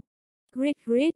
Mưa máu đổ rào rào, con chăn rít lên thảm thiết, cái đuôi dài 20 thước bị cắt ngay ngắn. Phòng ngự cứng rắn trên người con chăn không thể ngăn cản đao hồn chảm của lục lâm thiên, chỗ cái đuôi bị cắt tuôn máu ảo ảo. Bùm! Cơ thể to lớn của con chăn rớt xuống đất, nó co giật mấy cái rồi không nhúc nhích nữa. Nhưng lục lâm thiên không thả lỏng, động vật loài rắn dù đã chết thì cái đầu vẫn nhúc nhích cỡ mấy phút, nếu không chú ý sẽ bị cắn. Mấy hỏa ảnh chỉ bay ra đâm thủng đầu con chăn, lúc này lục lâm thiên mới yên tâm. Tiểu Long thụt ra thụt vô đầu lưỡi như đang khen thực lực tiến bộ. Xèo xèo. Lục Lâm Thiên cười nói. Tiểu Long, nuốt xác con yêu thú này đi. Con chăn là yêu thú thủy hệ tam giai sơ kỳ, hiện tại Lục Lâm Thiên dựa vào đao hồn chảm đủ giết chết nó. Rời khỏi bờ sông kia đã 5 ngày, Lục Lâm Thiên trốn đông trốn tây, mấy lần bị nhiều yêu thú truy sát. Nhờ Tiểu Long cảnh báo trước nên Lục Lâm Thiên trong tích tác đã kịp thoát khỏi. Mấy ngày nay chỉ tính yêu thú tam giai sơ giai đã có bốn con bị lục lâm thiên giết, còn tam giai trở trung kỳ lên thì nhân lúc còn sớm trốn trước là hơn. Nhờ hoàn cảnh rèn luyện nên lục lâm thiên được nhiều ích lợi, hắn cảm giác có thu hoạch lớn về các mặt phản ứng, công kích, phòng ngự. Chỗ khác khó thể học được những điều này, phải lấy mạng ra tôi luyện. Trong năm ngày nay Lục Lâm Thiên đã thanh trừ sạch chất độc phệ huyết hóa cốt đan trong cơ thể, hắn thấy nhẹ lòng rất nhiều. Ban đêm ánh trăng chiếu xuống rừng cây, nhánh cây rung rinh như có vô số móng vuốt quỷ trong đêm tố ai yên tĩnh xé rách không gian. Gió đêm rít gào, ngẫu nhiên vang tiếng thú giống tăng nét rùng rợn cho rừng cây. Trong một sơn động ẩn khuất, Lục Lâm Thiên ngồi xếp bằng trên linh ngọc sàng, ánh sáng vàng nhạt bao quanh thân, khí thế dâng cao dần. Trong đan điền khí hải trong người Lục Lâm Thiên tràn ngập chân khí, kinh mạch trướng căng chân khí. Áp xúc, lòng Lục Lâm Thiên chìm xuống, hắn điều khiển chân khí áp xúc lại. Trong đan điền khí hải vang tiếng nổ trầm đỡ upsilon, C. Trong sơn động, trong thiên địa có lực lượng vô hình ùa vào người lục lâm thiên. Khí thế của lục lâm thiên lại tăng vọt, đan điền khí hải mở rộng, lực lượng tăng gấp đôi. Một đêm qua đi, khi chân trời lại sáng, lục lâm thiên ngừng tu luyện. Lục lâm thiên thở phào. Hộc hộc. Khóe môi lục lâm thiên nhếch cao, rốt cuộc đột phá đến vũ sĩ bát trọng. Lục Lâm Thiên cảm giác trong cơ thể tràn đầy chân khí, phải cảm ơn phệ huyết hóa cốt đan của lão độc vật. Chất độc phệ huyết hóa cốt đan bị luyện hóa hình thành nhiều chân khí, nhờ thế Lục Lâm Thiên đột phá rất nhanh. Lục Lâm Thiên thầm nghĩ nếu thôi hồn độc xuất biết phệ huyết hóa cốt đan thành thuốc bổ cho hắn chắc sẽ có biểu tình rất phong phú. Lục Lâm Thiên nói với Tiểu Long bên cạnh mình. Tiểu Long, chúng ta tiếp tục lên đường. Xèo xèo. Tiểu Long nhảy lên vai Lục Lâm Thiên, thân thiết gò má hắn như đang chúc mừng hắn đột phá. Lục lâm thiên cất linh ngọc sàng, một người một thú tiếp tục xuất phát. Trong sơn mạch nguy hiểm này lục lâm thiên từng giây từng phút lo cho mạng nhỏ của mình. Sơn mạch hoang vắng, chỉ toàn là yêu thú. Ba ngày sau, trong một rừng cây lớn chọc trời, một bóng thú khổng lồ xuất hiện trước mặt lục lâm thiên. ầm ầm ầm, mỗi bước đi của yêu thú khổng lồ làm mặt đất rung rinh. Yêu thú cao 15, 6 thước, dài 300 thước, thể hình kinh khủng. Lục Lâm Thiên hút ngụm khí lạnh nhìn con yêu thú. Đây không phải yêu thú bình thường mà là yêu thú thổ hệ tam giai hậu kỳ. Cường giả vũ phách gặp yêu thú này cũng vội trốn, hiện tại Lục Lâm Thiên không kịp chạy nữa. Yêu thú da dày hình dạng như voi, mũi dài to tựa cánh tay sắt, tứ chi như cột đồng, hai ngà voi sắc bén lóe tia sáng lạnh, mắt như chuông đồng. Lực phòng ngự của hậu bị yêu tượng rất đáng sợ, Lục Lâm Thiên không nắm chắc đối phó được yêu thú hậu kỳ tam giai. Hậu bị yêu tượng gầm giống. U u u. Mũi ra ít hôn ra khói trắng hôi nồng nặc, lá cây bay đầy. Lục Lâm Thiên nhìn chằm chằm hậu bị yêu tượng trước mắt, lòng căng thẳng hỏi. Tiểu Long, ngươi ăn được nó không? Vù vù vù. Lục Lâm Thiên chưa nói xong Tiểu Long đã lao ra hóa thành luồng sáng vàng bay hướng hậu bị yêu tượng. U. Hậu bị yêu tượng phun khói trắng, mũi dài quất hướng Tiểu Long, lực lượng cường đại xé rách dòng không khí. Tiểu Long gầm giống. Ru. Tiểu Long nhanh như chớp né khỏi đòn công kích của hậu bị yêu tượng, cắn tai to của yêu tượng. Người Tiểu Long bốc cháy lửa vàng nhạt. Xoẹt xoẹt xoẹt. Hậu bị yêu tượng phun ra cột nước rộng mấy trăm thước, cột nước bắn vào rừng cây như dòng lũ tràn ra cuốn đi cây nhỏ và vô số bụi cây. Lửa vàng bao quanh người tiểu long nên cột nước không tới gần nó được, ánh sáng vàng càng sáng chói. Nhưng tiểu long không thể tiến tới gần hậu bị yêu tượng thêm được. Dòng lũ đổ xuống chảy ra xa thì hóa thành làn khói tan biến. Đây chỉ là dòng nước bằng thuộc tính thủy, không phải dòng nước thật sự, mất đi lực lượng thì dòng nước cũng tan biến. Tiểu Long lắc người vọt xuống, thân hình nhỏ bé, cái đuôi quấn cảnh cây treo lơ lửng. Gri gri. Tiểu Long tức giận, mắt lóe tia hung ác, ánh sáng vàng chói lòa, vảy run rẩy, thân hình trướng to, hơi thở cường đại khuếch tán. Lúc Tiểu Long đột phá Lục Lâm Thiên từng cảm nhận được hơi thở đó, lúc này hơi thở từ người Tiểu Long càng bùng nổ hơn lúc đột phá. Lục Lâm Thiên cảm giác chân khí của mình cũng trở nên kỳ lạ, linh hồn trong đầu nhẹ run. Khí thế tăng vọt, Tiểu Long lại dài ra 80cm, phải toàn thân tỏa sáng chói mắt, các sợi tơ vàng lan tràn bao bọc người nó. Cảm giác hơi thở từ người Tiểu Long, ánh mắt hậu bị yêu tượng lộ tia sợ hãi, thân hình cao to chậm rãi thụt lùi. Hậu bị yêu tượng vốn hùng hổ giờ bị ức chế tuyệt đối, khí thế tụt dốc. Lục Lâm Thiên cảm thán rằng, uy nhiếp mạnh quá. May mắn một lúc sau Lục Lâm Thiên thích ứng với uy nhiếp, hắn cảm nhận rõ ràng nó không đến từ thực lực mà là huyết mạch, trực tiếp ảnh hưởng linh hồn. Mắt tiểu long lóe tia sáng vọt lên, miệng phun ra cột lửa nóng cháy kinh người. Lửa hừng hực cháy, cây cối bốc hơi héo úa, không khí kêu xèo xèo. Tiếng giống chói tai khàn đỡ Upsilon, C của hậu bị yêu tượng quanh quẩn trong rừng cây, nó không còn đường lui, lại phun ra cột nước to. Lửa đốt cột nước to bốc hơi, tiểu long vào tới trước, tàn ảnh rạch phá không gian nhanh như chớp cắn cổ hậu bị yêu tượng. Cơ thể khổng lồ của hậu bị yêu tượng run rẩy nhưng không cách nào vứt bỏ lục lâm thiên. Hai cái cây to bị hậu bị yêu tượng đỡ upsilon.ng bứng gốc. Xoẹt phập.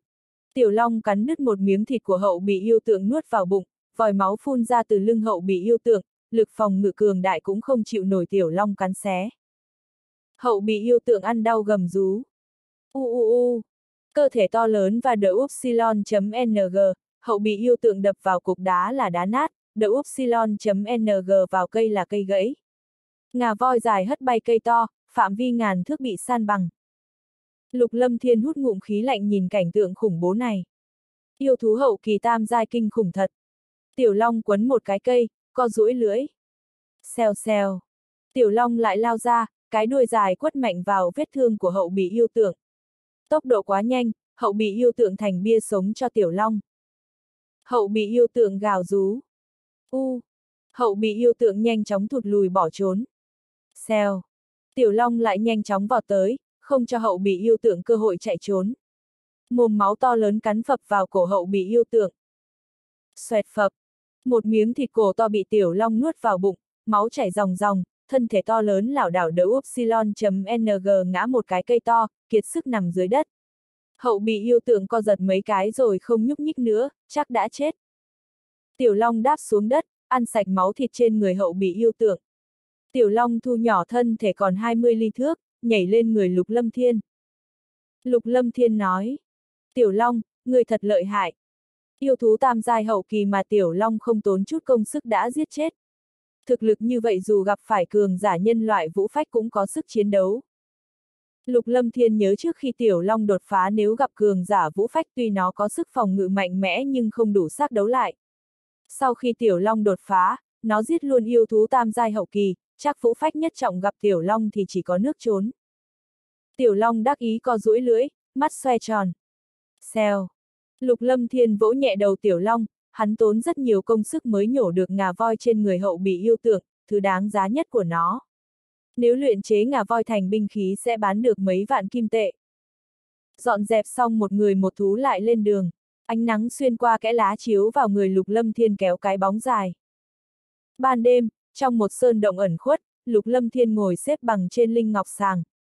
Tay lục lâm thiên cầm một bình ngọc chứa linh hồn thần dịch, hắn dứt khoát uống hết một phần mười. Một ngụm nhỏ linh hồn thần dịch chảy vào miệng, khoang miệng mát lạnh.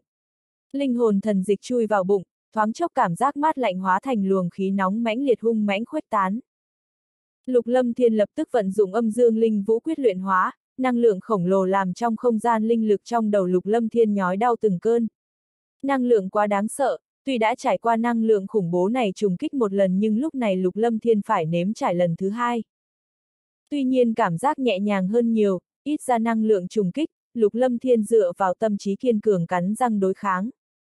Luyện hóa Lục Lâm Thiên cố nén đau nhức luyện hóa năng lượng khổng lồ, linh lực trong đầu không ngừng tăng thêm. Lúc này trên linh ngọc sàng có một luồng năng lượng bị Lục Lâm Thiên luyện hóa hóa hồn thần hóa lỏng thành linh lực, tăng phúc nhiều cho linh lực. Lục Lâm Thiên cảm giác mình tiến bộ dần, trong không gian khí hải linh lực tràn đầy hơi thở vô hình chảy từ không gian khí hải đến sâu trong não, thấm nhuần linh hồn ngưng tụ thành hình. Linh hồn hư ảo giờ đã ngưng tụ, hiện tại Lục Lâm Thiên có thể tùy ý nhìn linh hồn của mình, rất huyền diệu. Lục Lâm Thiên lần nữa luyện hóa một phần mười linh hồn thần dịch, hắn do dự thật lâu, đẳng cấp vũ giả của hắn hiện tại đã là vũ sĩ bát trọng, đẳng cấp linh giả mới chỉ là linh sĩ lục trọng. Lần trước dùng linh hồn thần dịch luyện hóa đã một đoạn thời gian, giờ cũng đã tới lúc. Linh vũ song tu, nhưng cần đột phá cả hai cùng lúc. Lục Lâm Thiên buộc lòng phải chuẩn bị sẵn từ trước. Hiện nay Lục Lâm Thiên có đầy đủ đan dược, vũ sĩ bát trọng muốn đột phá vũ sĩ cửu trọng không mất bao lâu. Khi đột phá đẳng cấp vũ sư Lục Lâm Thiên sẽ dùng linh hồn thần dịch, đẳng cấp linh giả cũng tiến bộ theo, khi đó đột phá linh sư dễ dàng hơn chút. Sau khi vào sơn mạch vụ đô lúc nào Lục Lâm Thiên cũng muốn nhanh chóng tăng mạnh thực lực, nếu không cường đại tùy thời sẽ mất mạng trong sơn mạch vụ đô. Một lát sau, vầng sáng trắng trong suốt chói lòa bao quanh người Lục Lâm Thiên. Tiểu Long canh giữ ngoài sơn động hộ pháp cho Lục Lâm Thiên. Trời hừng sáng, gió nhẹ thổi qua, Lục Lâm Thiên ngừng luyện hóa, thở hắt ra. Một người một thú xuất phát hướng cổ vực. Ban ngày lên đường, buổi tối tu luyện, 10 ngày chậm rãi qua. Trong thời gian này Lục Lâm Thiên dễ dàng đột phá đến linh sĩ thất trọng, cách bát trọng không còn xa. Nhưng năng lượng linh hồn thần dịch đã bị luyện hóa 5, 6 phần, càng về sau muốn đột phá sẽ tiêu hao năng lượng càng lớn. Chết đi! Trong rừng cây, chân khí tập trung dưới chân lục lâm thiên, hắn lao ra, nộ diễm quyền bùng nổ mạnh mẽ. Kinh khí cuồng bạo khuếch tán ập vào đầu yêu thú thủy hệ nhị giai hậu kỳ khổng lồ mặt mũi hung tợn. Thoáng chốc đầu con yêu thú khổng lồ nở hoa, thịt văng tung tóe. Yêu thú thủy hệ nặng nề té xuống đất, thành đồ ăn cho tiểu long. Trải qua rèn luyện trong khu vực nguy hiểm này, Lục Lâm Thiên vô tình thay đổi nhiều, có thêm sát khí vô hình. Không dính máu tươi thì không cách nào rèn luyện được sát khí này. Đánh nhau khiến Lục Lâm Thiên sử dụng các loại vũ kỹ càng quen tay hơn. Yêu thú hậu kỳ nhị giai không có uy hiếp lớn cho Lục Lâm Thiên. Lục Lâm Thiên lẩm bẩm. Ở trong khu vực nguy hiểm này đã gần một tháng, cũng nên đi ra ngoài rồi. Lục Lâm Thiên nhìn chằm chằm đằng trước, ánh mắt kiên cường và lạnh lùng, hắn đứng im như tượng đá. Dọn dẹp xong Lục Lâm Thiên đi tiếp, tính tuyến đường thì hắn sắp ra khỏi khu vực nguy hiểm này. Chợt có tiếng hét chói tai phá vỡ rừng cây yên lặng. Cứu mạng! Nghe giọng là nữ, phỏng trưng tuổi khá trẻ, thanh âm non nớt. Giữa sườn núi có một già một trẻ nằm dưới đất, trẻ là một tiểu cô nương khoảng 11, 2 tuổi, tóc rối xù, mắt sáng ngời tràn ngập sợ hãi. Già là một lão bà, khoảng 50 tuổi, mặc áo lam, nhưng lúc này quần áo xốc xếch, người đầy máu, mặt trắng bệch. Tiểu cô nương sợ hãi tựa vào lão phụ nhân, chân chân nhìn hai người che mặt.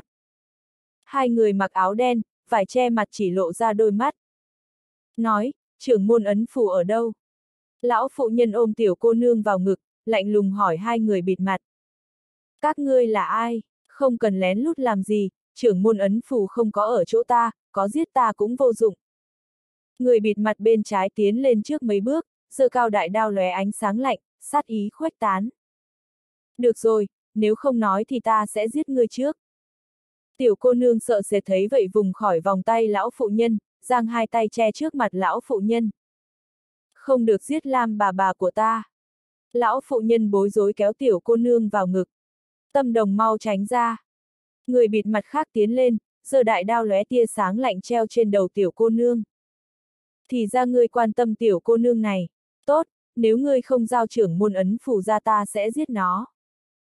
Lão phụ nhân thê lương rú lên. Đừng, Các ngươi không thể giết tâm đồng, đó là huyết mạch trưởng môn để lại. Nhưng lão phụ nhân bị thương quá nặng, không thể làm được gì. Hừ, vậy càng phải giết. Người bịt mặt lạnh lùng cười. Hỏi lần cuối, có giao trưởng môn ấn phủ ra không? Người bịt mặt khác lạnh lùng nói. Sư huynh đừng nói nhiều với ả, giết cả hai rồi tìm lệnh bài sau. Lấy được lệnh bài chúng ta sẽ lập công lớn. Người bịt mặt hơ đao chém xuống tiểu cô nương. Vù vù vù. Lúc này tiếng xé gió sắc bén vang tiếng, cùng với luồng gió nóng rực xuyên qua đại đao của người bịt mặt. Đại đao thủng một lỗ tròn, người bịt mặt lảo đảo lùi mấy bước. Đại đao rơi xuống đất, cổ người bịt mặt thủng lỗ máu. Một người bịt mặt khác hốt hoảng nhìn bốn phía, quát. Ai đó? Người bịt mặt tìm mãi nhưng không thấy ai, trong mắt chứa kinh hoàng. Thanh âm trầm thấp vang lên. Giết cả lão ấu phụ nữ và trẻ em, ta vốn không muốn lo chuyện bao đồng nhưng không nhìn được. Một bóng áo xanh đáp xuống trước mặt người bịt mặt, là thanh niên 16, 7 tuổi, tóc đen áo xanh, dáng người mảnh khảnh, đôi mắt trong như ao nước. Một con rắn vàng tí hon nằm trên vai thanh niên, người đến đương nhiên là Lục Lâm Thiên. Người bịt mặt vốn khủng hoảng nhưng thấy chỉ là danh con chưa dứt sữa thì dứt khoát chém đại đao xuống.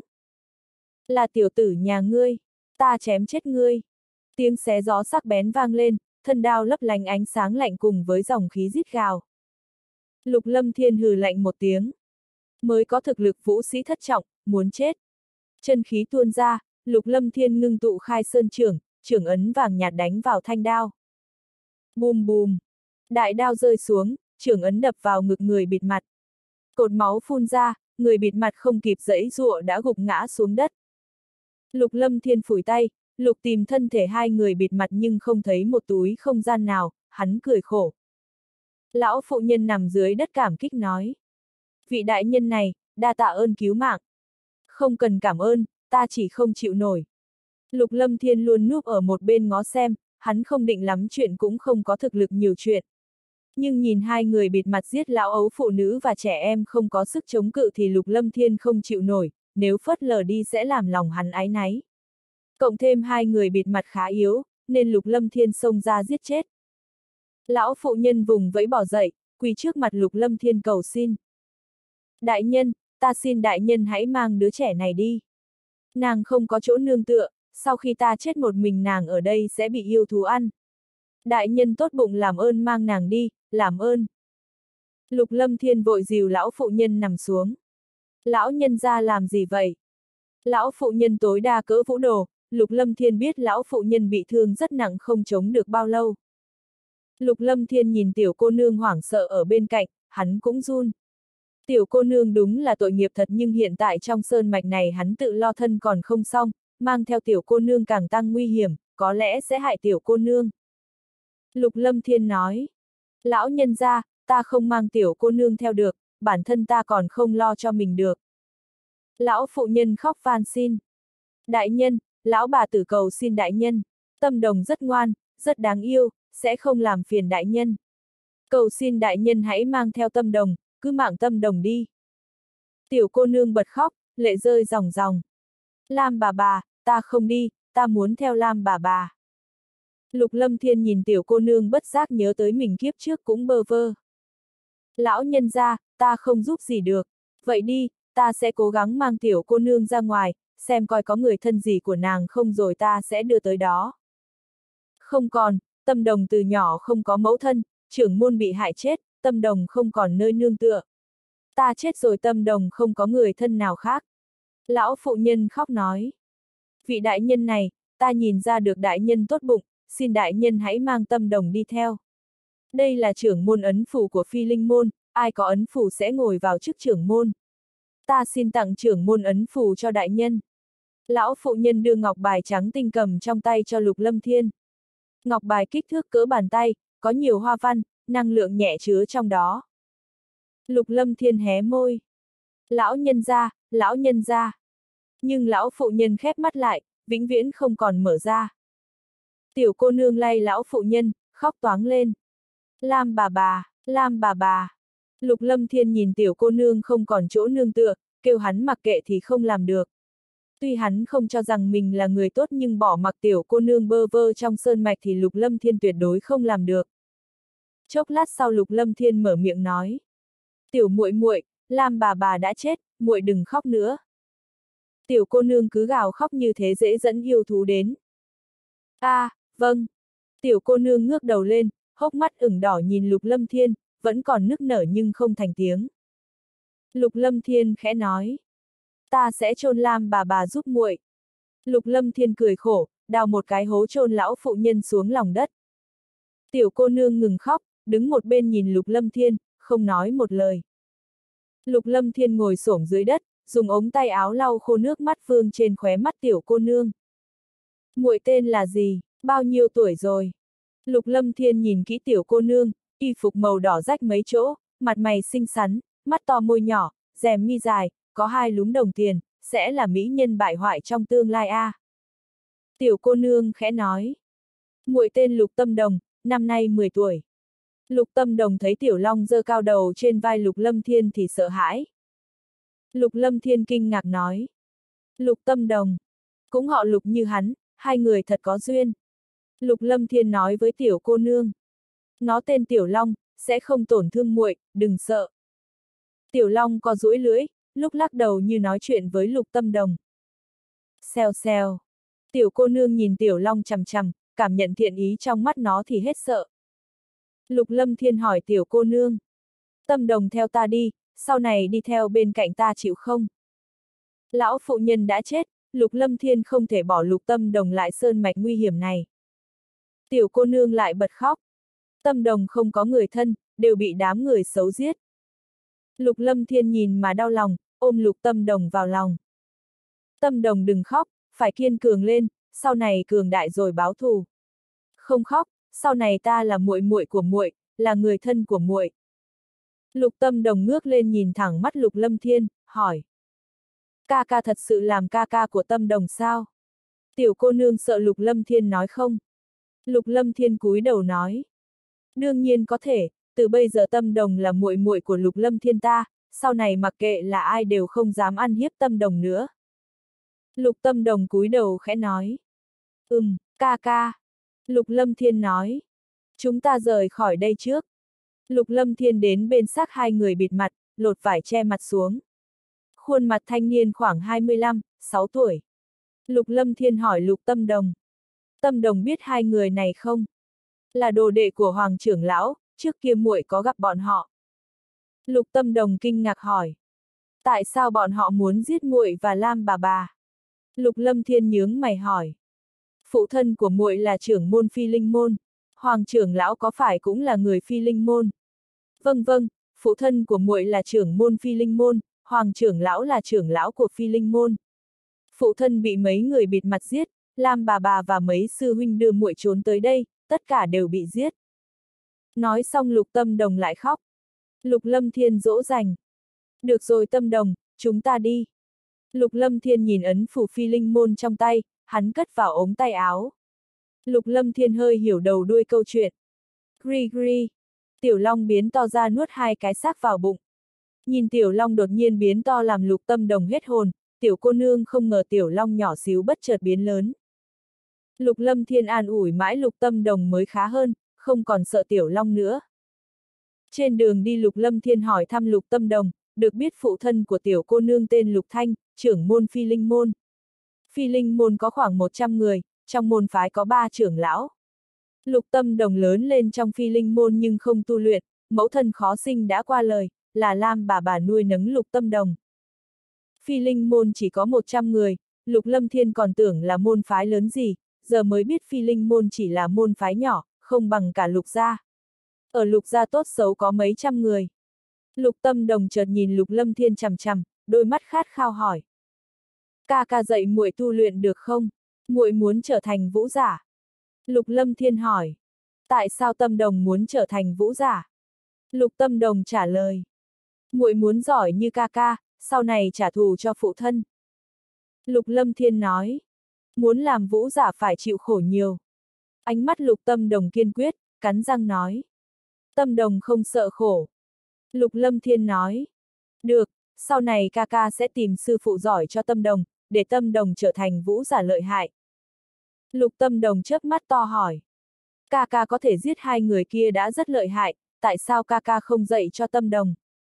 Lục Lâm Thiên cười cười, hắn chỉ có vài miếng võ mèo cào, không đủ sức dạy cho người. Lục Lâm Thiên nói, ca ca còn kém xa, sau này ca ca tìm cường giả lợi hại làm sư phụ cho tâm đồng thì tốt hơn. Hai người vừa đi vừa nói chuyện, có Lục Lâm Thiên ở bên cạnh làm Lục Tâm Đồng hoạt bát hơn. Tiểu Long thì cảnh giác quan sát bốn phía. Lục Lâm Thiên lại gặp hai con yêu thú tam giai sơ giai, vì bảo vệ Lục Tâm Đồng nên toàn để Tiểu Long giết chết. Mấy ngày tiếp theo hai người ngẫu nhiên gặp yêu thú nhị giai, lại để Tiểu Long giết yêu thú. Thấy cảnh tượng máu me làm Lục Tâm Đồng sợ hãi, nhưng về sau Tiểu cô nương dần thói quen. Lục Lâm Thiên cố ý cho Lục Tâm Đồng thấy nhiều máu me, rèn luyện Tiểu cô nương kiên cường hơn sau này có lợi cho nàng. Gặp gỡ yêu thú ít dần, thực lực yêu thú càng lúc càng thấp, Lục Lâm Thiên đoán đã ra khỏi khu vực nguy hiểm, đến gần cổ vực hơn. Tới vòng ngoài, Lục Lâm Thiên thấy nhiều người qua lại trong sơn mạch hơn, đa số vào sơn mạch vụ đô đều tìm dược liệu hoặc yêu thú đê giai. Đa số là vũ sĩ, ít khi thấy đẳng cấp vũ sư. Phía trước có tiếng đánh nhau dữ dội. Ninh đang len keng. Mời mấy bóng người hỗn chiến, toàn là tu vi vũ sĩ, kinh khí tứ tán, bốn phía nổ đi đùng. Hai ngày nay Lục Lâm Thiên đã nhìn quen loại hỗn chiến này. Đồn rằng trong cổ vực khá là hỗn loạn, điều này quả không sai, hôm qua hắn quan sát thấy hơn trăm người hỗn chiến. Có lục tâm đồng theo bên cạnh nên lục lâm thiên né khỏi đám người ngay, tốt nhất đừng dây vào rắc rối. Lục lâm thiên quan sát hai ngày nay, hắn nuốt chân khí của một vũ sĩ nhị trọng, thi triển siêu linh thuật tìm trong đầu đối phương biết ngoài rìa sơn mạch vụ đô gần cổ vực thường có chuyện giết người cướp đồ. Hễ thấy thực lực con mồi thấp là sẽ giết người ngay. Thường có chuyện vừa cướp của người này xong quay đầu lại bị người khác giết người cướp của. Càng khó tin là trong cổ vực có môn phái lớn nhỏ nhiều không đếm xuể, có môn phái ngày hôm qua vừa sáng lập hôm nay đã bị diệt môn, chuyện thường như cơm bữa. Đây chính là cổ vực, trong cổ vực hỗn loạn, nhưng cũng tại đây có một số siêu đại môn phái. Đồn rằng thực lực những môn phái này so với tam tông tứ môn trên đại lục linh vũ cũng không kém cạnh gì. Môn phái có chỗ đứng trong cổ vực nhiều ít dính quan hệ với những siêu đại môn phái. Trong cổ vực hỗn loạn là vì những đại môn phái này luôn đối chọi lẫn nhau, nhưng người ngoài không thể nhúng tay vào cổ vực. Nếu có người ngoài vào thì mấy đại môn phái trong cổ vực sẽ tự động hợp tác đối kháng. Cho nên nhiều năm qua thực lực như Tam Tông Tứ Môn cũng không cách nào thẩm thấu vào cổ vực. Thành Đông Hải Ma Vân cũng bất lực không kiếm ích lợi trong cổ vực được.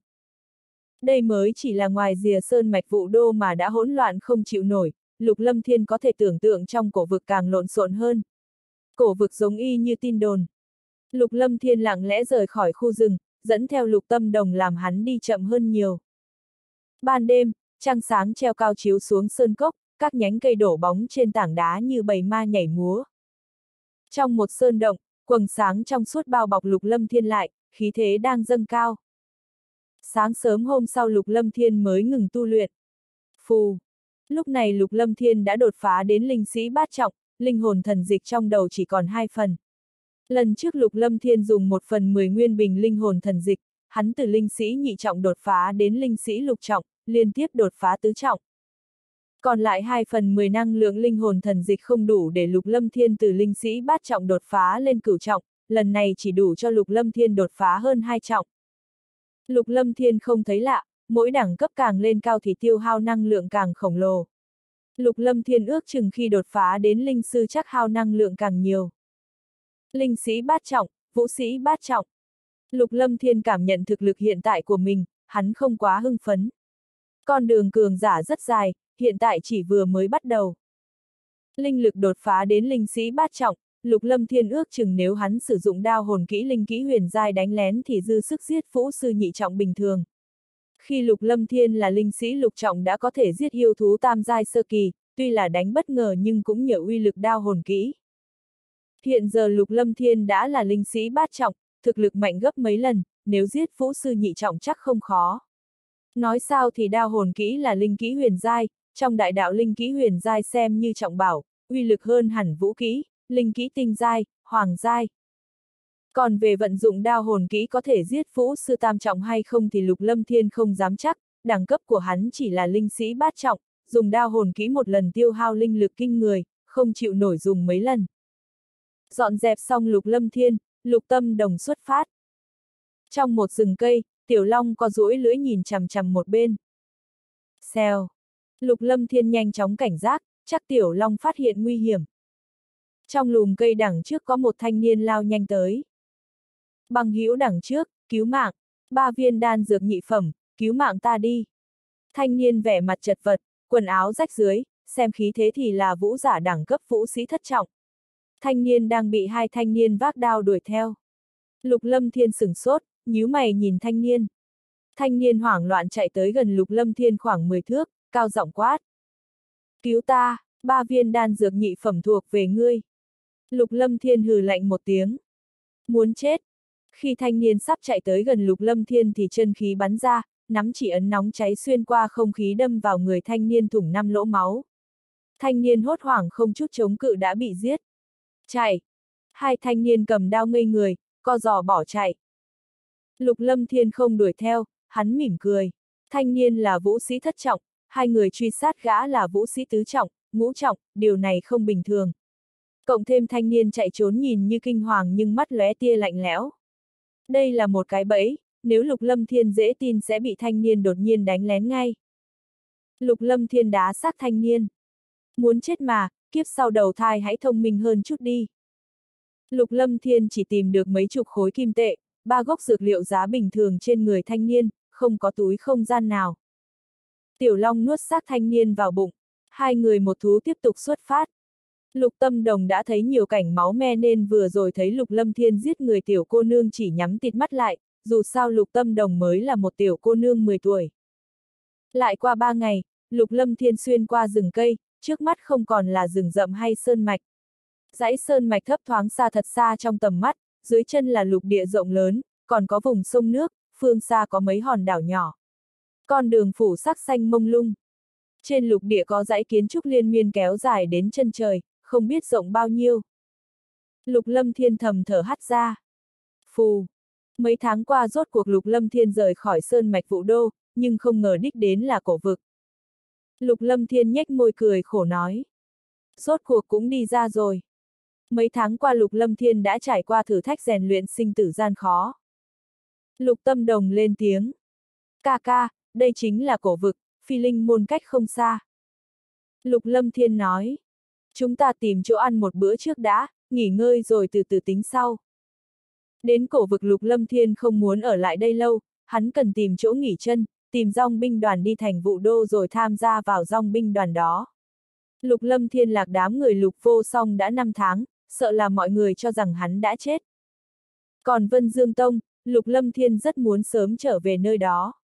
Nam Thúc dặn dò về xích đồng vạn năm, thân pháp phù quang lược ảnh, Lục Lâm Thiên phải tìm cách lấy cho được. Lục Tâm Đồng nắm tay Lục Lâm Thiên. muội nghe lời ca ca. Lục Tâm Đồng mỉm cười nói. Thật ra muội cảm thấy ca ca nướng thịt ăn rất ngon. Mỗi ngày Lục Lâm Thiên đều nướng thịt các loài dã thú cho Lục Tâm Đồng ăn làm tiểu cô nương thèm, vì trước giờ chưa từng ăn món nào ngon như vậy. Rời khỏi sơn mạch vụ đô, nhìn rừng núi mênh mông vô bờ, Lục Lâm Thiên khẽ thở dài, kêu Tiểu Long chui vào ống tay áo.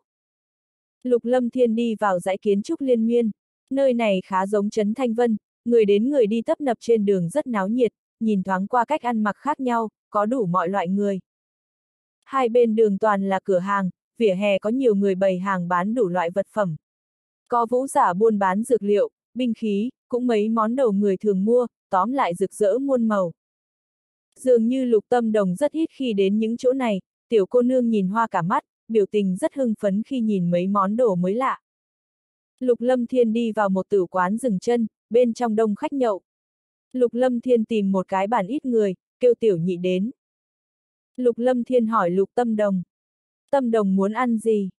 Lục Tâm Đồng hào hứng kêu nhiều món, cười tươi giói, tò mò với bất cứ thứ gì. Lục Lâm Thiên nhìn vẻ mặt mặt thỏa mãn của Lục Tâm Đồng, hắn cũng thấy lòng tràn đầy vui vẻ, cảm giác như trải qua tuổi thơ. Lúc nhỏ Lục Lâm Thiên bơ vơ, hắn sẽ không để Lục Tâm Đồng gặp chuyện tương tự. Lục Lâm Thiên quyết tâm chăm sóc Lục Tâm Đồng thật tốt, cho tiểu cô nương tuổi thơ ấm áp vui vẻ. Tiểu nhị bưng đồ ăn lên, Lục Tâm Đồng nhai ngồm ngoàm. Ăn xong tính tiền, bữa cơm này mất hai kim tệ, quá mắc, trong vùng biên giới sơn mạch này giá tiền thế là hơi đắt. Rời khỏi tử quán, Lục Lâm Thiên định đi tìm hiểu tin tức dòng binh đoàn Sơn Mạch Vụ Đô, hắn mong nhanh chóng trở về thành Vụ Đô. Về Lục Tâm Đồng thì đành mang về theo, nếu có thể đưa đi Vân Dương Tông được thì may, nếu không được Lục Lâm Thiên sẽ tìm cách khác. Lại đi trên con đường náo nhiệt, Lục Lâm Thiên đánh giá bốn phía, chọn một con đường rộng rãi có lẽ là đường cái. Nếu có dòng binh đoàn đi Sơn Mạch Vụ Đô thì chỗ này sẽ có tin tức. Đa số người đi đường mặc đồ vũ giả, thực lực bình thường, ít có tu vi vũ sư. Linh giả thì đến bây giờ Lục Lâm Thiên chưa thấy ai. Chỗ này không lớn, chỉ là một nơi nhỏ nối với Sơn Mạch Vụ Đô, thuộc vùng biên giới cổ vực. Nhưng vì có nhiều vũ giả ra vào Sơn Mạch Vụ Đô nên chỗ này khá là náo nhiệt. Nửa canh giờ sau, Lục Lâm Thiên hỏi thăm một tin không được tốt.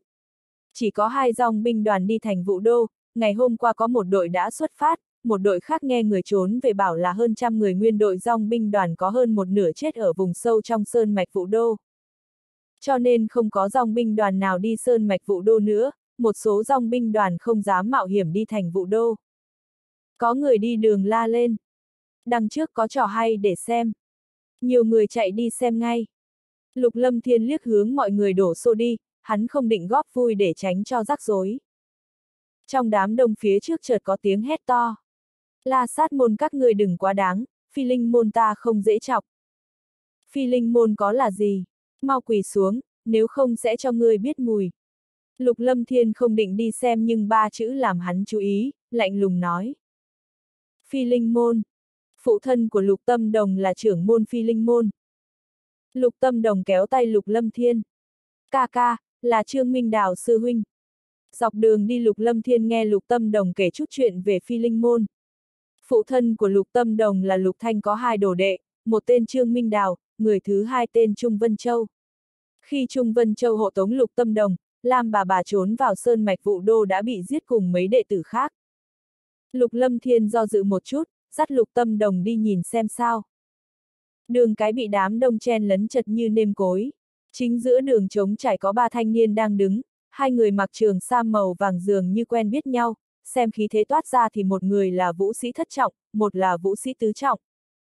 Thanh niên khác khoảng 21, 22 tuổi, tóc ngắn mắt to, ánh mắt sáng ngời. Thanh niên mặc trường bào vải thô có vẻ nghèo nàn, tu vi chỉ là vũ sĩ tứ trọng. Lục Lâm Thiên khó khăn chen lấn vào đám đông, đánh giá ba người xong hắn đo na thanh niên tóc ngắn mắt to là Trương Minh Đào. Lục Tâm Đồng reo lên. Ca ca, là Trương Minh Đào sư huynh. Lục Lâm Thiên nháy mắt với Lục Tâm Đồng. Xuyệt. Lục Lâm Thiên định xem tình hình rồi tính, xem thân phận hai người bịt mặt truy sát Lục Tâm Đồng thì trong phi linh môn không bình tĩnh. Là người phi linh môn trêu chọc người la sát môn, có trò hay để xem. Phi linh môn làm sao so sánh với la sát môn, thực lực của la sát môn mạnh hơn phi linh môn nhiều. Tất nhiên rồi, người phi linh môn bình thường chịu thiệt không dám hé răng câu nào, xứng đáng bị người khi dễ.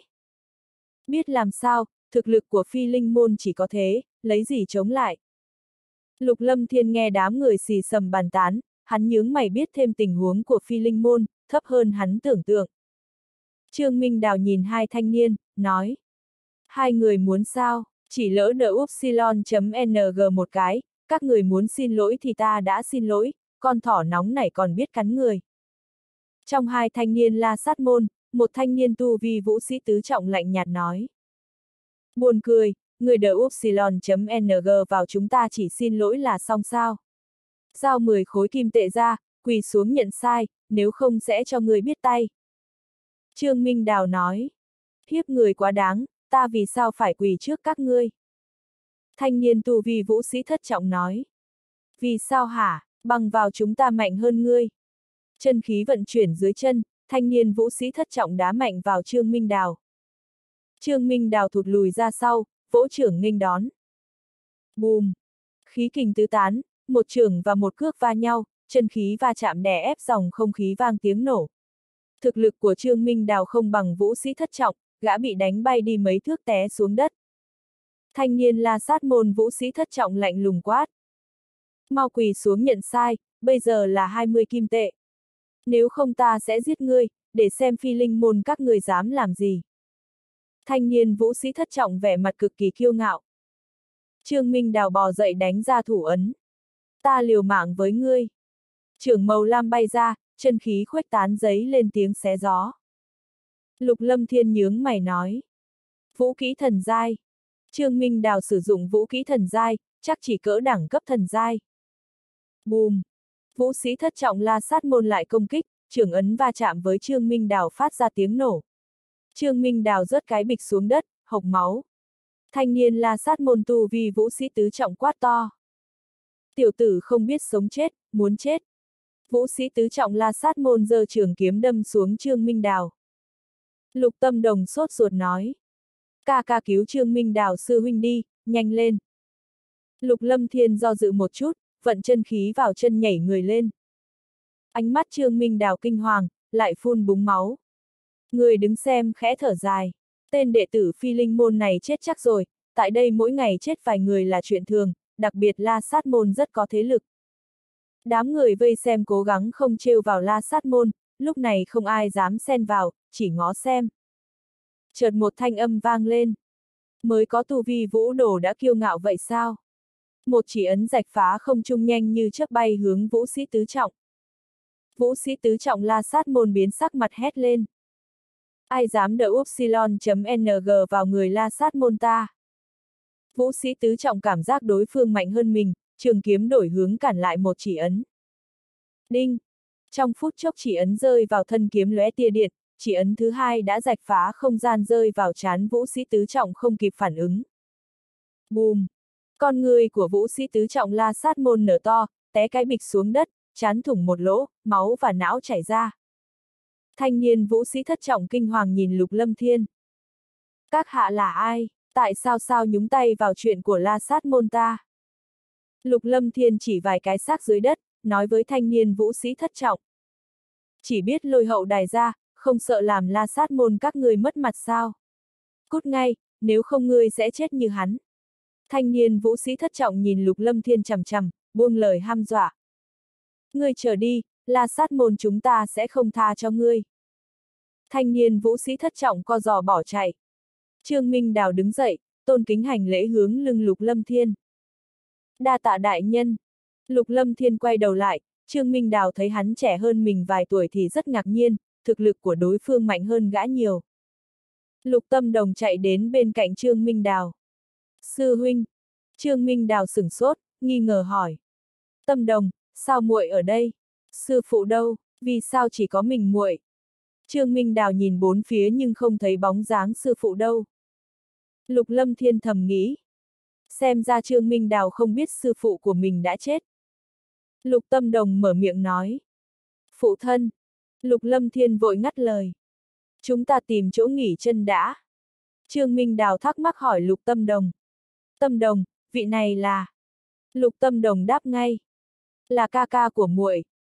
Trương Minh Đào há hốc mồm. Ca ca. Trương Minh Đào chưa bao giờ biết sư phụ có một nhi tử. Trong một phòng khách điếm, Lục Lâm Thiên, Trương Minh Đào, Lục Tâm Đồng ngồi đối mặt nhau. Lục Lâm Thiên hỏi Trương Minh Đào. Xin hỏi gần đây phi linh môn có xảy ra chuyện gì không? Cũng không có gì, ba vị trưởng lão đang tìm sư phụ. Trương Minh Đào mới nói giữa chừng chợt biến sắc mặt, biểu tình đờ đẫn.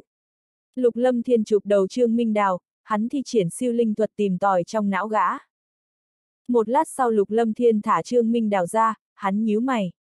Trước kia Lục Lâm Thiên sử dụng siêu linh thuật thì người bị siêu linh chết chắc, hiện tại hắn vận dụng siêu linh thuật đã quen tay nên sẽ không mất mạng, nhưng vô hình chung gây tổn hại cho linh hồn người ta. Mặt Trương Minh Đào trắng bệch lấy lại tinh thần. Có chuyện gì, sao vậy? Mới rồi Trương Minh Đào chỉ thấy hoa mắt rồi mất ý thức. Lục Lâm Thiên cố ý hỏi. Không có gì, ba trưởng lão phi linh môn muốn tìm sư phụ của ngươi làm gì. Lục Lâm Thiên đã biết hết mọi chuyện từ não Trương Minh Đào, xác định gã không liên quan gì đến người giết phụ thân của Lục Tâm Đồng, gã thậm chí hoàn toàn không biết gì. Lục Lâm Thiên cũng biết thêm một điều là trong phi linh môn không ai biết tin trưởng môn đã chết, ít nhất đệ tử bình thường không biết. Chắc hung thủ làm âm thầm, nếu không hai đồ đệ của hoàng trưởng lão gì đó không cần che mặt làm chi. Trương Minh Đào trả lời. Sư phụ vào sơn mạch vụ đô năm tháng, bặt vô âm tín. Ba vị trưởng lão cho rằng sư phụ đã xảy ra chuyện, kêu ta đến điều tra tin tức. Lục lâm thiên thầm thở dài. Theo thông tin trong đầu Trương Minh Đào thì làm trưởng môn phi linh môn rất vất vả. Phi linh môn không thu nhập được bao nhiêu nhưng chi phí thì lớn, trưởng môn đành tự mình đi sơn mạch vụ đô đào vàng bạc nuôi sống môn nhân. Môn phái nghèo đến nông nỗi này là lần đầu tiên Lục Lâm Thiên được thấy, thật là mở rộng tầm mắt. Lục Tâm Đồng khóc nói. Sư huynh, phụ thân đã chết, Lam bà bà cũng chết. Trương Minh Đào trợn to mắt nói. Cái gì, sư phụ đã chết? Mặt Trương Minh Đào không còn chút máu, cơ thể vốn bị thương lúc này huyết khí cuồn cuộn, gã hộc máu. Trương Minh Đào hét lên. Mau cho ta biết sư phụ chết như thế nào. Lục tâm đồng nức nở kể lại vụ việc, mãi tới khúc được lục lâm thiên cứu, ra khỏi sơn mạch vụ đô. Trương Minh Đào bi thương lẩm bẩm, hai hàng lệ rơi. Sư phụ! Lục lâm thiên an ủi. Người chết không thể sống lại, hãy nén bi thương đi. Trong mắt Trương Minh Đào đầy oán hận nói. Chắc chắn là Hoàng trưởng lão, là Hoàng trưởng lão giết sư phụ. Hoàng trưởng lão muốn làm trưởng môn, luôn muốn làm trưởng môn phi linh môn. Ta phải báo thù cho trưởng môn. Lục Lâm Thiên nhìn Trương Minh Đào, thầm nghĩ gã không ngốc, biết đồ đệ của Hoàng trưởng lão truy sát Lục Tâm Đồng thì đoán ra ngay. Lục Lâm Thiên nói, người dựa vào cái gì báo thù, người có đủ thực lực không? Trương Minh Đào ngây người, dĩ nhiên gã không mạnh bằng Hoàng trưởng lão. Trương Minh Đào nói, ta phải cho hai vị trưởng lão khác biết, bọn họ sẽ đối phó với Hoàng trưởng lão. Lục Lâm Thiên nói, nếu ba trưởng lão chung nhóm, sớm lên kế hoạch giết sư phụ của ngươi thì sao? Ngươi vạch trần Hoàng trưởng lão chẳng phải là tự đút đầu chịu chết.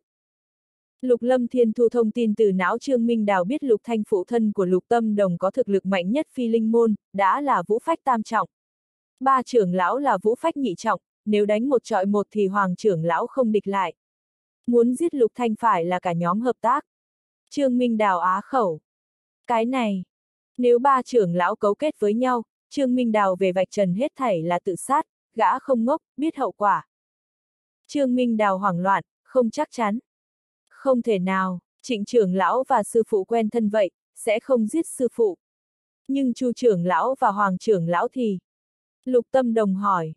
Sư huynh nói là, hoàng trưởng lão giết phụ thân của tâm đồng. Lục tâm đồng mới 10 tuổi, không liên tưởng nhiều đến vụ ám sát này. Ừm, hơn phân nửa là hoàng trưởng lão giết sư phụ.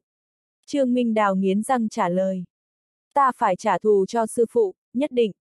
Lục Lâm Thiên liếc Trương Minh Đào, thầm nhu người này coi như tôn sư trọng đạo. Lục Lâm Thiên nói thẳng.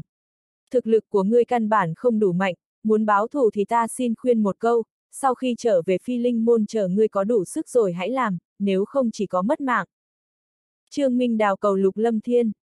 Đại nhân rất mạnh, ta xin đại nhân hãy báo thủ giúp ta, Trương Minh Đào này xin giao mạng cho đại nhân, sau này bảo ta làm trâu làm ngựa đều được. Lục Lâm Thiên từ chối ngay. Thôi khỏi, ta rất yếu.